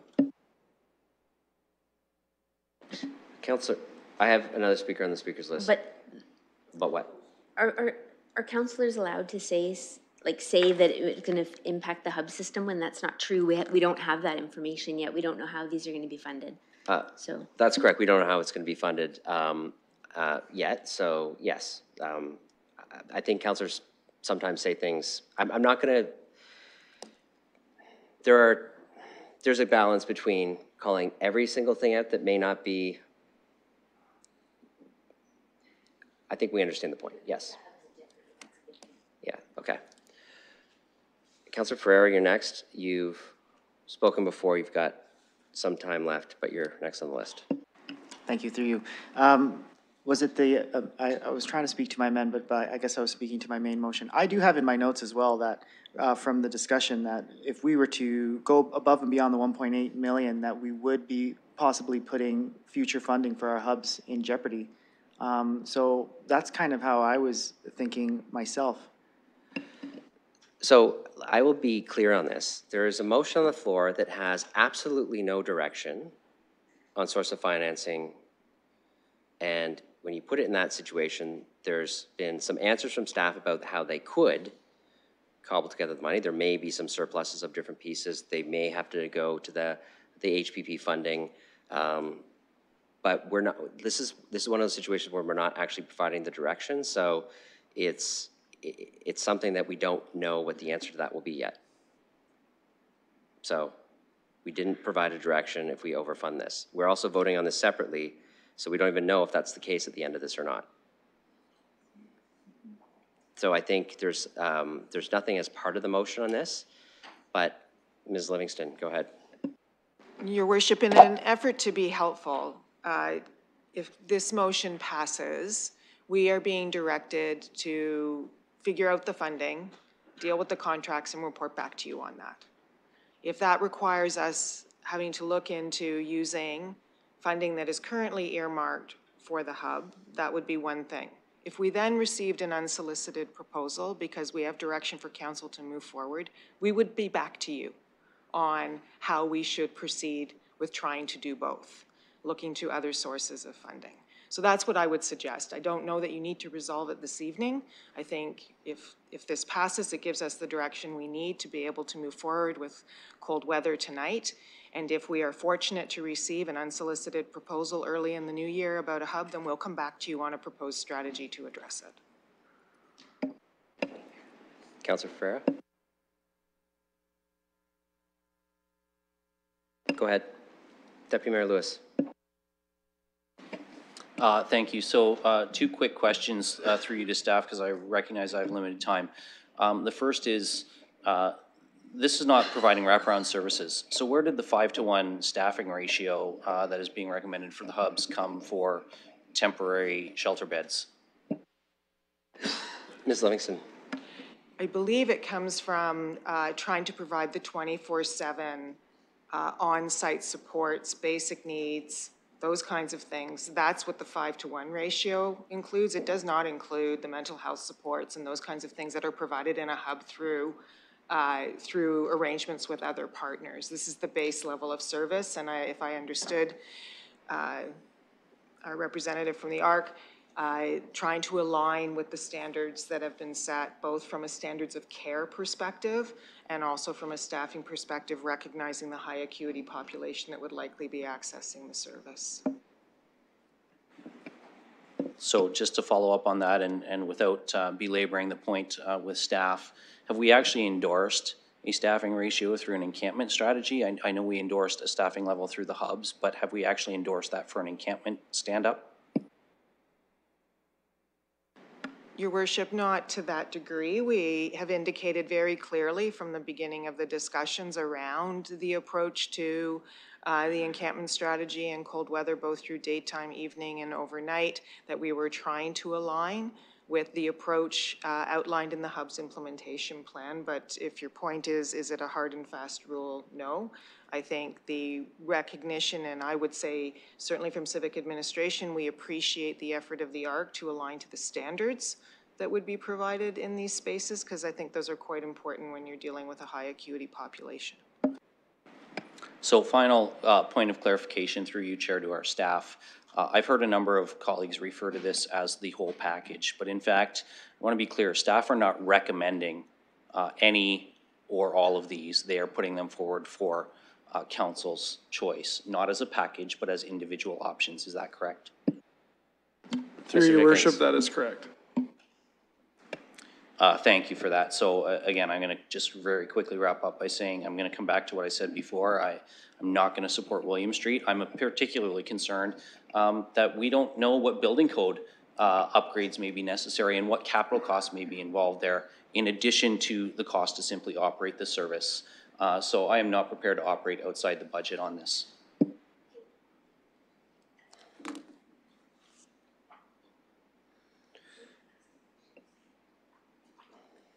I don't have any other speakers. I don't have any other speakers now, except for Counselor McAlister. Go ahead. Uh, Thank you, and through the chair, uh, I just have a few operational questions, um, just so, you know, in terms of clarity for uh, my community. Um, I know how the coffee house currently runs. Um, I'm just curious in terms of um, how that turnover will look. Um, Obviously, the coffee house, CMHA does the daytime programming. I'm just wondering, um, will those bed spaces be um, first come, first serve? Are they reserved spaces? Just noting that you have, you know, a lot of people who come for the daytime program and how that will look. Thank you. Uh, Your worship, through you, uh, given it's an operational plan, uh, it is a shared space. Uh, I'll start this answer, then maybe direct to Ms. Campbell uh, for greater detail. So it is a uh, shared space, you're right, operations, uh, daytime services, drop-in services through the traditional use of the CMHA Coffee House. There would be a break in service while the space is changed over, uh, staffing filter out and filter in, uh, the space is clean, beds are set up, all the appropriate uh, uh, essentials are put in place, and then the overnight service would begin. Uh, As far as how that plays out and what those logistics look like, I would have to go to Ms. Campbell for those details.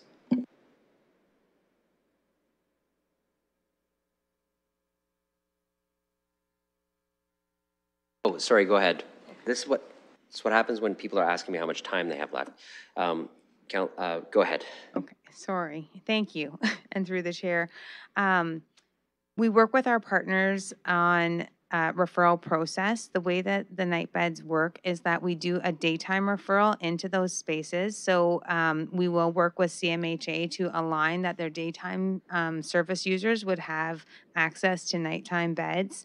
Um, We have worked in the past with other organizations such as um, London Cares and um, the hospital, a couple of other uh, places where we get direct referrals into space. So we hold a number of beds for those high acuity, really emergency folks who would be extremely vulnerable um, out on the streets.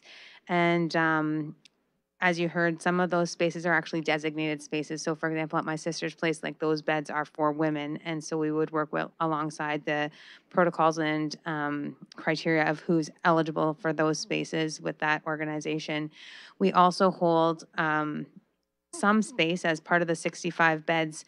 There's an anticipated, at, at the William Street location, there's an anticipated every night stay for some people so that they can have that predictability of coming in day after day and seeing that improvement. And potentially, um, if we're able to stabilize that group, we would be able to reduce staffing at different times so that we would be able to maybe reduce the cost. One thing I would like to share with you is that if and when we are able to reduce staffing because of whether it's uh, stabilized programming or otherwise, we have historically, and we would again return any funds that are unspent. And, and we're very detailed on that. Counselor McAlister. Um, Thank you. And through the chair, uh, as a follow-up, um, I don't mean to get you going up, uh, up and down, um, but I'm curious in terms, I know in like CMHA daytime, uh, ARC nighttime, um, but in terms of your staff complement, is there any opportunity for crossover, noting that CMHA have that specialized training, or is it a clear-cut Ark Aid in the evening and CMHA during the day?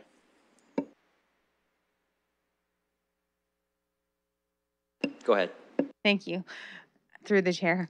Um, we are uh, sharing many resources about how operations work for that seamless experience, but there will be a clear cut delineation. Um, it's very important that that happen. Our staffing complements. Um, CMHA runs under a, a unionized work environment. Ark Aid works in a very different uh, way. Uh, that being said, as you've heard, they're sharing uh, some resources around training staff. We're sharing some procedural manuals. We're making sure that this is as good of a um, reflection of the two organizations aligning in terms of service levels and how we serve that community as possible.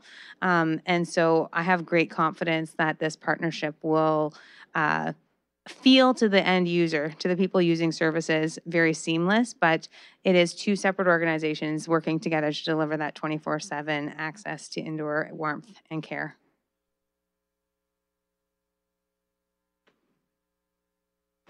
Um, Thank you. Another quick follow-up, uh, and through the chair. Um, So is there an opportunity then, because obviously CMHA operates in a unionized environment, but in terms of providing some of those mental health supports during the day, um, is that a possibility? Go ahead. Thank you. Uh, Yes, um, in fact, we have a long-standing relationship with CMHA. We have worked together um, across the four winters. So this is the fourth that we will be working together um, in various capacities, whether it's sharing like physical resources such as like, you know, donated items, food, clothing, like the basic needs that are needed in both of these locations, or like you said, the more specialized services. Um, CMHA is a regular partner. They do many of our assessments that are necessary for folks that are looking to go into treatment. They take referrals for folks who are in acute mental health distress. We have their crisis team in our space quite regularly, and uh, they are a wonderful partner. And I believe that that's actually how the trust level has been built to the point that we're willing to operate each other's space and share in this uh, capacity. Go ahead, Counselor. Uh, Thank you, and uh, through the chair, um, another question in terms of staffing. Um, Noting that um, those other two locations, it'll be 15 and then 10, is that still operating on the five to one model, or one to five? Yes, through the chair it is, and also uh, part of the agreement in using that space. So uh, to speak to sort of that standards of care component, that was important when we were negotiating space, that we would follow that same standards of care practice uh, for CMHA. And of course, the security component is separate from that. Um, And so I think just, again, thinking about the cost of these beds, there's the, the ratio of caring for people in space, but as you've uh, spoken about already, the community engagement piece, the safety components, the exterior work, uh, those all have a cost component built into the budget as well. And I believe that that does impact the bottom line in terms of service delivery. Well, thank you, and through the chair, just a final comment, I do just want to thank staff, um, CMHA, um, the ARC as well, for all the hard work that's gone into this. It's not an easy task, I really do appreciate um, all the work that's gone into this. Thank you. Uh, Counselor Ferreira, you have a tiny bit of time left here on the list. Counselor Pribil, you asked to be on. You've got like 20 seconds. Are you still on one on the list? Okay, so then you're next. Counselor Ferreira, go. Wait, you got, you- you're very limited here. Thank you, through you. Um, So I do like the intent of everyone trying to get as many beds as quick as possible, and I- that is something that I am also for too. But I do say that we need to be measured in our approach on how we do this. And there is, there are some good items, but there is one item that I have trouble with, and that is the William Street Church location. It's, it's, we don't know how long it's gonna take. We have the building, um, issues that may come up, that may delay. I understand that, you know, the bed's late, late, late is still good than no beds at all, but there's other issues as well. It's the budget piece as well. Are we, we don't know where that money's gonna come from. It's gonna blow us very high, uh, well and above and beyond our budget too. Can But you the wrap it thing- up? yeah, I'll wrap it up. Um, the thing that I really got to point out is across the street is 601 uh, Queens. It's London Cares. And we have said here on council that we should not be concentrating services near each other because it's not safe to the people that we're serving. It's, it's not good for the residents in the area. We need to be measured with this type of approach. We need to understand Counselor, that. your time's pretty much up. I'll leave it there. Okay. And by pretty much, I mean it is. Um, Couns- uh, Counselor Pribil, you got 20 seconds. That's all you got left. Based on being so late, I will support all four, all four locations, and I hope uh, the others will as well. Uh, We don't have, uh, we can approve the money if the organization doesn't fulfill, we don't pay, or if they, if they could deliver partially, we will receive a refund, or we will not give the entire amount. We have done that before. Thank you. Okay, that exhausts the speakers list that I have. Now, this has been asked to be divided up, so people can vote on the four options in B separately, um, which we are going to accommodate. I'm just going to uh, just clarify the order of that vote, and then I am going to ask that we take a short recess after this. It's been a few hours uh, through this item. I want to figure out how to approach the rest of the agenda, given there's some substantive portions, and I'm going to have a, a bit of a plan for that for colleagues after.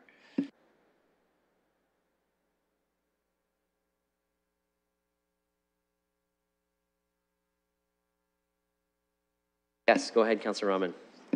Uh, sorry, through you. Um, I just remembered a question I had. It was related to the wording of the William Street location where it says sixty-five spaces versus the other ones that say overnight spaces. And if you can just provide that clarification on why one says spaces and one says overnight spaces. Mr. Dickins? Um, Thank you, and through you, Chair, uh, these are uh, indeed um, 24, thank you. Um, So the other uh, sites are overnight spaces because their space is being used for different functions throughout the day. Uh, The church, uh, the 65 spaces are 24/7. That's why there's a distinction. Go ahead, Councilor Rahman.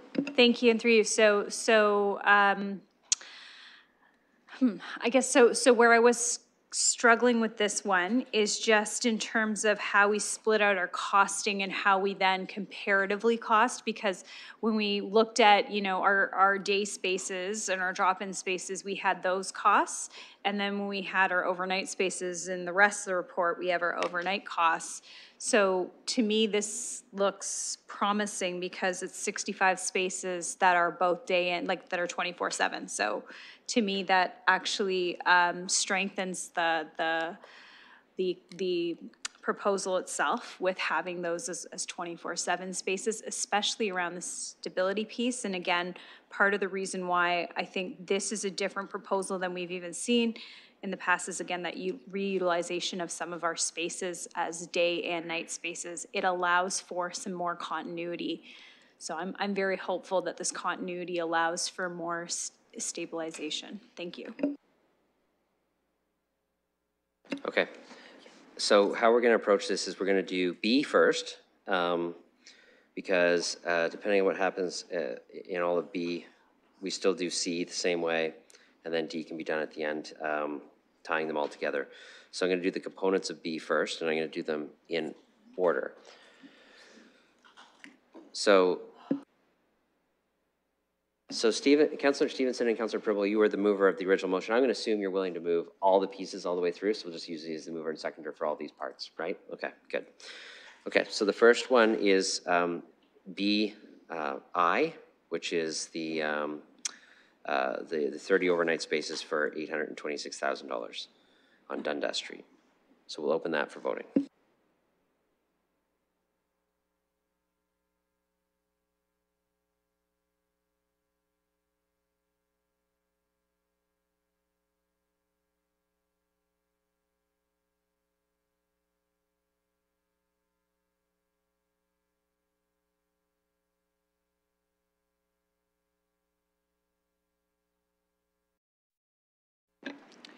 Closing the vote, the motion carries 14 to 0, noting Paul Van Meerber, Counselor Van Meerbergen has left the meeting. The next piece will be BII, which is the 1.4 million for the 432 William Street 65 spaces. That'll just take a minute to get ready.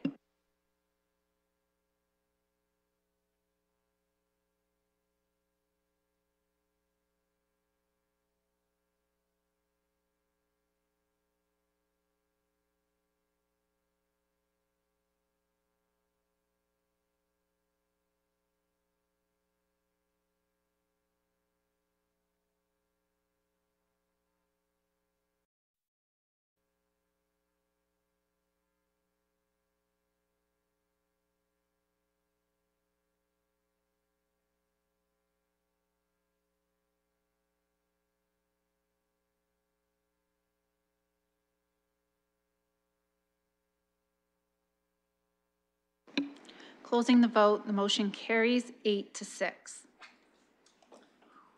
Okay, the next one is Part BIII, um, which is the uh, 15 overnight spaces at CMHA Coffee House, uh, 404,000.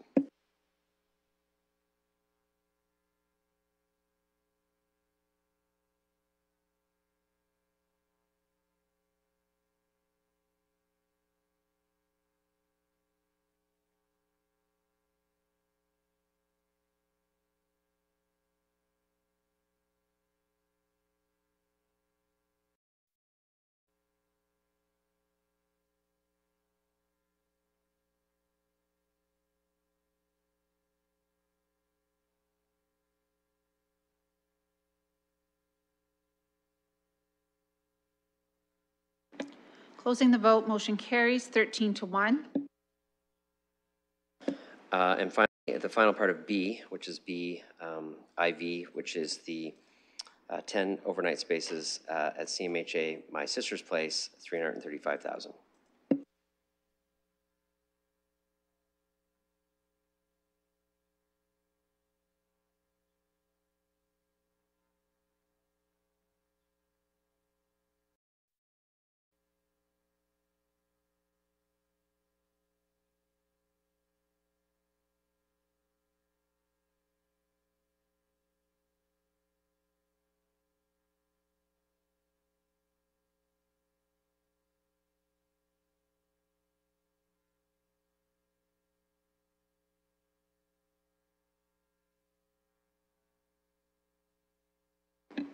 Counselor Tressa?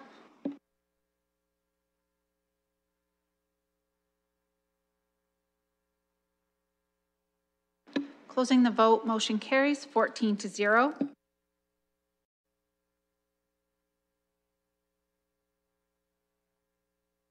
Nobody needs A, C, and D dealt with separately, do they? No, we can do all those together? Okay, we'll put them all together.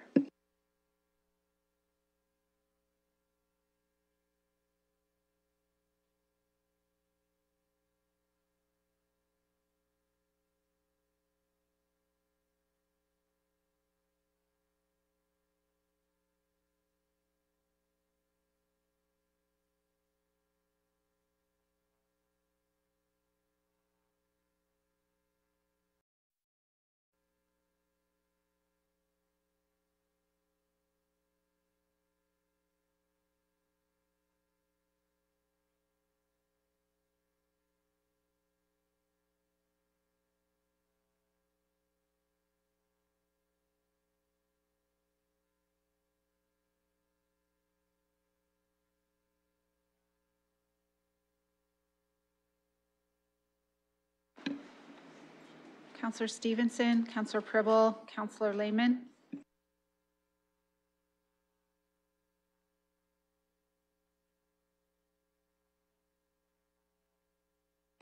Closing the vote, motion carries 14 to 0.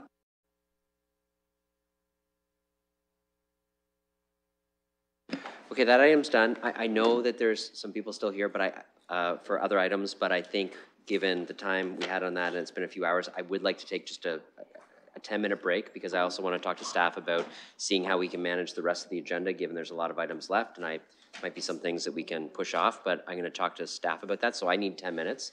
So I'm going to ask if we can have a ten-minute break, but we'll keep it really, like, we're not going to do the ten that becomes fifteen. We're going to do ten minutes, so ten-minute sharp break. Moved by Counselor Farah, seconded by Counselor Cuddy. All those in favor, by hand? Any opposed? Motion carries. Okay, that means we're back at nine.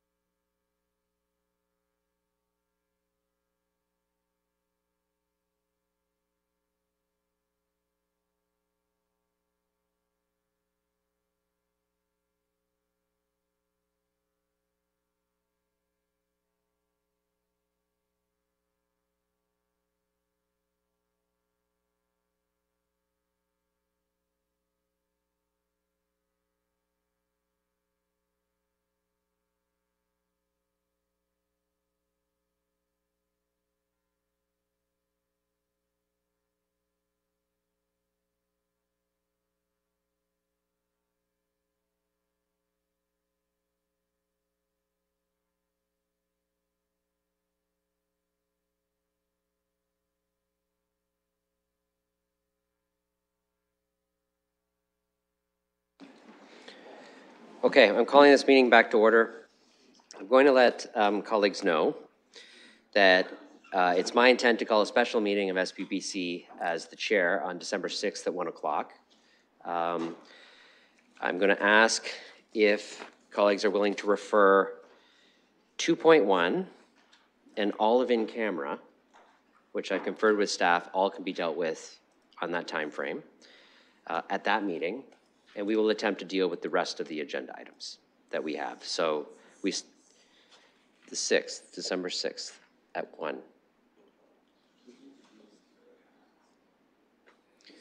So we'll deal with 2.2, 2.3, 2.4, um, the 4.3, and 5.1, 5.2, but the rest will refer to a specialist SPPC. I see nods. At 1 o'clock. Counselor point one, is that the? No. Uh, we'll defer it later if we run out of time. Like, I'm just saying, I'm deferring the substantive items. If everything goes really smooth, then that's fine. If we need to refer 5.1 and 5.2, we can still refer those, but we'll do that later. Yeah. Yeah, we, yeah. We're not talking about this anymore. Unless anybody has a substantive objection, that's what we're gonna do. But I am gonna need a motion to refer those items now, because if we move that now, we let some people who are waiting go, who, when we probably won't get through their items anyways. So Counselor Stevenson's willing to defer item 2.1 on the public agenda and all of in camera to the special meeting that I've just called on December 6th at 1. Seconder for that, Counselor Pribil. We are going to do that uh, in the system. Is there any debate on that? Okay, seeing none, we're going to open that for voting.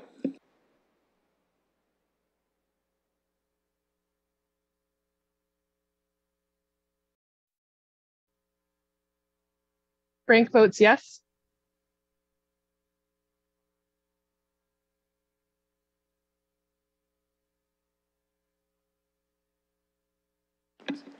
Closing the vote, the motion carries 13 to 0, noting that Deputy Mayor Lewis has left the meeting.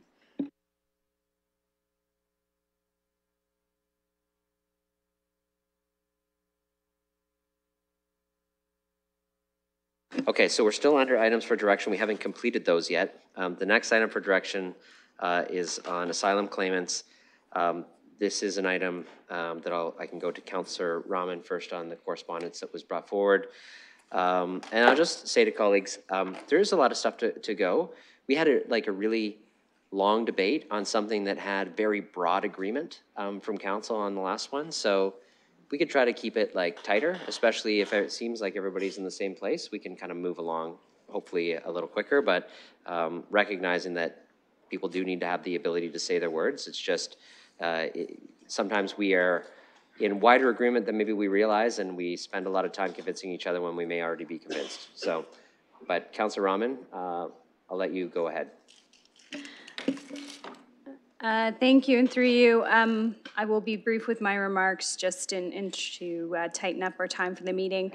Um, I want to say thank you to colleagues for first taking the time to review the letter before you. Uh, I want to say thank you to Ms. Ayala Ronson and Mr. Morchako of uh, Mission Services and CCLC. They are on the front lines of doing exceptional work in our community, and it is important that we understand the many pressures on shelters and services in our city. This motion today asks for more information to come to us and our partners to frame what we are seeing or what they are seeing.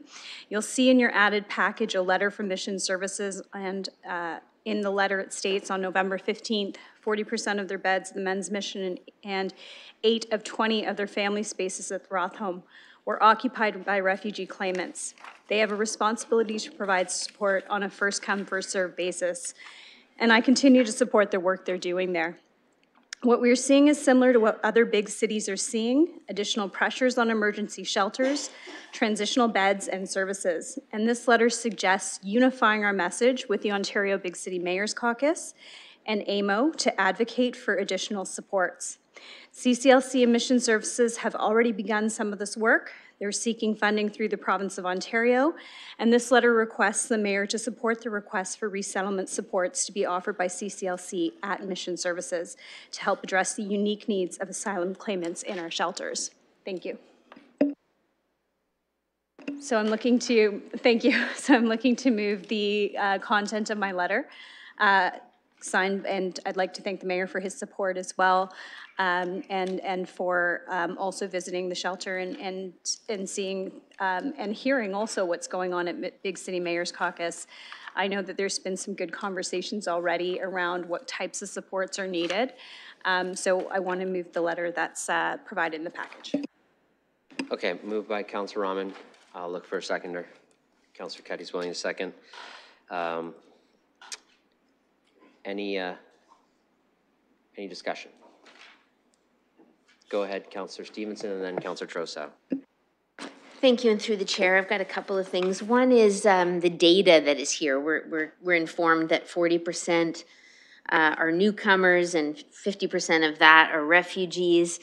Um, It wasn't that long ago, it was in the newspaper where Deputy Mayor Lewis was saying that we had X number of people who were coming from outside the city. And I get a lot of requests for data, right? People want to know what is going on in our city and what is going on with the homeless. So I'm wondering, where is this data available and is there a way to have it shared more frequently with staff and with the public, or sorry, with council and with the public?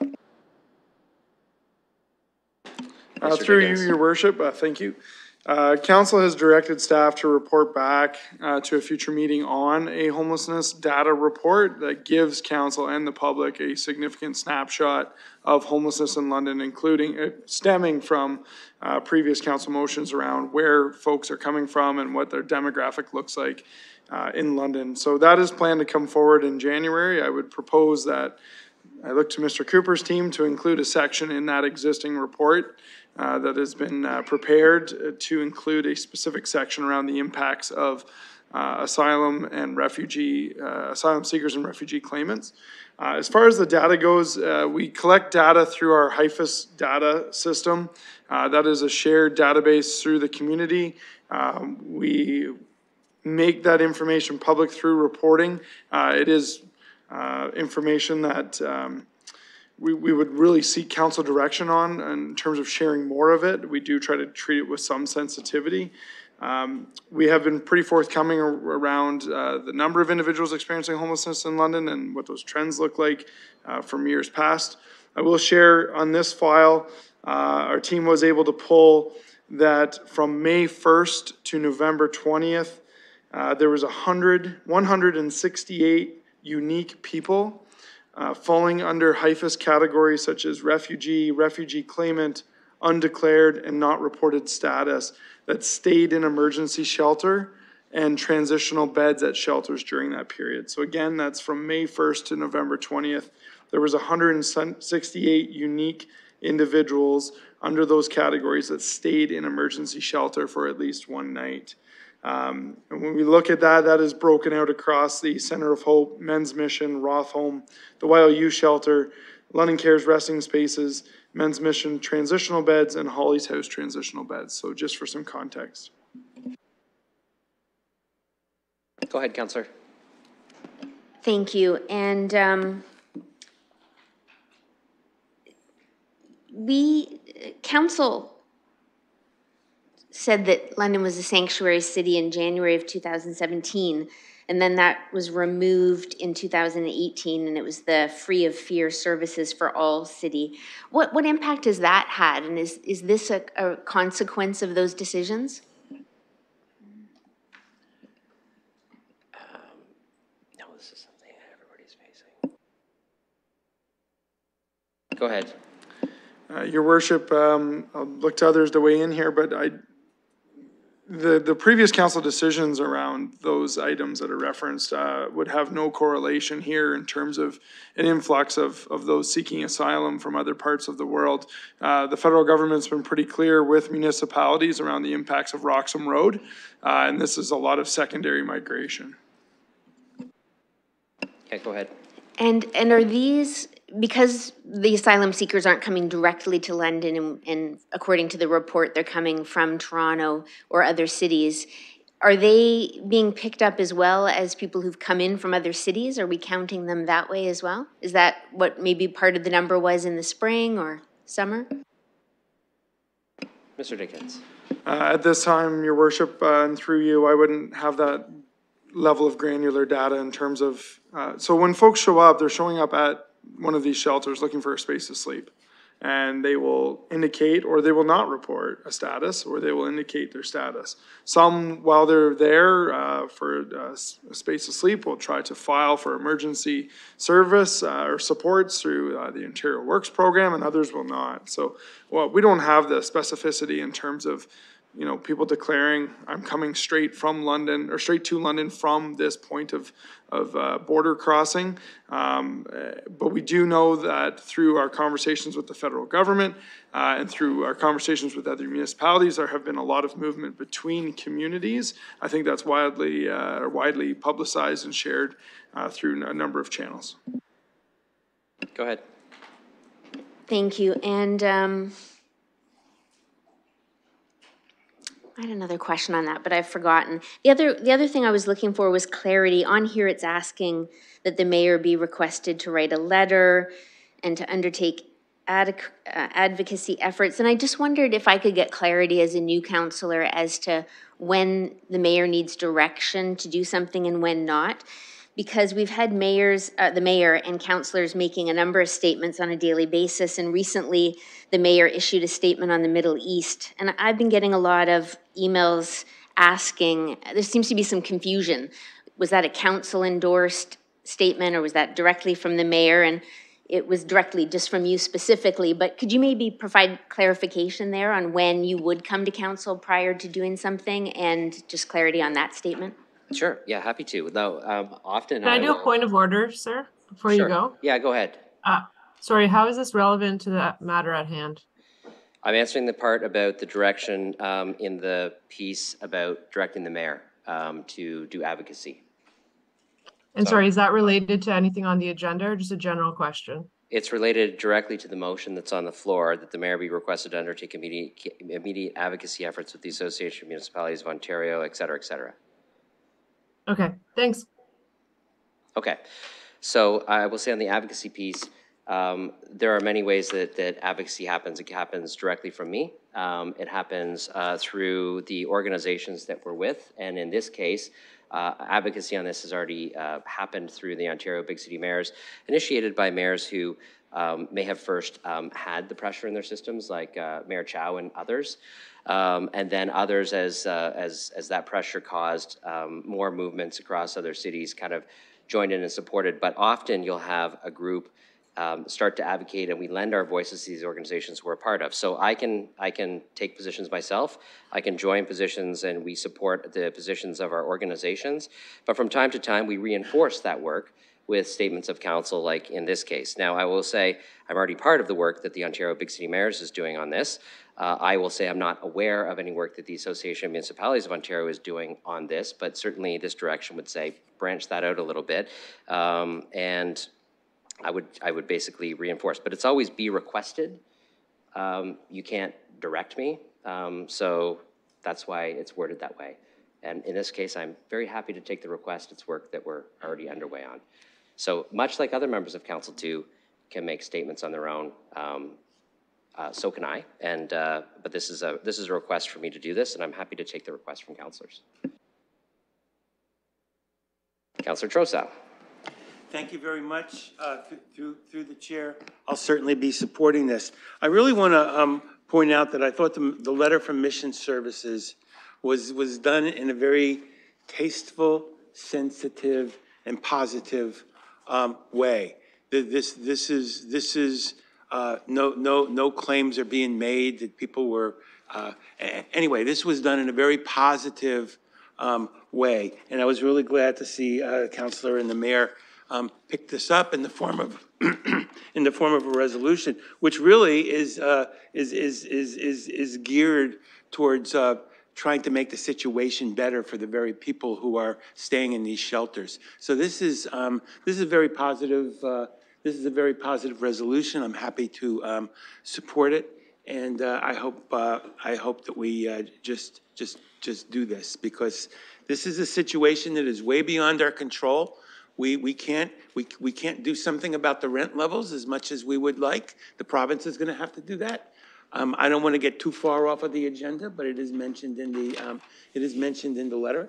And um, we've got some agencies that are really stretched and are really going out of their way to do the right thing. So good, good for Mission Services, and uh, thank you, Counselor and Mayor, for putting this on our agenda. Any other speakers? Okay, seeing none, that's moved and seconded. We'll open that for voting.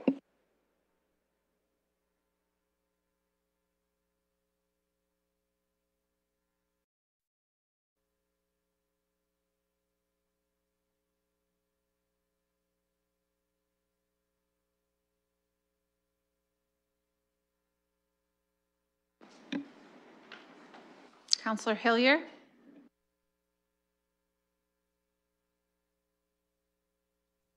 Yes, it's not loading.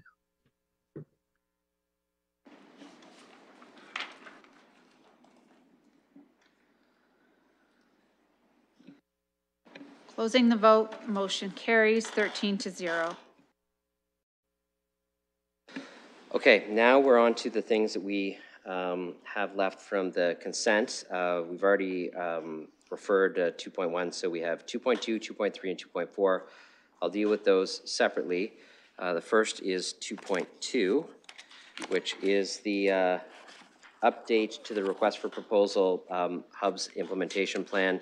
You'll see the staff report with some uh, suggested actions there uh, based on um, uh, the request from CMHA. Uh, I'll look for someone who wants to put that on the floor, uh, and then I'll um, open it for questions. Uh, Counselor Trosow moves, Counselor Rahman seconds. Any uh, discussion?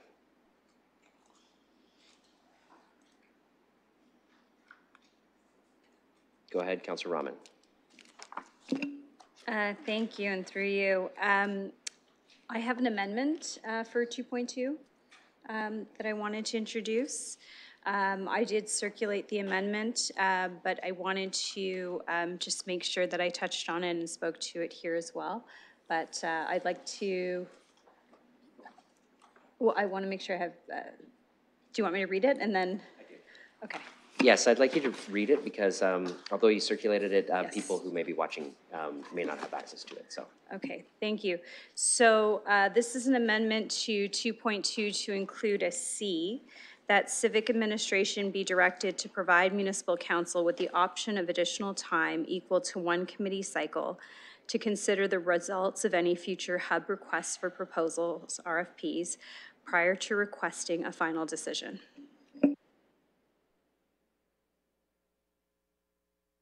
Okay, I'll look for a seconder for that. Counselor Stevenson seconds. Uh, Discussion. Oh, I did have a seconder, it's sorry. Councilor Lehman, sorry I took it. Counselor through one. Lehman, you want to? Sure.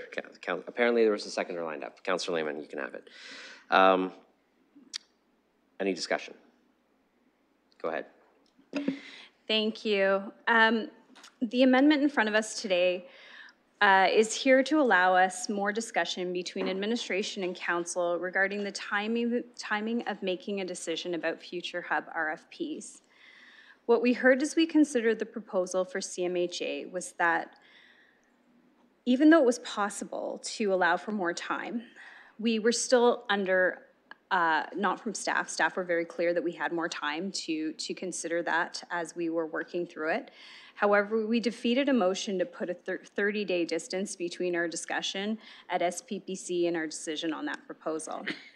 Listening to the debate again last week, I heard colleagues state that time was an important consideration and not supporting the referral to allow more time. And in hindsight, I asked myself, uh, what can we learn from this experience? We need to ask ourselves those questions. We need to be a learning organization. We need to build into our process opportunities to course correct, to take more time for careful thought and evaluation. And in this process, what I needed was time to consult with residents of the ward. This amendment supports the addition of time between our decision points to allow for conversations with our constituents, to follow up with questions, and frankly, to learn more before we make a decision. And I think as we're doing something for the first time, all of those things are really important. Um, This doesn't mean that we will always need that time, but it means that when we do, we have it. And I think that it's important to be able to engage in that kind of discussion when we need it. Thank you. Any other speakers? Sorry? Uh, Yes, just on the amendment right now. Counselor Trosow. Could I, uh, through the chair, could I ask Steph, um, if um, th- this mandatory language, um, civic administration be directed um, uh, to provide, not to seek to provide, but to, but to do it? Could, could, could there be time scenarios where that creates um, some, some issues or problems in terms of being im- implement, implementing it in a timely way? Or do you see a problem with this?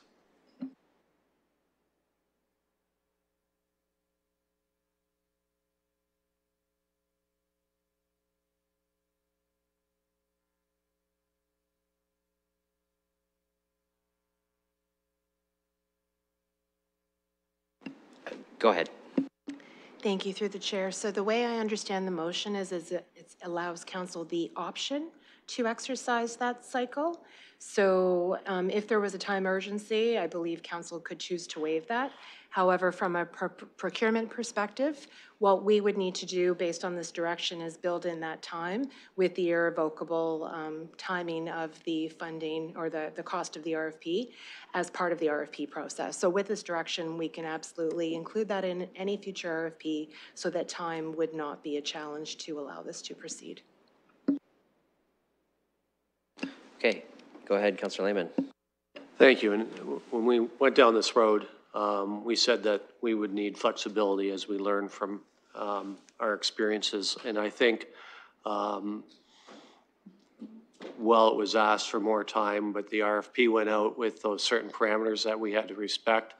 And I think this is a classic example of something that we have learned that we can use in future RFPs, as uh, Ms. Barbon has indicated, a proper way to go. So that's why I'm supporting this motion. Anyone else on the uh, amendment? Counselor uh, McAlister? Uh, Thank you, and through the chair. Um, Just a comment on this. I, I think, you know, it was a, um, a lesson learned in terms of uh, that location. Um, I would say one of the things I learned from that, which might be beneficial in the future, is, and I don't know if this necessarily falls into our RFP process, but I do think it'd be beneficial for the community to have a better understanding of the organization, which is putting forward the proposal. I found after um, uh, this fell through that I was fielding a lot of questions in terms of the, the organization itself, and I'm not a, an employee of CMHA. Um, I can't field a lot of those questions. Obviously, I do have um, one of their locations in my ward, um, but I was doing my best in terms of trying to defend an organization and really had no insight into that. And I think this would give us some time to perhaps have a public engagement session and perhaps have our organization come forward, have that public dialogue. Because I do think there's um, uh, just a lack of knowledge in our community necessarily. We might know of the organization, but not necessarily what they do and how they operate. So I do think that this would be a valuable tool for us. Thank you. Counselor Stevenson on the amendment? Yeah, thank you. I will just say that uh, I do support this, although um, for me, it wasn't a hub. Safe Space was just a, a winter response, but to have it, you know, come out through rumors in the neighborhood and have no opportunity for community feedback um, was difficult. So I, I, I do support this. I think the more community engagement we have and time to talk to our communities is a good thing. So I appreciate this amendment. Anyone else? Okay, it's moved and seconded. It's an amendment to the motion to add a C. Uh, Everybody's uh, aware of what it is, so we'll open that for voting.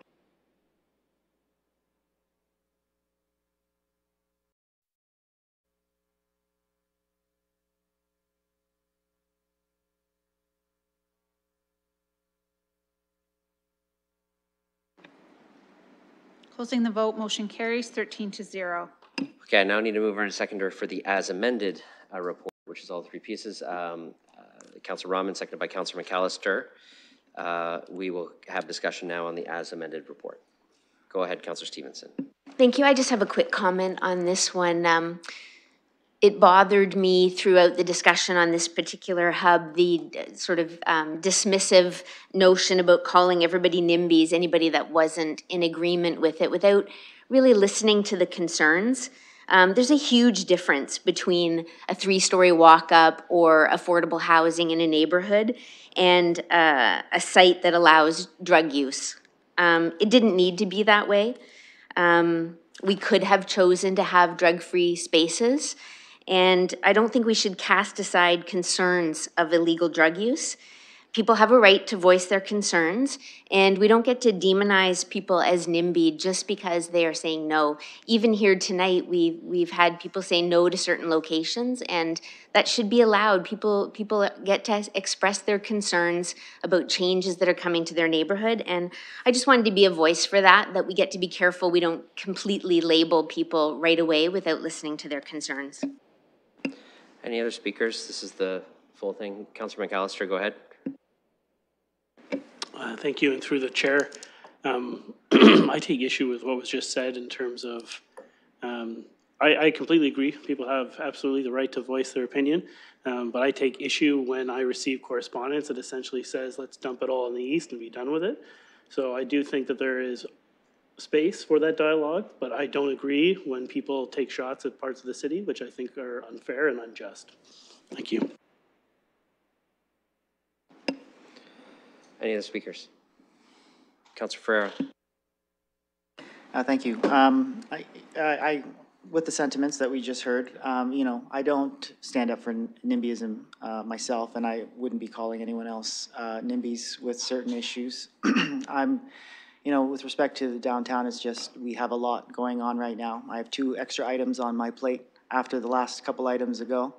Um, I had three service depots as well. I do accept that because I understand that we need to put our, all hands on deck forward. Um, but, um, but as I said, I don't stand up for anything like that. So when I do have an opposition, my opposition is for, um, reasons that are rational, and I spoke to those. Okay. Uh, We're gonna, so, we're kind of getting off the report here, so let's kind of keep it tight to, we've got three items before us. Councillor Rahman, go ahead. Uh, Thank you, and through you and on the report.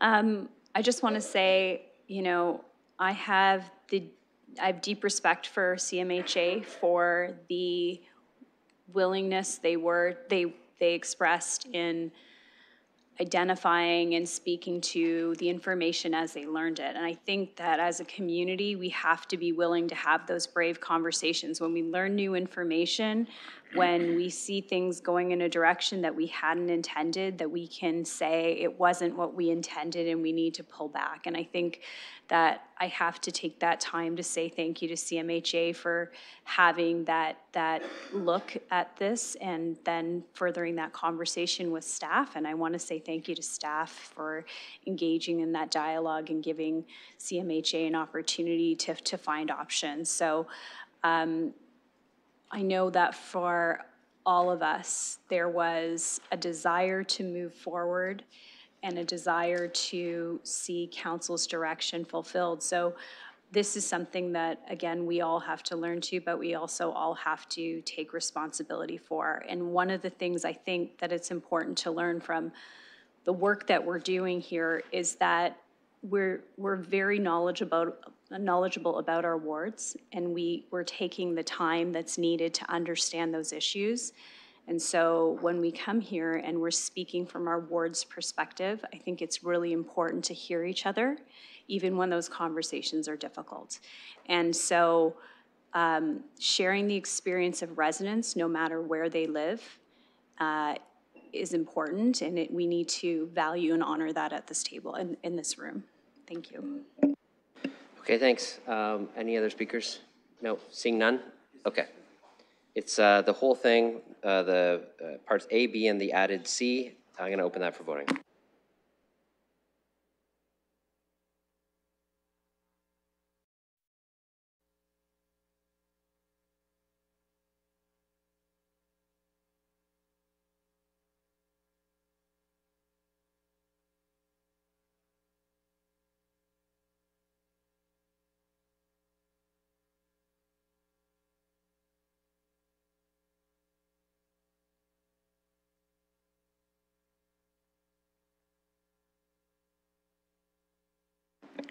Closing the vote, motion carries 13 to 0. Okay, next item is 2.3, which is the November progress report for the Health and Homelessness Whole Community Response. It's got two items associated with it to receive the report, and then a one-time allocation approval for Ark Aid's meal invoice program uh, for a period of time there. Uh, I will look for a mover for the staff uh, report recommendations. Counselor Rahman, seconded by Counselor Trosow. Um, Any discussion on this? Counselor Stevenson. Thank you. I have a few questions. Um, on page 20, under strategy and accountability, or I'm assuming that's where it would be, I'm wondering um, if it would be possible to get a financial update with the costs to date, the, those that we've spent and those that we've committed. We've, we've approved consultants, lived experience payments, encampments, hubs, supportive housing, all kinds of things. And I know as we're, we're coming up on a year to the announcement of the $25 million donation, and a lot of people are asking, have we spent it? How much has been spent? It would be nice to have, um, so I'm wondering if that's coming or if we can make a request for it. Your worship, uh, are we being asked to request from the fund how much has been allocated from the fund? I think there's two questions here. One would be, uh, I guess, a request of the London Community Foundation on the fund, which is not held by the city, if they could provide an update on the expenditures there. And this, a second part of the question I hear is um, some sense of uh, our expenditures, or uh, I'm not sure what the other piece is. Okay. Sure, so we can undertake to provide uh, what has been spent. In July, council received a report on the allocation of funding to support a communications plan. Uh, And we can, we indicated with respect to the hub proposals, what was being supported out of the fund from a capital perspective, so we can put that all in one uh, place, certainly. So yes. Okay. Thank you. I'd appreciate that. Um, as I said, there was a lot. It'd be nice to see what the costs are. On that same page, under sustaining the sector, um, there was talk of addressing funding shortfalls with some of the shelters and some of the low staffing ratios. There was also the talk with Ark Aid about possibly like doing more long-term, um, contracts with them as we build, as we stand up the hubs. It talks about transition funding supports for up to 24 months. So I just wondered if there was some uh, details on what we can anticipate coming for that? Mr. Cooper. Thank you, and through the chair, um, we're meeting with organizations in the coming weeks to, to talk about kind of what, what their needs are for the sustaining of the sector. Um, and we'll be looking to bring something to council early in the new year, uh, for any contract amendments or new contracts that are necessary.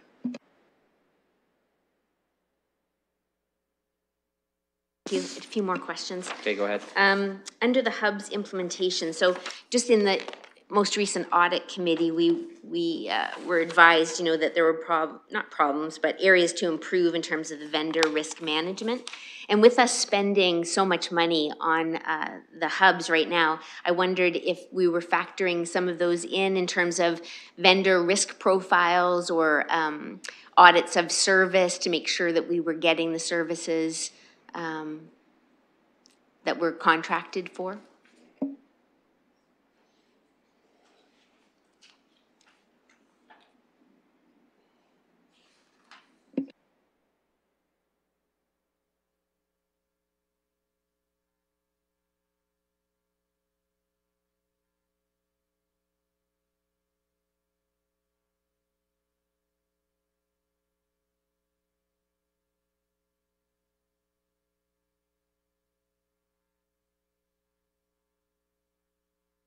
Your worship, I just want to be clear with respect to a comment like so much money. So one hub is starting at 1.3, escalating to 1.9 over a two-year period. The second hub is 2.1 million. These are well within the estimated range of what hubs were going to be. We are using our standard contracts to uh, manage that funding relationship with both of those organizations. There are things that came through the vendor management audit that, under Ms. Barbon's leadership, are being implemented across the organization. And as those things are implemented, certainly they'll be reflected uh, in future contracts. I don't know that they're going to be reflected specifically in these immediate contracts. Okay.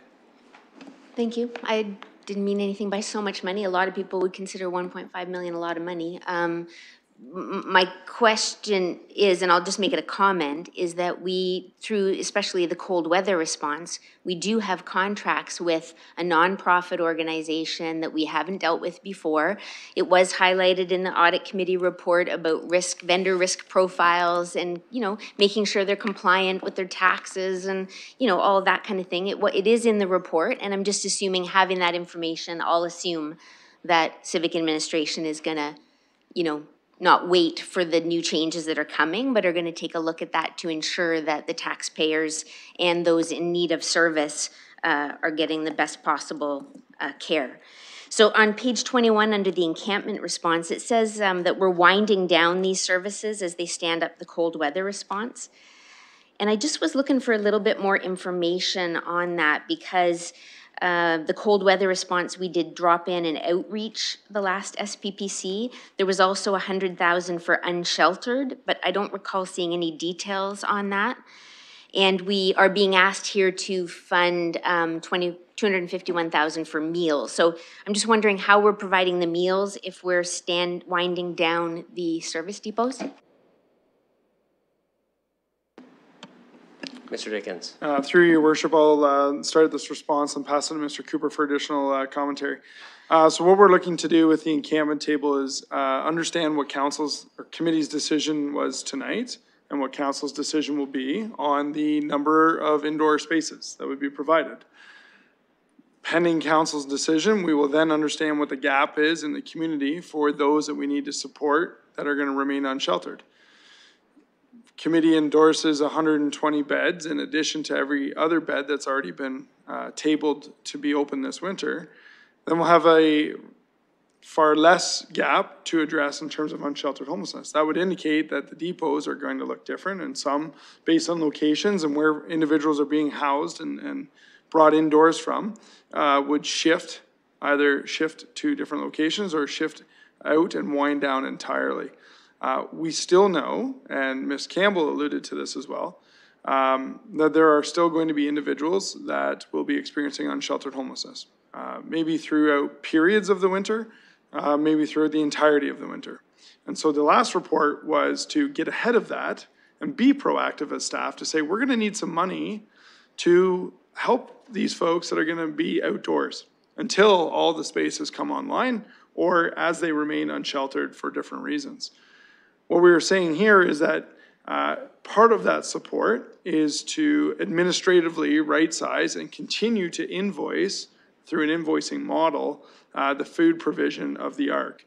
If it's found that we have fewer meals that need to be provided to encampments or to individuals, I'm not saying that's likely, but if that were the case, then the cost of that would go down and there would be unspent funds. So I hope that sort of paints the picture. This is not a, um, we opened up hundred and twenty beds tonight, that's great, there's no more people outdoors, we need to c- continue to do this. So we've been trying to be as proactive as we can, and understanding that unsheltered individuals, um, will require different supports and different needs, and, uh, what that looks like will be determined based on council's decision. Thank you. I appreciate the proactive and yet, uh, but my question was the meals, hundred and twenty meals per day. Is there, are we handing those out through outreach instead, or it may still be service depots? You haven't worked that out yet? Mr. Dickins, go ahead. Thank you. The encampment tables are still uh, actively uh, represented by outreach and frontline workers, and they will still have uh, spaces that, for the time being, will be um, uh, populated in, with groups of encampments and groups of individuals. So we'll continue to administer those meals through those methods, and while we open up new spaces throughout December and January, uh, and as those uh, folks transition, then we would look to reposition those depots. To tell you how many people are coming out of Cavendish today or out of Watson Park today to in, into those spaces, I would not know.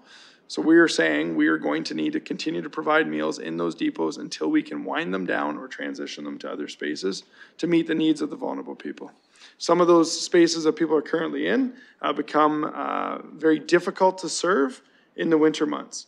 Uh, That's not a knock on our snow clearing friends in other departments, uh, but travel pass and foot pass and uh, the ability to set up a table and administer uh, provisions looks very different in June and July than it does in January, February. Thank you, fair enough. Uh, At the bottom of page 22, it talks about the business reference table, and it refers to the um, granting agreement for the 500,000 and the 1.16. It doesn't refer to the 250,000 for Argyle and Hamilton Road, but I'm assuming it's going to be treated the same?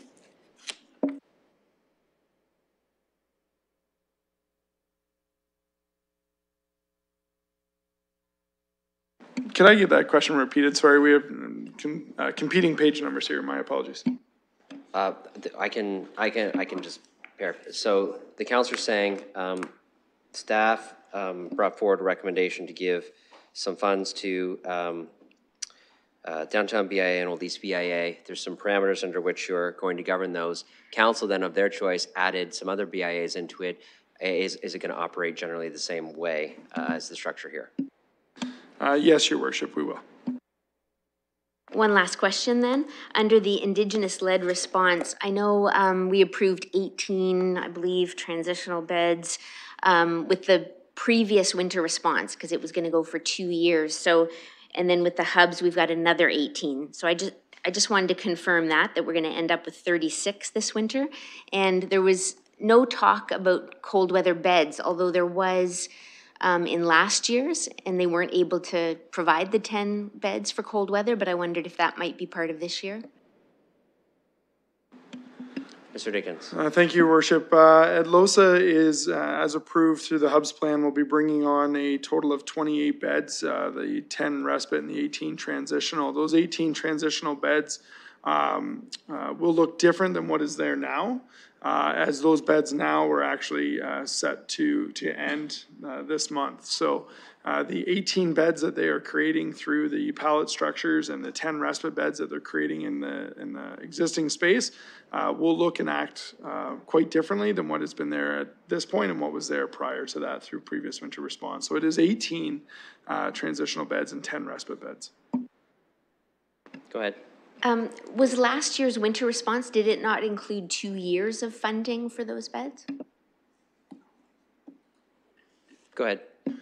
Thank you, and through the chair, there was um, a two-year allocation. We ha- signed a one-year contract with that organization, and we will not be renewing that contract, given um, the direction they've, that organization has taken to apply for the RFP for the hubs.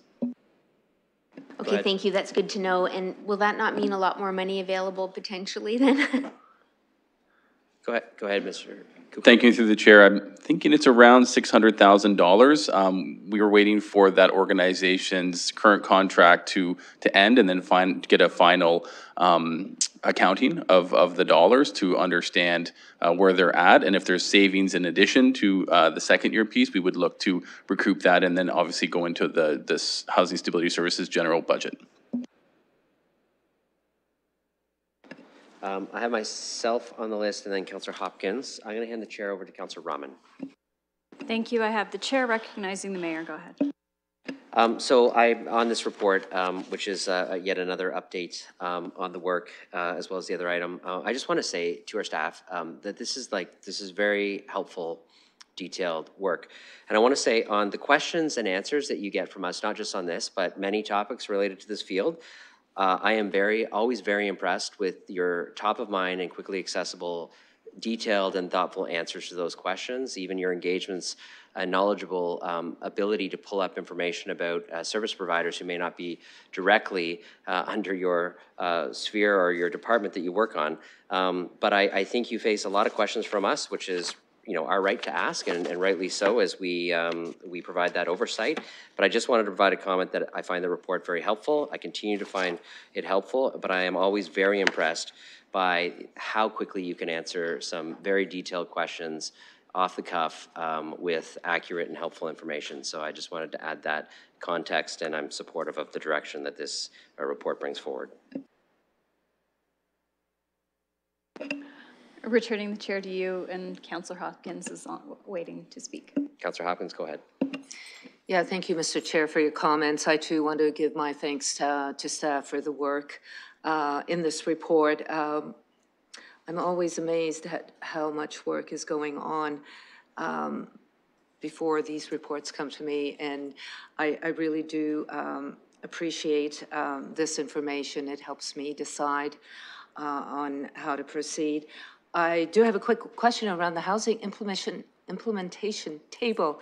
Is that going to continue, just how, or it's, it's going to continue, I, I would assume, I, I just um, want to make sure.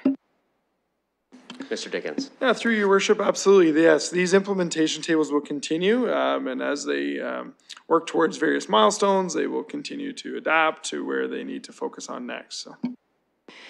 Good to know that that's going to continue. I've met a number of members, and I know we've got a few colleagues here on the, uh, on this table, and uh, there's a, a lot of work that's going on around those tables. So I do really appreciate all those individuals that are involved. I'm so forward, um, I'm so looking forward to the highly supportive housing strategy coming forward uh, with these uh, 100 units, um, with that information uh, coming to us, as well as the, um, uh, the other report. I think that's the, the only report that's coming back to us uh, on December, but I think that is going to be important information for us to have, because for me, the hubs are temporary. Uh, It's, it's going forward, and how this is all going to be implemented is what I'm looking at. Um, And I just want to make sure it's just that report that's coming to us in December. Through you, your worship, if I could respond to that.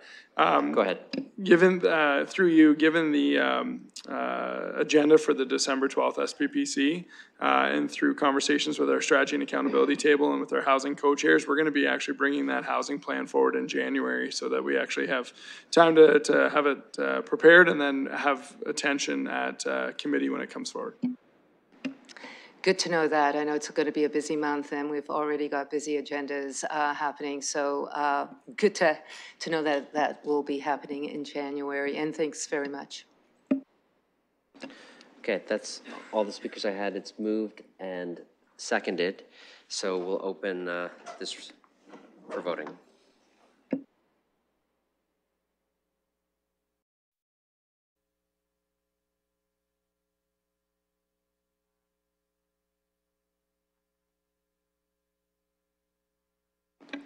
Closing the vote, motion carries 13 to 0.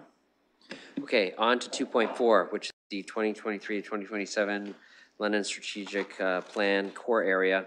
Um, There is a report as well as uh, a- an added uh, piece of correspondence. So I'm uh, happy to uh, flip, hold on, I gotta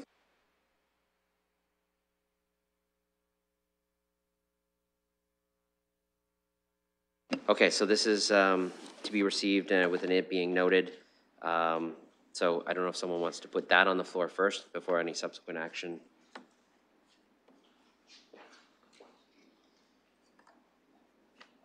I need someone to put it on the floor, especially if you want to take some sort of different action with it. Counselor Ferreira willing to put it on the floor, seconded by Counselor Stevenson. Okay, now I can open up the speakers, as I saw Counselor Ferreira put your hand up. Go ahead. Thank you, through you. Um, Colleagues, it's the Ward 13 counselor representing downtown again. Um, Just trying to figure out a way uh, to make our downtown more resilient. I, uh, I have, a- I'm very overworked when it comes to this ward, especially with downtown. Um, And my resilience will not go away, so I'll keep on coming back. But I would like to see downtown also be resilient as well. I would like to ensure that beyond this term, we are able to know that the direction uh, that's going forward uh, continues on. So um, we've seen many plans and programs created uh, in the past, in past councils, and I see that as puzzles towards a grander vision. Uh, But we need to figure out a way to put these pieces of the puzzle together, and we need to figure out how to prioritize uh, which puzzles we do first. So I have a motion that I have circulated um, out to everyone, and that motion is basically trying to, is asking uh, for your support um, so that staff can go through all the reports and programs that we have in the past and look at it through a contemporary lens and prioritize what elements of those reports and programs through that contemporary lens of the issues or of the situation that we see on the ground right now um, and how to move forward. And that would be something that I would ideally like to see for a long-term strategy. I am not going as far with this motion as I would like to, because I think that I would like to pace myself, and I would like staff to be able to pace themselves as well. But I'm just looking for a little bit more of a refinement of our position on how we look uh, to the future. I would like us um, to, when we're done here, uh, like when all of our, all of our time here on council is done, however many years down the road that will be, we'll be able to go downtown and we'll be able to see um, that momentum that we could start today still continuing on for our enjoyment of the downtown. So I'm looking for your support. I'd like to add uh, my amendment to the, to the motion, or to the staff recommendation uh, that was already on the floor. I don't want to take anything off the staff recommendation, I just want to stick that in there. And I'm hoping that I can get your support. So my understanding of your motion that's been circulated, and I'll, I'll say that the clerks took it and uh, um, just kind of changed it into the language that we use at the meetings, is that you don't need to do, you don't, it's not an amendment because it's, the basis of this is a referral back with a number of pieces associated with it. So um, given, I know you circulated it, I, it's probably best for me to maybe, even I can just read it out. Um, That way we can make sure you're good with the language that's just been adjusted from what your correspondence was. And then I can look for a seconder and then we can have a discussion. So here's how it reads now. That with respect to the 2023-2027 City of London Strategic Plan Core Action Plan, the following actions be taken. A, the uh, 2023 to 2027 City of London Strategic Plan Core Area um, report essentially be referred back to Civic Administration. Uh, B, that Civic Administration should be directed to undertake a comprehensive review cons- uh, considering current conditions and existing plans. This should involve a removal of outdated components from previous work, prioritized essential elements. Additionally, the examination should determine uh, the necessity of a new downtown master plan extending beyond the immediate 2023 to 2027 City of London strategic plan timeframe while aligning with its scope. And C, civic administration be directed to report back to a future meeting of the SPPC committee with a prioritized grouping of the next steps, including short-term actions, a longer-term plan of actions, uh, draft targets, metrics, and fulfillment requirements to a future meeting of SPPC. That sounds a little bit repetitive, but um, uh, it being noted that uh, that the recent funding approvals by uh, municipal council for the downtown and Old East Village improvement areas provide some bridge funding to assist with short-term challenges and needs while this work is undertaken. Does that sound like what you submitted? It sounds a little close. Uh, I would like to read it because I do see that there was some extra stuff in there. But if, if the clerks are making it so it fits well. I don't, I- they try not to add stuff in there, they just tried to like take your words and make it into the alignment with our plan. So why don't I put it up on the screen even though there's not a seconder? I want you to make sure you're good with it, then I will ask for a seconder, and if there's a seconder, then we'll proceed. So we'll put this in eScribe so you can actually see it.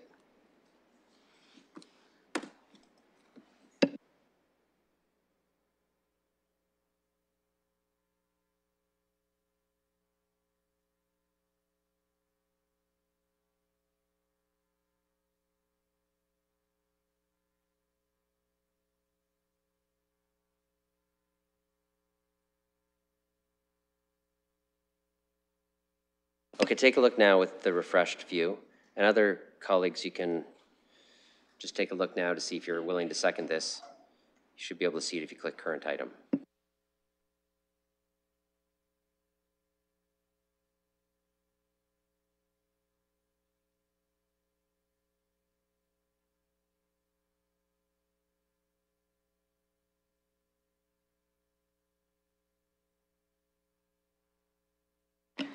That reads well to me.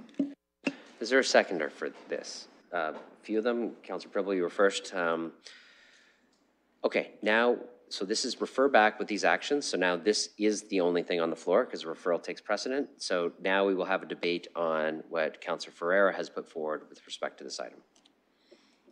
Counselor Stevenson, go ahead. I'd like to propose uh, one small change, if the counselor is open to it, or the mover and the seconder, that it, instead of saying um, a new downtown master plan, it say a new core area master plan.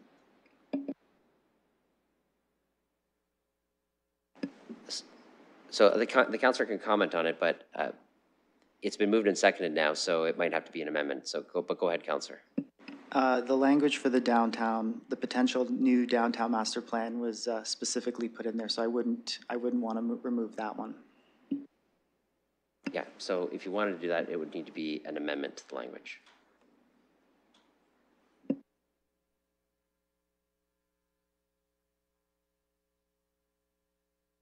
Go ahead. Thank you. I'm going to leave it and consult uh, prior to making any changes there. But I would like to say, in terms of this core area strategy, that um, I, I will support the referral. Um, There was the issue of the oversaturation of the social services in the core area, particularly on the main street of Old East Village, despite the PACT report and the core area action plan, has been avoided. And I understand that it's complex and it's an issue, but we have the whole of community and we have a new core area strategy, and that issue has to be addressed. We have continued to fund again two more agencies on the main street in the heart of Old East Village, across the street from each other. So the counselor, I hear counselors tonight saying, oh, we can't have things too close to each other. Well, they voted for those two. It seems to be okay in Old East Village, but not okay in other areas. So I will support the def, the referral back. I, this has to be addressed. There's no point continuing to give Band-Aid money to a district if this city is not committed to our core area. Those businesses are hanging on by a thread. They deserve the commitment of this city, and we need to look after both of our unhoused and our housed people to have a core area that they can come down to with businesses that can survive in a city that is growing and wonderful and amazing, and we get to have a heart of the city that is healthy and we get to take care of our vulnerable. And there's a way to do it, and I want that to be part of this. I may come back with an amendment at council to address that specifically. This cannot continue. I have supported uh, a shelter spaces on the heart of Dundas Street because we already approved the daytime, because people are dying, because it's winter, because it matters, and I will support that. And we need a long-term vision. I agree. Okay, other speakers? Uh, Counselor Lehman, go ahead. Uh, Chair, I'm going to uh, recuse myself as I'm a member of the downtown BIA, and there's reference to bridge financing uh, included in the, uh, the amendment. Okay. Counselor Lehman's making that recusal. Other speakers? Counselor Hopkins, go ahead. Uh, Yeah, I want to thank the uh, ward councillor for bringing this forward. I, I'm, I, I will be supporting this. I know we've had uh, numerous conversations about our downtown and how it's going to look like and how we move forward. And I think it is an important conversation for this council or an important opportunity to discuss how, um, how downtown will look like in the future. And, and to have these conversations uh, is, is going to be important and looking forward to having a, a, a more of a comprehensive idea of what all our plans are and, and, and do we need reviews or how do we move forward looking at our downtown in particular, because I do uh, support some sort of a, a strategic plan. Uh, but I, I think for now, uh, getting the information coming back is uh, where I think we've got to start and uh, we'll be supporting the direction. Thank you. Okay, Councillor McAlister, go ahead. Thank you. Through the chair, um, I want to thank the counselor for bringing this forward. Um, I know the, um, London strategic plan for the core area is very important and I understand those challenges as a community that, uh, feeds into the core. Um, really do understand it. Um, and I just want to say, um, I would say in the next iteration of this plan, please take that into account. I hear it all the time from my residents that we do feed into the core, Hamilton to Horton. So these are emerging communities. These are some established communities that have been there for a very long time that feed the core. And so we want to be there. We want to collaborate with you. So please don't forget about us. Uh, and we're happy uh, to support you where we can. Thank you. Okay, that's all the speakers I have. it's, uh, the referral, it's moved and seconded. I don't see any others, so I'm going to open it for voting.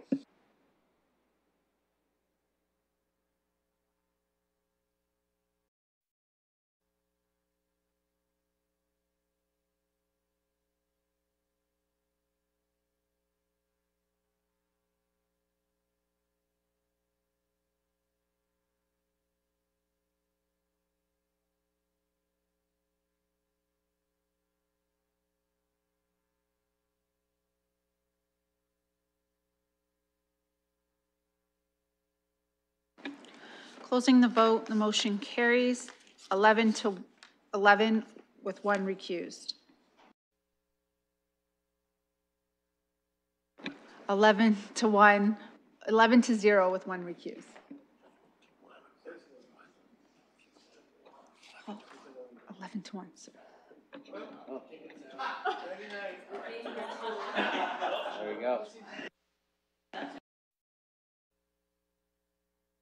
So We're just going to reread that vote total. Um, I don't know what happened there, but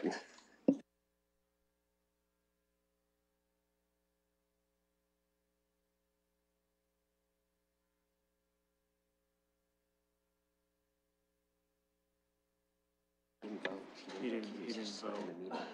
Yeah. He's, he's going. just, colleagues, it was read recused, but since Councilor Lehman left the meeting, he didn't actually vote to recuse, so we're just fixing that total. So it's 11 to 1 with no recused. Just 11 to 1. Okay.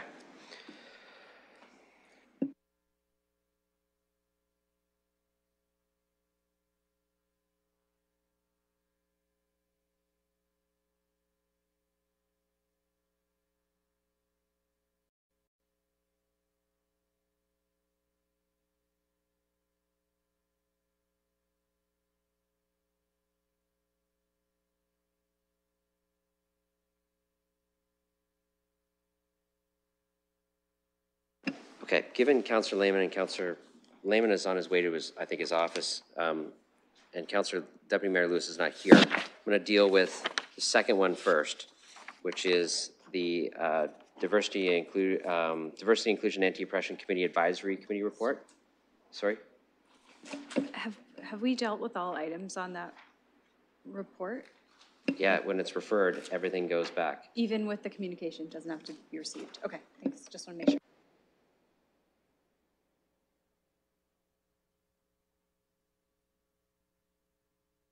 Yes, we could have received the communication, so you're going to move receipt of the communication related to that last item, seconded by Counselor Pribil. As soon as that's ready, we're going to open it for voting, just receiving the communication that was associated with that last vote.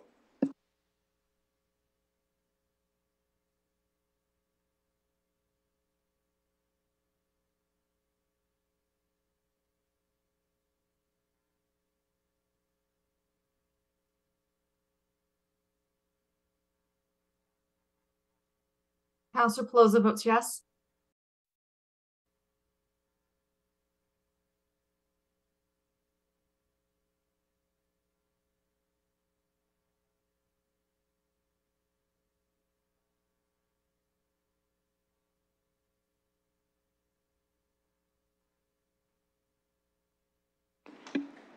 Closing the vote, the motion passes 12 to 0 with one recused.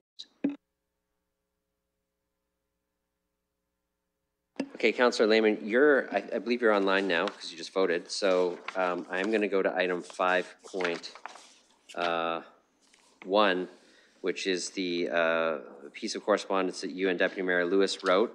Um, I will look to you to make comments on your correspondence and bring forward any motion that you'd like to bring forward related to it as you've outlined in your uh, communication. Okay, thank you, Mayor.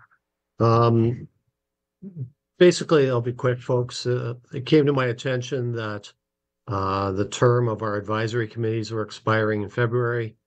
Um, in further consultation with uh, the clerk's office, um, learned that uh, they would ha- have to be uh, putting out advertisements to populate our advisory committees uh, in December, which is the holiday period.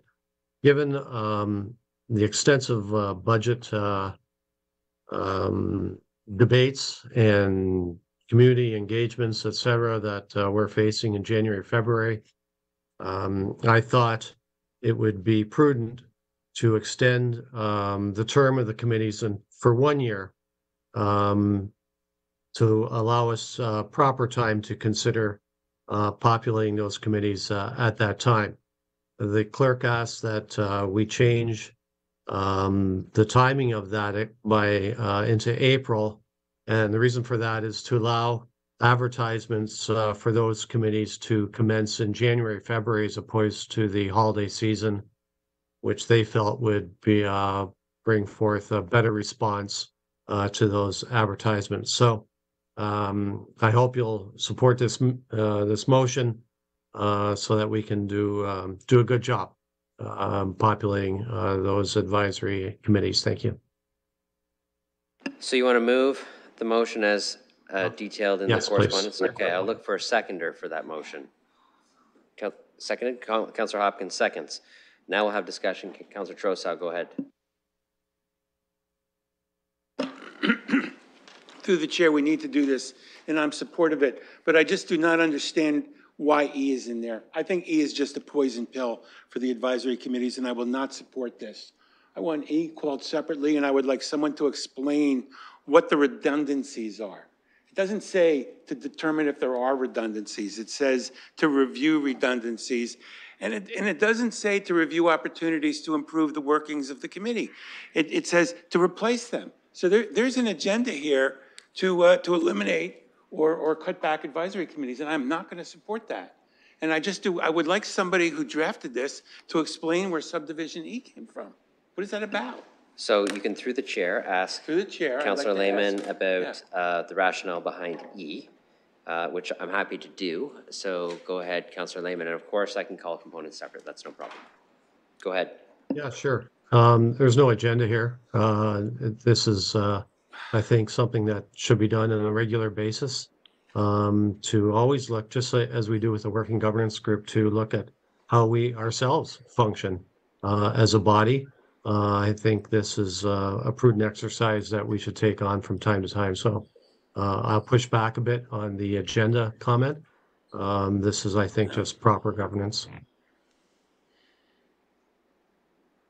Counselor Trosow, you still are there? Go ahead. Yes, um, I'm sorry, through the, through the chair, um, I don't have a problem with E if it says to review the operation. To review the operation of the advisory committees. I- And I would like to ask the maker of the motion, what are the redundancies you're referring to? Because you say to review redundancies. What are the redundancies? Through the chair, I'd like to know.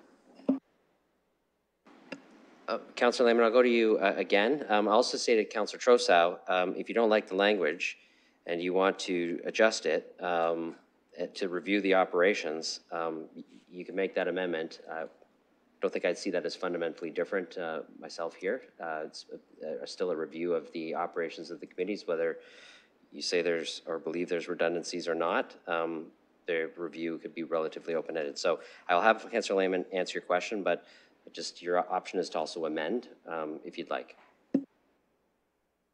I think the, um, uh, the request doesn't, uh, um, uh, preconceive that there are redundancies. I think that we are looking, uh, as to make any operation efficient, you always look at potential, so, um, I'm not saying that there are redundancies, but I think that's just, uh, the nature of, uh, review of any organizational structure.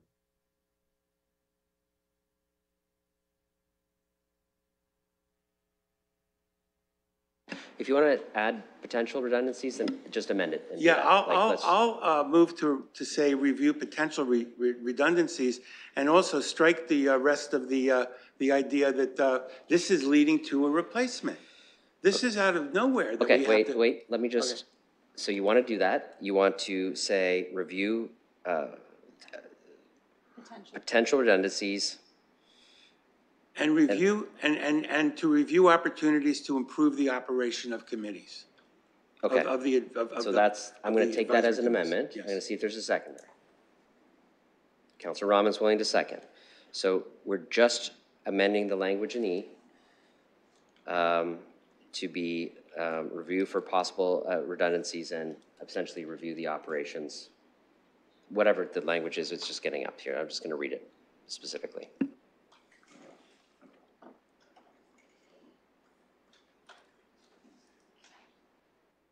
Just want to make sure the mover and second are good with this. The, uh, It's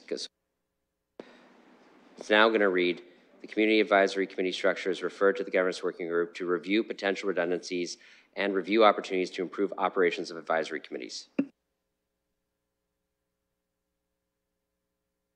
see nods, so we'll put that up. That's the amendment. I, we, I haven't put it up yet, Counselor. I was just reading it for you before I put it up. Now I'll put it up. Moved and seconded. Any debate on just the amendment? Just the amendment? Okay. Seeing none, we're going to open the amendment for voting.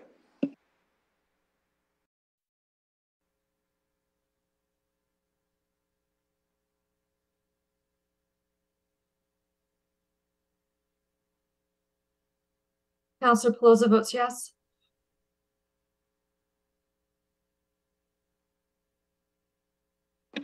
Closing the vote, motion carries 12 to 1. Okay, I need a mover um, for the as amended motion now. Counselor Hopkins, as amended, you're willing to move? Yeah, you're on the speaker's list, but I need someone to move the as amended motion. So you're moving, seconded by Counselor Stevenson. Okay, uh, Counselor Hopkins, you're next on the list. This is now the motion as amended. The motion as amended, uh, Mr. Chair, so I would like to just remind us all that uh, the review was going to be taking place at the beginning of next year. So I am very supportive of extending it, given that we are going to be having um, an extensive uh, um, budget review, and uh, I think the timing um, is appropriate. I would like to make a friendly amendment, though, to the um, the extension, and I have um, passed on some information to the, the the clerk, and I'm hoping that the mover is agreeable with the, um, it, it may be another clause, but we do have a number of vacancies already existing on our advisory groups. We will be extending this, these groups for another year. Uh, I think it is going to be important. We may even have further vacancies that we be able to advertise to fill these vacancies through the extension. Uh, That is my amendment to undertake to advertise during the end of, say, January, February of next year uh, to uh, deal with the vacancies that are already existing. Uh, And I'm hoping I can get um, the mover to support that.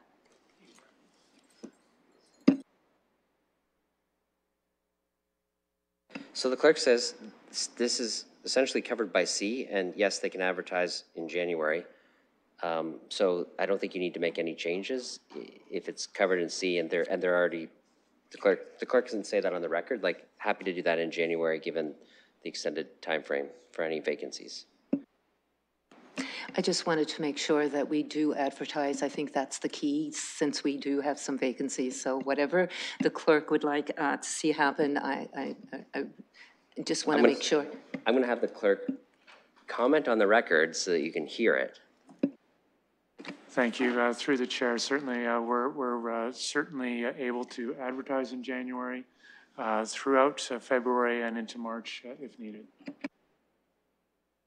Okay, good. Any other speakers on the as amended motion? Okay, seeing none, we're going to open the as amended motion for voting.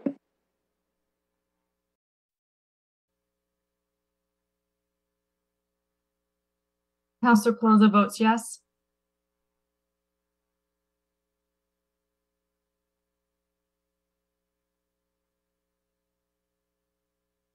Closing the vote, motion carries 13 to 0. Okay, next, the Diversity, Inclusion, and Anti-Oppression uh, Community Advisory Committee um, has their report. There's uh, essentially two components to this. One is uh, a, a small budget allocation of $2,500 for the uh, 2023 Diversity, Race Relations, and Inclusivity Awards, and um, just receive the other clauses. Moved by Counselor Rahman, seconded by Counselor Hopkins. Any discussion? Okay, seeing none, we'll open that for voting.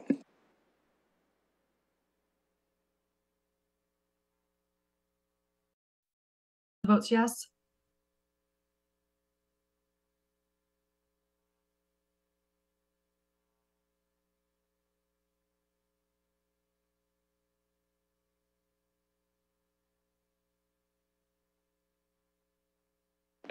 Counselor Trosow?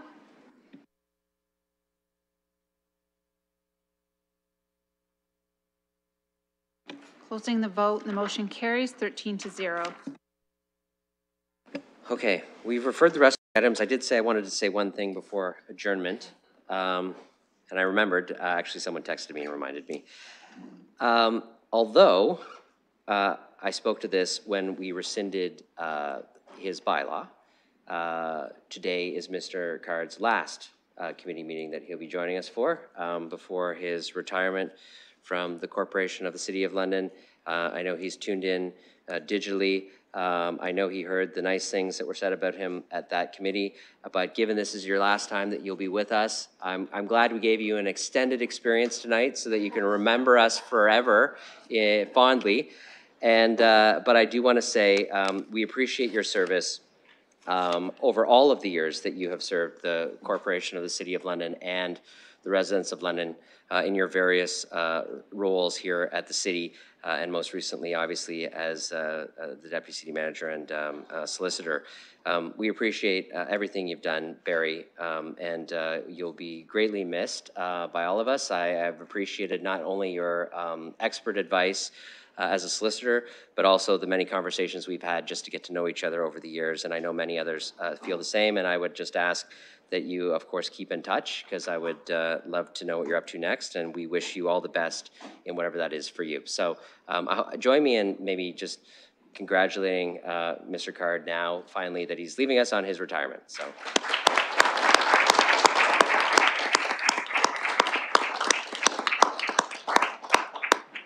Mr. Card, do you want to say anything before, I- before you go? Of course, it would be, it would be still subject to solicitor-client privilege, so you can, but go ahead if you'd like to say Uh, something.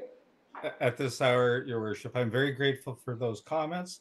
It's been a privilege to serve and I'm uh, grateful for that opportunity. So thank you all. Thank you to council for your uh, confidence and uh, for giving me the chance to provide you with advice uh, over the last almost seven years. Thank you so much. All right, thank you, Mr. Card. I'd let you move a motion to adjourn, but you're not allowed to under the procedure bylaw, so I'll look for someone else to move a motion to adjourn. That's Counselor Stevenson, seconded by Counselor McAlister. We'll do this by hand. All those in favor? Any opposed? Motion carries. We are adjourned. Thank you.